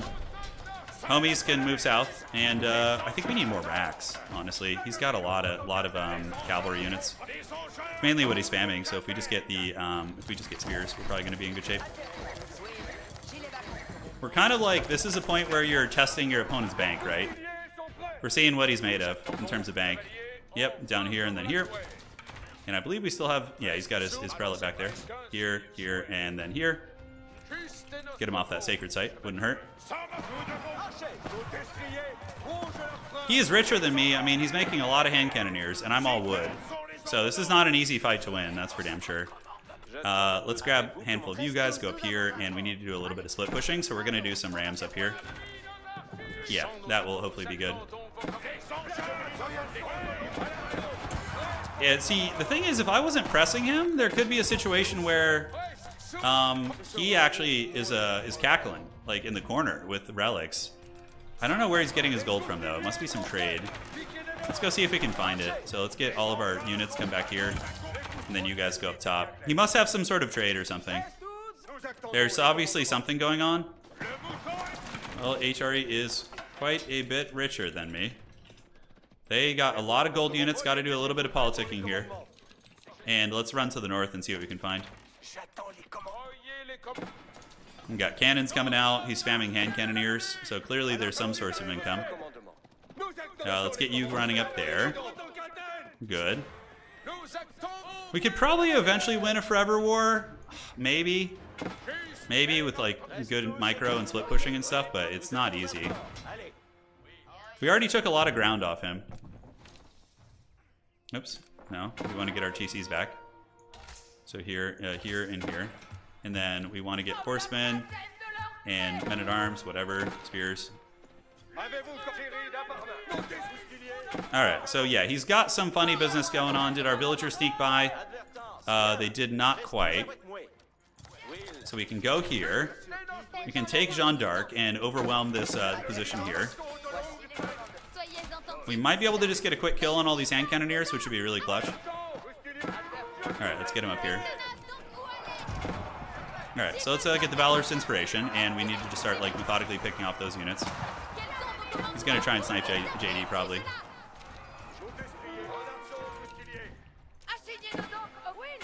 Okay, so down you go. We're not gonna get the split pushing, it doesn't look like. Although we do wipe that army, but he's got his uh, rams and other things. Not rams, but the hand cannoneers are nearby. I don't know where he's honestly getting his money from. He might just have relics hidden somewhere. Let's go scout the back of his base, see what we can find. Alright, so the wall's been breached. We're gonna have to be on the defense now, so we might be caught in a forever war until somebody relics. Or, relics wonders. Alright, let's go snipe artillery and bring you guys up, and cool. So now we can work on the split pushing tech. We gotta just keep two. Jesus Christ, that's a good army. Oh my god. Okay, let's just get these horsemen to ride around here.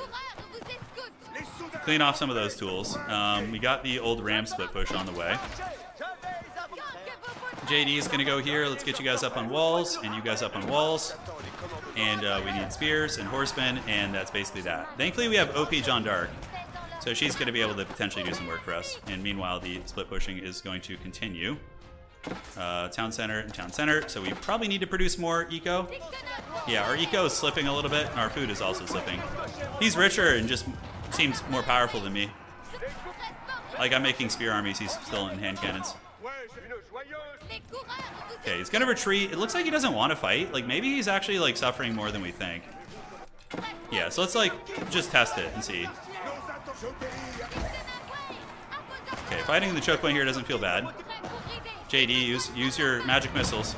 Magic missile. And uh, we need to start targeting these guys down. Alright, so we got the horseman in his back rating. That's really good. That's quite good. And the rams will hopefully be able to come to fruition soon. Okay, let's get you guys up here and back here. So I think the split pushing rating might eventually take a toll on him. I'm not sure. Okay, so let's get you guys up. JD will summon her mighty companions. Yes, call them, including the Bombard, the most noble companion of all. Not going to be super useful against his army, but it's all good. Yeah, so he's using the select all army hotkey, which is something I do as well. It's um, it's it has pros and cons. JD getting bopped in the face, Blitzkrieg bopped. No idea what's going on elsewhere, but we're gonna go see if we can get into his farm eco a little bit. And you guys need to run down here. Okay, JD's gathering up her troops again. And we can make Rams just as like a distraction, I guess. His food eco might start hurting here with how much damage we've done. Some of these like haggard little raids. I don't know, but his Aachen food is clearly where it's at, right? Yeah, he's not raiding my food eco, and I'm getting into his, but he, he is playing the old HRE, so uh, his food eco is going to be slightly stronger than mine. Oh, here we go. We got a cannon. Nice, let's take that. Yep, let's get it here. Take these guys down. And let's get JD back. Valor's Inspiration. That will make my potato units into slightly less potato units. My passive income is lovely. I'm, it's just it's my favorite thing ever. Let's get on the walls to be extra troll. And yeah, his he honestly might just lose this because of the uh, positioning of a lot of these things. Like, he's losing a ton of his farm infrastructure. We're up on the walls. I'm in his eco. See, they're they're handling a 2v1. I think I lost Joan. Did I lose her? No, she's still here. Okay, good. And um, yeah, now once we get into this eco here, so let's get a surround on these spears and then move there. Let's get JD here. She's chilling, and um, we have Rams coming this way, so let's get them spammed up this way. Just kind of push from three fronts here. Okay, so let's get this, this, and this. And now we are all up in his eco here for sure. So yeah, we got a couple of you guys going. Let's get you guys down here. Oh, Valor's Inspiration. Oh god, I wasn't watching for a second. And Rams are going to start attacking to his base. Let's get like random towers there and shit. Okay, team. He's having trouble with the split pushing for sure. Uh, I think I think it's making a lot of progress. And he could run out of resources before me. I'm not sure. We also have Rams kind of creeping in from the side, so the classic uh, triple pronged attack. Yeah, he's losing a lot of villagers. I mean, ooh, JD gets cannonballed in the face though. You gotta remember, cannonballs are, uh, are, are dangerous for your health. My eco sucks though, dude. It's like also just terrible. Alright, let's see what we can do. We're gonna keep hammering in. Hopefully he'll go back and deal with those instead of pressing. Because my food is just in the pits right now. Okay, let's uh, get some more farms. Yes, and we can get you and you. And get some more farms. Just desperate times here. He's got cannons coming in and shit. But the Rams are making good progress into the base. Get a little like tower here. Can do another one in there. Uh, we need to get some horsemen and like sneak around. Yeah, and go get those bombard cannons. Alright, so let's get that one, that one, and that one. Keep gathering up our armies back here. JD will resurrect eventually. It's going to take a little bit of time. But um, yeah, we need to we need to just get in and, and do it. He's losing a lot of infrastructure though, which is good. But we don't have a good food economy really, so we're struggling to keep pace with him. Okay, and we can just make some more engines or siege engines, whatever. Keep the Rams going, and let's get a couple of these guys going back here. He's doing some demolition, some decent work. He's gonna keep moving in. This is where, if he was really being super scary, he could start raiding me. You need to go get those cannons down. Okay, cannon placement's gonna finish there. Bills need to do this. We need to dive the cannons, if possible. Send you guys up to engage the army now. Are we gonna get one? We got one. Let's get the other one. Might need to get some springalds too. Although we don't have the money for that at the moment. So we pull them back to the dreaded cannon tower.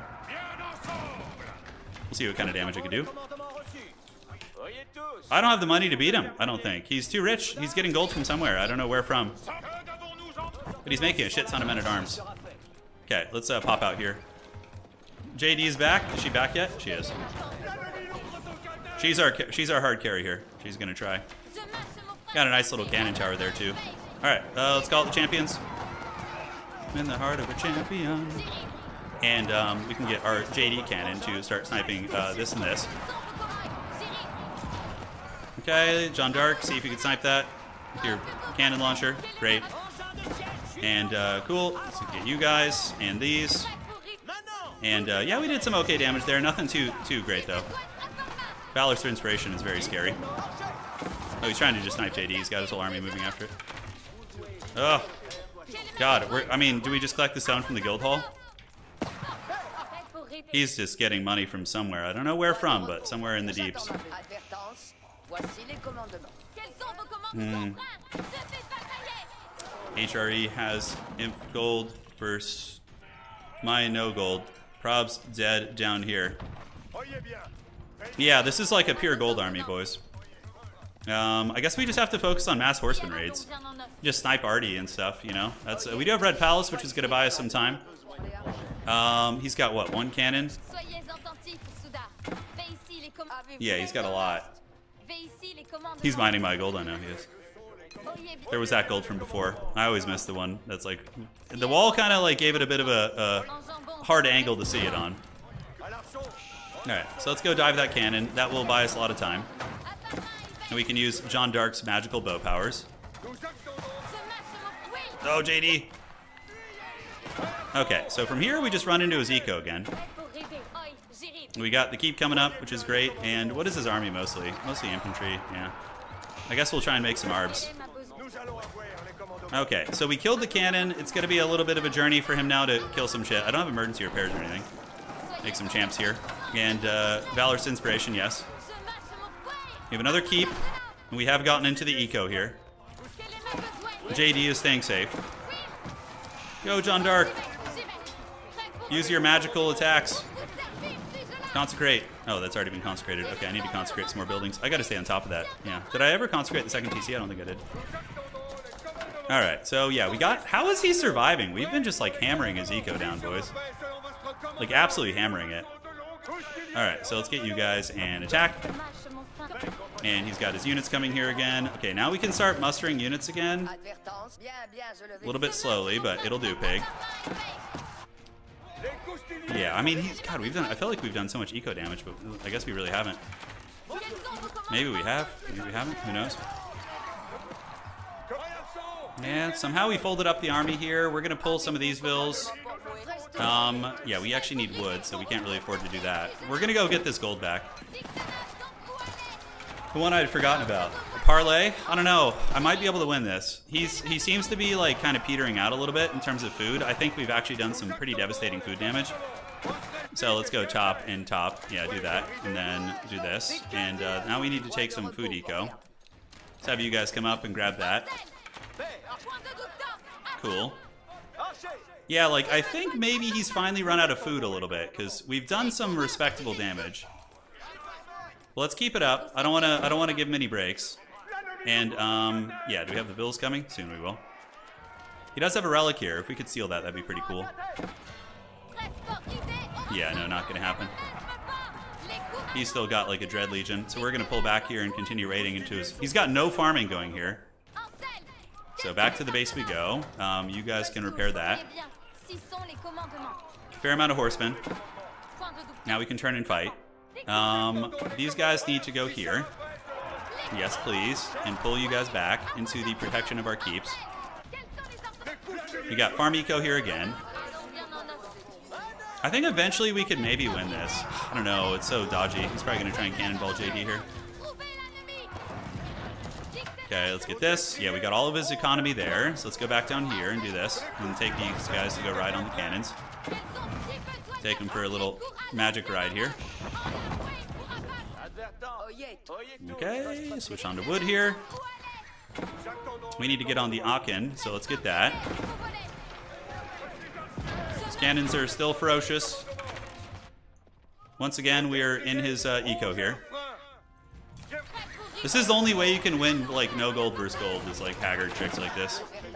Um, yeah, and you guys go down here too, please. All right.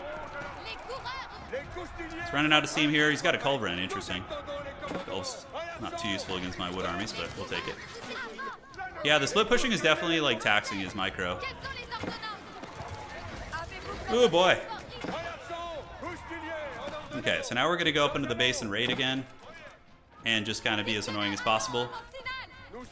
I, I would imagine that's probably pretty stressful to deal with. Uh, JD can summon her cannons uh, soon. She does do siege damage, right? Yeah, she does. So if we can knock this down, that'd be great. And then maybe we can even jack a relic. Uh, do we have any monks laying around? I do have some. Hey, cool. So that's good. I think his food eco is, is dying. Yeah, you can see he's like kind of turtling now with a very small army. Oh yeah, I think we might have actually broken his back with the Haggard uh, Haggard raids. No, never mind. to the walls! JD's little horse hooves can't get up there, but she's gonna try. All right, so let's get back down here. Come on, JD. She's doing great. Got our archers up on the walls who are getting good value picks, and uh, in the backfield, his bases. He's keeping a lot of guys back there now, so we can. Um, what can we hit that's like squishy here? Okay, maybe he's got something going up there. I'm not sure. Let's go check. So archers are doing awesome work. We can do some Ramsteining again. Okay. Uh, we got the priest, so let's get the relic and get out of there if we can.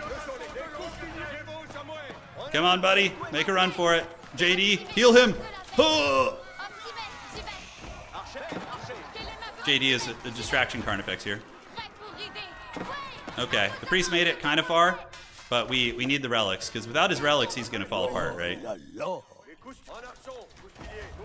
Okay, so let's get into the fields here.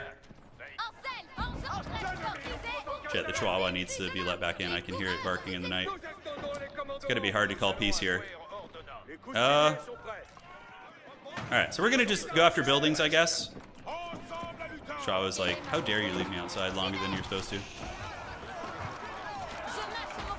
Alright, so we engage against his good, good gold army again. Um, infrastructure is being hit. Let's pull these guys back down here and try this again. Move up, and um, yeah, I would imagine there's a sweaty fight going on in the north too. Okay, pulling back, and now we're about to get up in his farms again. The whoa low low, look at the flex. Uh, all right, let's attack. Yeah, looks good. I think we win that fight. So 21 of you guys, can we find any wood? We can. Nice. There's still some big wood patches around, which is huge for us. Uh, the horsemen have gotten into the cookie jar, so he's losing a lot of vills here. I don't know. I guess he does have the villager printer, so that's part of like how he's able to stay in this. Because even even with all these L's he's taking uh, in the villager department, he's he's hanging in like a champ. All right, so you guys get this, this, and this. Uh, the eco over here is looking a little bit rough. Let's go right around. Yeah, we're getting some of those guys. He killed a random building. Very scary. Okay, so you guys keep rolling. He's got random spears. Tried there. Is he pulling vills on me? He is. All right, let's get back on this gold if we can. Every little bit counts. Valorous inspiration and summon the Elector champions.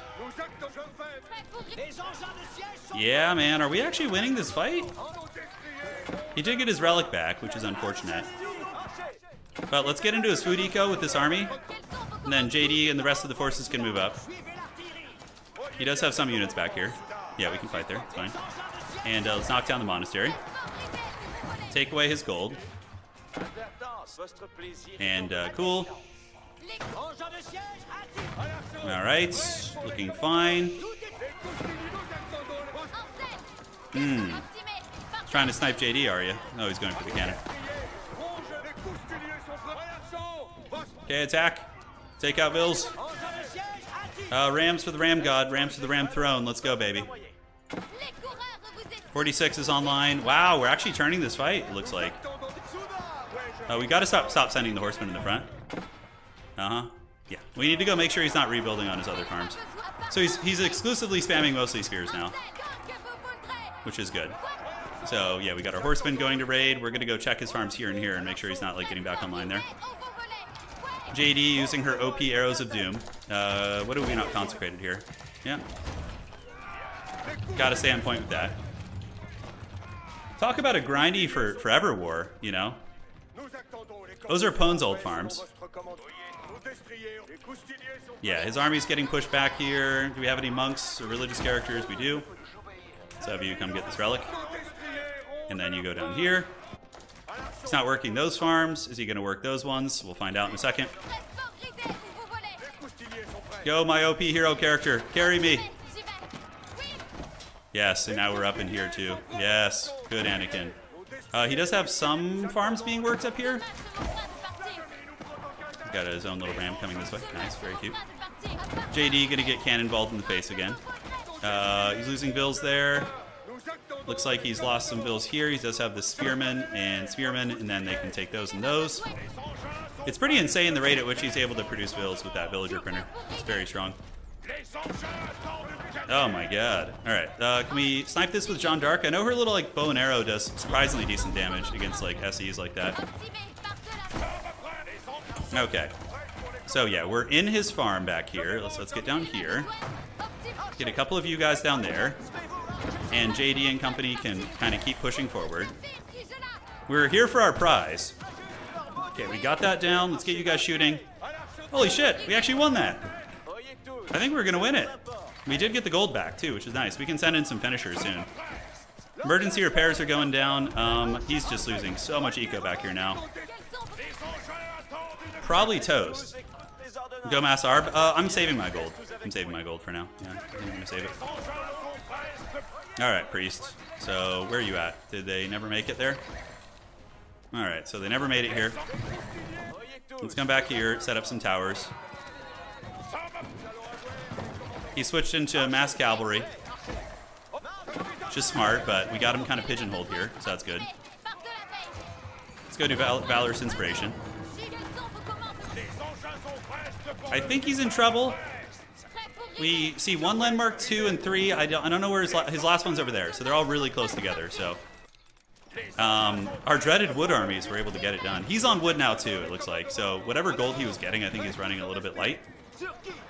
And uh, JD is able to really carry the day. Valorous Inspiration. All right, uh, let's buy a little bit. Do a cannon tower, and then we can set up a cannon tower here so we can't rebuild. And let's make some French Knights just to seal the deal. To come in and, and give it the dirty, right? Oh yeah, those vills are eating it pretty good.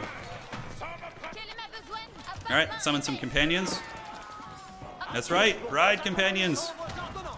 And the priest man should be here soon. There he is. All right, so monk can get this and uh, head down this way. That's going to be great. That is quite good, ladies and gentlemen. And uh, let's go ahead and do this. Just get a little arrow slit there, and you guys can just lumberjack. Holy shit, we did it! I think we got him. The rating did is what did it. GG's. And then we need to just find a market, basically. And then the north is, is on the table, right? So we got to see what's cracking there.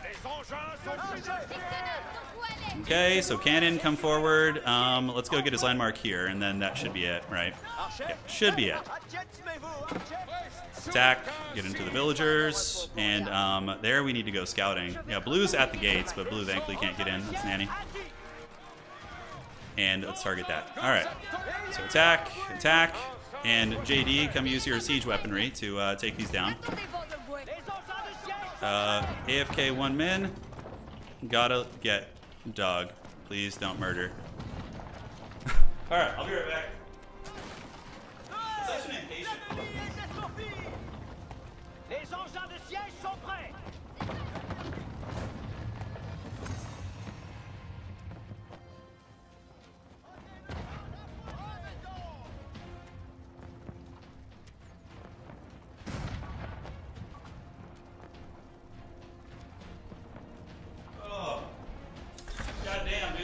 Conflict. That was a real sweaty one. Tout est ordonné Alright, so let's uh, get out of here. Assignez nos dons. Maintenant, Secure this. And what do we got? We got the crosspost here, so let's do that. And uh, I think there's another one up there. Alright, so we can get rid of the rams, free up supply. And the rest of the army can just patrol through, and let's see what we can find. Alright, so man, it's insane how quickly we've gone through some of these, these tree patches. Oh my god, GG Tron. Yeah, he was a beast. It was not an easy fight, especially with no gold. It was very hard. Um, We got a little bit at the end though, and we do. I believe we got his third relic. Yeah, that's nice. So let's go see if there's any trade options. Um, if there is, I mean that's quite good. Um, we obviously have ten thousand, just a casual ten thousand stone in there, but I don't have any resources. Uh. What about Ezra? I'm sure he has a market. I'm just trying to find one and see if there's one in the deep side.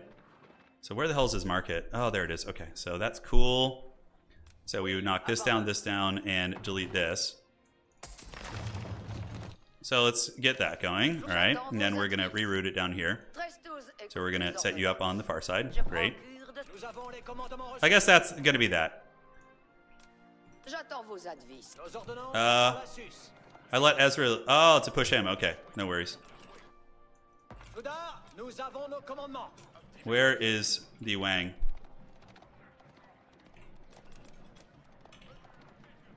Rebuilding after Forever War. Then can move. Alright, so the traders are going. Um, we can get rid of the basic archers, that's for damn sure, and spears and stuff. I think this is the only way through here. These random ass fishing boats here. They probably sandwich. Okay, so we need to get this and this, and that will give us a direct trade route all the way across map here, basically. And uh, all right, let's do that. Get the traders going here. We got the tower. The wall's getting knocked down. I- Is this a river up here? Actually, it might just be a crossing. Uh, yeah. Okay, so we can. How much is it? Eleven thousand. Wang is building a wonder, so okay. I couldn't have built a wonder no matter what because I don't have the gold, so I don't feel too bad about this. I'm happy to keep banking resources. So it begins. All right, so he's going for the wonder.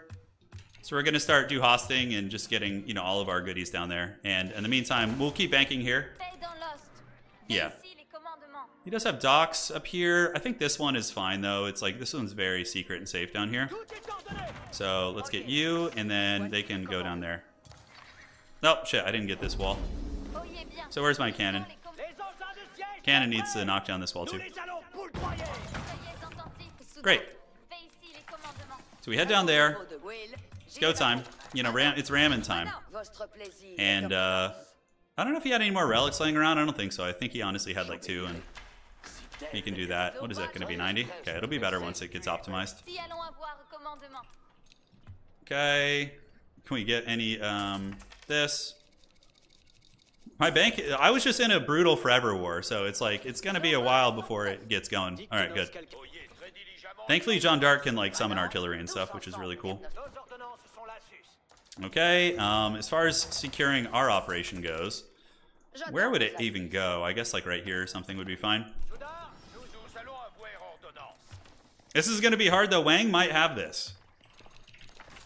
He might have it. You know, I, I just came off the cusp of that conflict, so I'm gonna be a bit of a, a potato here. Voici les commandements. Cette voix nous donnera All right, so that's 90 a pop. That's pretty good. That's good to get our gold back online. Bring out the transport ships. I, he is Mongol, so I mean, yeah, we're gonna see what we can get done here. Hopefully, the other players are uh, have some good vectors with which they can attack from. Um, let's get you and you and start setting up all this. I think. Do we collect this? Uh, so it's gonna be what 8,000. I would like to save a little bit longer, obviously, but we can just delete this. We just roll on through. Yeah. All right. Let's get it. And then we can get that stone over there. So JD is going to try and move in. We're going to take some L's uh, going now. And Jeanne d'Arc is there. So we don't have enough to call out companions yet, but once I lose some uh, some models, we can. I mean, like, we're pretty damn close to this wonder, guys. We just need to kind of work our way through this. And Rams, yes, please. And let's do that. And uh, get you guys to start hammering on that. Counter Wonder is definitely on the table after this. Somebody's gonna somebody's gonna obviously get crunk nasty. We don't know who, but Nanny's playing what? Nanny's playing Zhu Xi. Okay, so the gold income is probably respectable. I really need to get more trade going though. There needs to be a lot more of that. It's our military at? 131 eco. Okay, we could probably lose some of the lumber eco here, honestly, for both military as well as uh, additional trade. Uh, is this really it? I mean, can we just like run straight to that wonder and get it? Let's like test the waters here. Okay, it's a little laggy. Tron has left the match. Uh, he doesn't have as many cannon towers as you would think. Oh shit. Oh, lag, lag, lag. Oh god, oh god. Oh, okay. We're just gonna keep clearing shit out because this is so laggy. Jesus Christ. My whole frame rate like just tanked right there. Okay, so let's just clear out this like rat's nest. We still have 12 minutes. We're not like hurting on time. All right, so we got 21 of you guys. Let's get down to the food or the stone maybe. Yeah, I think we're okay there. So let's get on this. And then we can start fortifying our own little rat's nest in the corner. Jesus Christ, do you guys see that frame rate? Yeah, it's definitely a risky spot. Alright, do we get some companions? We do. We get our Grail companions. What is he relying on lag to beat us with? That's his actual town center too. Okay, so towers are down. Um, yeah. So that's good progress. He's mustering an army to the north. We can probably start collecting this now. It's at 12,000. It's not bad. That's not as many keeps as I would like. That's for damn sure. All right, let's get a gatehouse and rebuild our walls here. Um, invasions could come from any direction. Okay, he's finally coming to attack me now. We're gonna get his landmark down though, which is great. So sign me up for that. Get the towers. Get you guys here. JD, use the Valorous Inspiration. She can shotgun that tower down too. And uh, yeah, he doesn't look that strong, but like, I mean, maybe I need to get trebs. Yeah, we probably need to get treb damage. So let's get the geometry and get some trebuchets. Geometry, one of my least favorite subjects in school. Math is certainly not my strong suit. All right, I need to save up some G's, man. I need to save up some gold. We got 33 traders. Let's make sure they're going hard here. Um, because like I need to be able to counter wonder this, you know.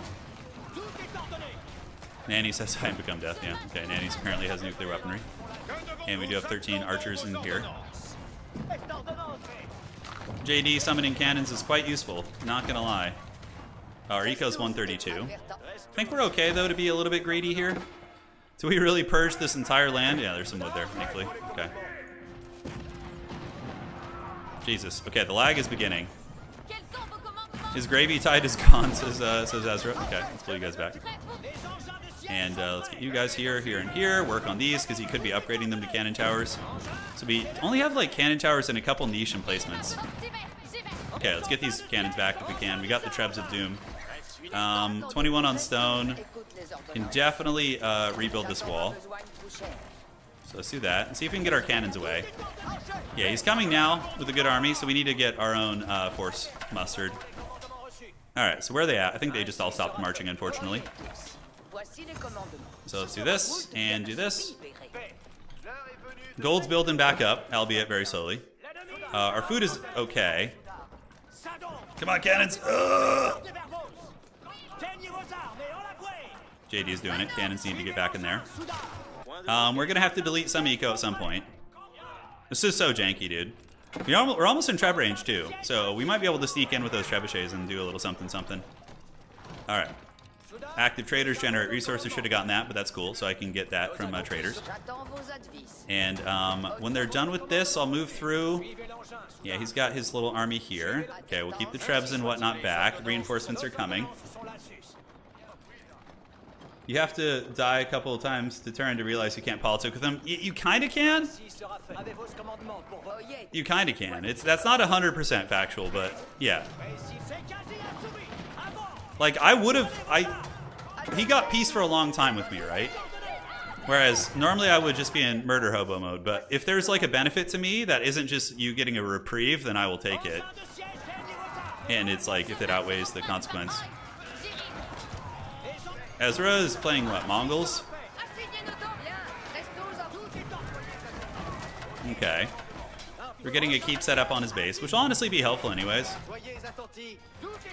Oh my god, he had a bombard just sitting there. He probably wasn't even looking at it. Oh, that's so unfortunate. Um, alright, so do we collect the stone? I guess we do. And then let's get this dude. He literally probably wasn't even watching, guys.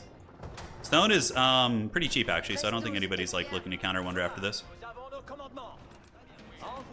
Okay, so let's get you guys up. Oh my god. Let's buy a little bit more. Slap this down right here. move up. Keep our army consolidated. Do this too. And do that to prevent flanks. And then we just kind of work up the sideline here, like a little, like a goblin. All right, so here he comes with some some army. Hopefully, we're going to be able to fight him off. And um, in the meantime, you guys just kind of start bombarding all these towers here. JD is going to call in some companions, some Grail companions. Okay, you guys get on the Wonder. Thank you, darling. Okay, so we got reinforcements coming down, looking okay. We got six minutes left. Okay, red is nearby too, so we probably want to do this um, and start on this. Uh, do we have the guys nearby? We do have some. We do have some. Ah, I look away for a second and old JD gets karate chopped. Okay, let's get the Trebs back. Uh, we can thankfully just repurchase her at a town center. the Saint has arisen once more. So he's going to lose a lot of units here. We got 6 minutes and 55 seconds. I didn't quite finish my um, glorious wall-off plan I had here, so alas, it's not going to go great. But let's get this, get some champions popping out too. JD's going to be back soon, and we can make another batch of continent Alright, so now we want to just switch this on to gold. And uh, let's do that. Oh, Ezra. Why are you like this, Ezra? He's so bad, dude. Ezra killed my trade in the back. Ezra killed my trade. Probs can't push more out of gold. Yeah, we have to we have to like try and turn that there. Okay, these traders are What is he doing? He was probably honestly just pillaging for freebies. How did he even get here? He must have like crossed the river. I'm pretty sure it's fully walled, but yeah. All good. Should have surrounded it. Uh, so maybe he counter wonders after this? I'm not sure. Let's go ahead and get all you guys coming down, and we need to just salvage our traders now. Uh, I think there's some docks I can trade with up north, although no, it looks like most of them got torched. Uh, so going for a wonder is going to be incredibly difficult now. Uh, even, I, I, like, the problem is now I don't have steady gold either. So it kind of makes me, hmm, let's do this, and then this. Okay, so the boys have gathered. We're going to set up walls here. Ezra Wormtongue, he really is. He really is the, the Wormtongue, isn't he? Uh, I do have some passive golds. Let's go grab the Sacreds. Uh, let's see if there's any like magical trade posts around here or something. I don't think there is though. Sadly, I didn't get any on my side of the map. So we're just doing like a bit of a slow push here on the Mongols. What do we got? Okay, the Wonder's been deleted. Ezra is definitely the, the villain now. Wang is still alive, but not by not by much. Uh, got a lot of villagers here. Need to find some wood. Okay. Yeah, we'll look for ducks. Too much lag to even play, he says. Yeah, well, you know. Somebody's somebody's getting a little bit crunk over there. So the Wonder's been destroyed. And now um, Red is playing what? He's Mongols. Good job, team. Uh, we could save up some gold. I mean, selling food and everything is fine. Ezra's got a Wonder. So, okay. He's got a Wonder of his own. So where's he building it? Top corner? Ooh, that's rough. That's a hard spot to get to, ladies and gentlemen. All right, let's delete this. And uh, now we just got to get his Wonder. So he's playing Mongol, so clearly he, he had a lot going on. Uh, we got our traders. Is there anywhere we can trade with? I don't think so. Pretty sure this land has been rampaged on, but we can actually do this. Oh, that's really funny, actually. So we go there and then pull it down to the bottom corner. He might not notice it too, which is going to be hilarious. So how do we get through this wall, though? We need to destroy that, so let's get a cannon placement. JD can come up here. We got the sacred site being grabbed. You can't even micro your springalds. Yeah, it happens, man. It happens. But now we need to focus on the wonder. Now that's a good wonder spot. Yes, he is Mongols though, so maybe there's a chance. Let's roll an Annie. Uh, get it together, Wang. It ain't over. All right. So we need to raise the Wang's morale. The Wang is a little bit flaccid right now. I think it's a little sad about its wonder wonder failings. Avez-vous comme- Reste tous Um. All right. Voyez bien, si sont les commandements. Oui, Okay. So where can we go? We go up top. Yeah, knock down this wall. Just push up there. Uh, gotta hold on to the gold resources where I can. We got eco coming back, so farms are gonna be repopulated. Ah, it's probably enough eco. Hopefully Wang isn't gonna be salty. Hopefully he'll actually help. Allons avant finale. Soyez attentifs. Okay. Let's go. We're going, baby. We're going. Adverse, nous avons un port. Allez. Okay, so I can start setting up infrastructure here. Si allons avoir Heard some rattling at my door. Not sure what that was. Uh, where are my traders trying to go, by the way? They're trying to go here. Looks like Ezra is continuing the kill. They were trying to waddle around somewhere, but we can get through here and probably weasel some trade through, which will be very funny. Advertence. Oyez. We got these guys to build the forward infrastructure. Uh, little wood line here. I'm sure it's better than nothing. Fais ici les commandements. He's killing my landmark. Okay, I see it now. Well, we're we're moving. We're gonna push however we can, man. Bien. Never say die, you know. Oyez bien. We might be able to make the magic happen. It's a bit of a journey, though. After yesterday, uh, you're having some lag issues too. Oh shit, we actually have docks here, neutral docks. Okay, maybe we just do that. Yeah, great. Well, that's that's certainly awesome. Vos advices. So yeah, I, I missed. I thought those were my docks, and then I, I read it and I was like, oh okay, that is great. So JD, um, we need to get a cannon, I guess. So bien en os. Voyez tous. five, and then traders, we can do this, and we can cut a handful of you. Je vais devant. Pris de- Si Then JD can summon a cannon. She abandoned the old companions. Oh, I'm gonna build keeps as I push. Don't worry. That's the plan, man. All right, so this is gonna be good, and then let's get that wall off like so. Great. So we got to keep there, and um, now you guys come help build this. This is awesome. This is a great trade route, actually. Oh, and they're generating a bunch of gold for me and everything. It's awesome. This is uh, life's good, man. We have any tree patches left? Yeah, there's some in the corner. All right, so we've arrived. We need to get the forward infrastructure set up, which we will. Uh, he's about to backdoor me with his army turn push while his pop is elsewhere. Yep, I'm working on it. We're gonna go see what this actually looks like. We're gonna just send a, a blitz up there, and uh, that looks fine. All right, so you guys come up here. You guys come up here too. Looks like there's some loose gold around here too. Yeah, we're moving, and we're going for it. So now we have the we have the counter wonder for sure. Okay, so this is where we encounter resistance. All right, so we need to get our infrastructure set up here. So let's get a keep, and uh, yeah, just start torching shit, killing whatever towers we can. We're gonna need a couple keeps probably to make sure we don't get pushed back and overwhelmed. And um, then we need to get some of you guys, like we can get you guys to do this. Okay, so let's do that and um, that, and then we're gonna build a gatehouse there too, obviously. All right, clearing out a little something something. It's not much, but every every bit matters, right? Our supply lines suck here; they're just absolutely terrible. But um, yeah, we'll see what we can do. We got what 12 minutes left. Bombard cannons just killing random shit. Cool. Uh, traders are coming, and we need to get a gatehouse there. Wang eliminated and Annie deleted. Yeah. Well, did Wang get eliminated? He did. Yeah. It, he could have it in the bag for sure. He could very well have it, but you know, I don't think I can handle it all by myself. That is the unfortunate reality here. Okay. Here he comes. So he's gonna fight, and we have a bit of an army, but let's pull back to our keep. Although we should probably fight to defend the keep for for now. So let's get horsemen, spearmen, and archers and whatnot moved up here. Uh, mangonels. Okay, cute. So Valorous Inspiration, and let's take some of you guys down, down, down. Got a lot of spears coming in. Got a whole bunch of spears. Okay, back you go, back you go. Let's fall back to the keep.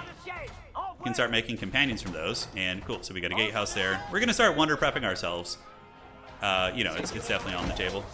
All right. Bien, bien, je le vais faire. Let's get all these. Fight here under the keeps. Hopefully our cannon keeps will do well. I don't think he's gonna have like trebs or anything like that, so hopefully JD and company can survive here.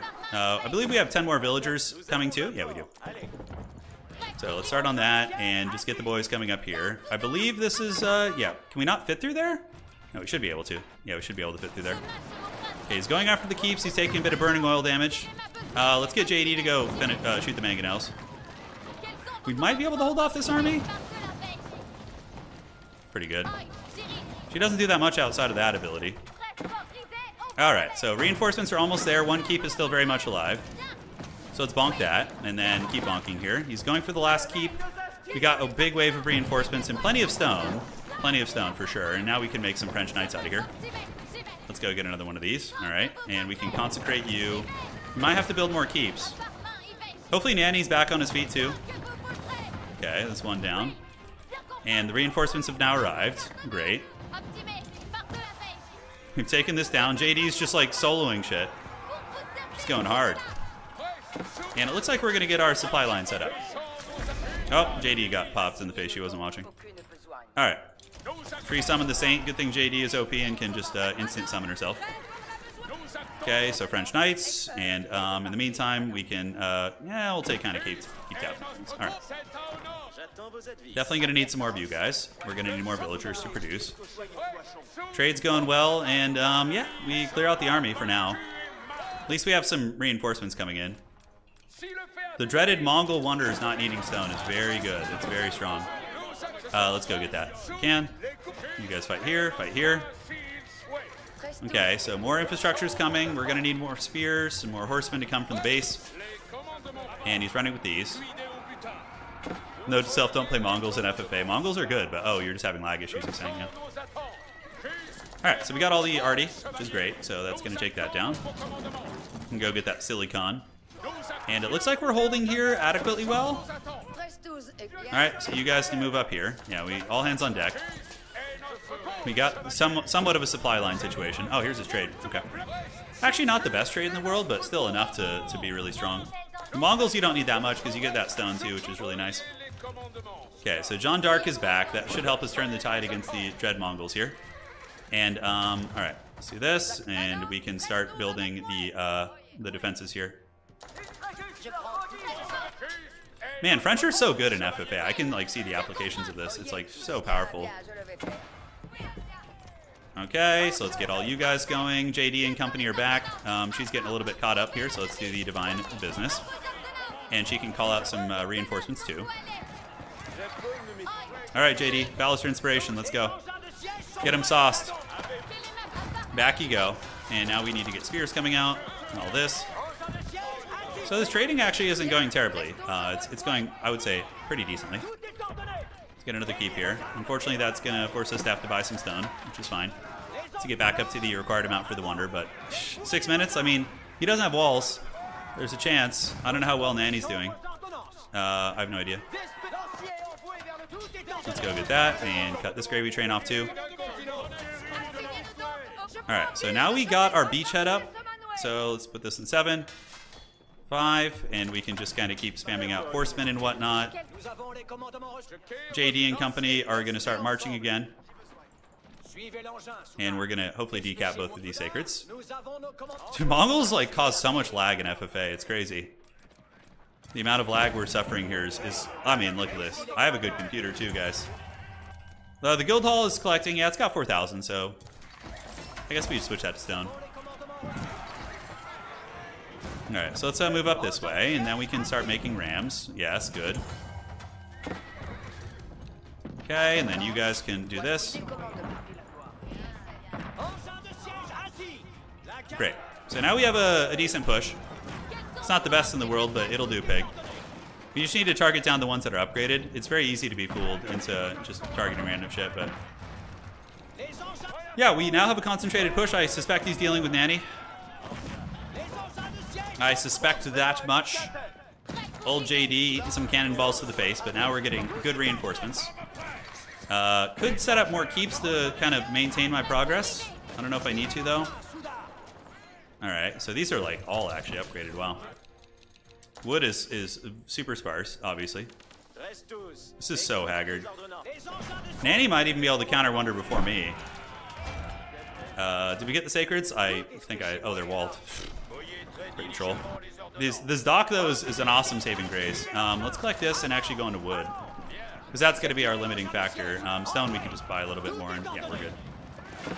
Alright, so we're, we're grooving for it, man. We're grooving. Nanny's for sure helping. Nanny's a very solid FFA player. Nanny's always going to be kind of playing typically where the um, tide tide blows. Okay, kill the cannon towers. And now we have good production here, boys. This is a, a real push. But we haven't gotten to the final layer of hell yet, which is the true rat's nest in the corner. Yeah, we haven't. There's actually a gold node over there, too. Alright, so he's trying to build some shit. Let's go get these vills.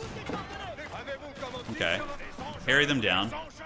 Let's move you up to, to this. Why not? We can just have the Rams dive the Wonder. And in the meantime, is this a TC? We're going to kill landmarks just to be safe. He might have even more stone. Okay, this is where we get to the hell, hell, hell fight. Yeah, this is the nastiness here. All right, let's get these. You guys do this, and then these vills are going to come up here, and we're going to do some funny business. You guys will see. Oh, he's got a big reinforcement wave coming. So that is a big ass army, and we will have you guys actually just uh, set this up here. Let's make sure we don't lose that. Pull back, and uh, let's get some spears and fight, and then we want to get some arbs because they're very good here. Pull back. I think it's mostly a horseman-based army. JD needs to run. The Rams make any progress? Yeah, they killed a couple things. So he clearly is bouncing between Yanni and I. You know, that's that's clearly what's going down. JD could be getting hunted. Let's have the Rams distract for a second longer. And um, yeah, in the meantime, you guys can just go jump on wood here because that's what we're gonna need. I don't know how we fight this. It's kind of hard. Um, we got men at arms coming out, a lot of horsemen, but the French knights are pretty chad. They're hanging in there. We probably should make more French knights. Arbs are fighting tooth and nail in the pits. Yeah, the knights are going okay. If we can wipe this army out, that will help Nanny a lot. Call the banners! We get a cannon, although it's going to die instantly. It's okay. All right, let's do the heal. Just get it off cooldown. And um, do we hold here? Maybe. Maybe we... Oh, man, we never got all those barracks finished. That's pretty bad, actually. Okay. So let's go finish those barracks. I was wondering why we were kind of struggling to get that back momentum with spears. Uh-huh. Yeah, looking good. So we do defeat that army, but it's only got two minutes left. So we might have one more Haggard Gambit, which I'm going to show you guys in a minute, which could be really, really funny if it works. But, um, yeah. Yeah, get all those finished, great. So his army gets crushed. Not crushed, but he definitely takes some L's. And then um, you guys need to head up here and here, and you'll see why. Okay, so let's get spears. Let's go up this way. Knights, hand cannoneers, and uh, we can start on some traps. Although they're probably not going to have time to make it, but we have a we have a funny little idea, which might do something. I'm not sure. All right. Let's do this. Get some rams, and uh, just clear out these towers, and you're going to see. It's one of my favorite strategies, especially against like Mongols when they like struggle to, you know, deal with walls and stuff. Okay, and then back on wood. What do we got? Minute 42? Probably not enough time. I don't know how uh, far along Nanny is, but it's uh, it's going to be kind of tight. This tactic would have worked a little bit. You're still lagging in the game after death. Even in death, I lag. Yeah, so let's move this way, and then you guys come in here. So you, you create um, what I like to call a trebuchet tunnel. It's a pretty cool tactic. It works quite well, but at this point, we, we probably just don't have enough time. He's defending very well, um, and we need to seal the wall also. So let's do this. Yeah, have you guys just move up. I could bum rush it. Probably just bum rush it at this point. And just try and move back there. We see his white stupa. This is like a movie scene with Jeanne d'Arc. Okay. So let's say get back. We're not going to make it past these guys, so let's just fight here. And uh, yeah, these never got finished. Unfortunately, I think that's going to be it. Yeah, Jeanne d'Arc makes a valiant last stand. Yeah, so I thought Ezra was actually going to suffer 2v1 there, but what ended up happening is uh, Wang went for the Wonder, which allowed Ezra time to cackle. See, you create a Treb tunnel, right? So you do this, and then you can slowly creep up and just build walls, and it's really good with Trebs. But um, GG, well played. Really good game. Showing the strength of Mongols, too. The fact they don't need stone, it's like, it's a, it's a powerhouse. when I watch you, it's like Sakura Blue. Yeah. That was a good event today, though. Good event, good FFA at the end to close things out. See, Tron was right. Uh, not really. I mean, Wang built Wonder. yeah, that's why that went like that, you know. Tron made the game, not working with me, obviously. Oh, wait, who was Tron? Was Tron on my side? GG, well played. GG, well played. Well, he was too far away for me to attack, you know. He was too far away from me. We were pretty close. If we could have wondered, if we could have had a wonder set up after Wang's wonder died, you know, that could have been good. But we never had enough gold because we were caught in these horrific forever wars, um, which were just brutal. It was just brutal. All right, guys. So if you enjoyed the stream, I ask but one thing of you: drop a like on the way out. It helps a lot. Helps keep the old age engine going. Uh, really fun one v one tournament today, and we'll be back with more action soon. Oh, Tron was yellow. Wait, Tron was not who I was fighting, was it? I was fighting Jordan, or anyway, it's, it's all confusing. Maybe Tron was right after all. I, I don't know who was who. Got a little bit confused there, but well played to everyone. Really fun event. We got to see some uh, new faces appear, some uh, some old champions uh, battling it out in one v one. But I'm gonna go hang out with my smoking hot wife. Appreciate you all. Great times. Nanny was making some decent progress, but um, Ezra clearly had a lot of time to prepare, so there was there was no time, no way we were gonna get that. Yeah, if only Pone was there. That's right. If only Pone. All right, folks, take care of yourselves. See you next time. Adios, do widzenia, and uh, appreciate you all. Cheers.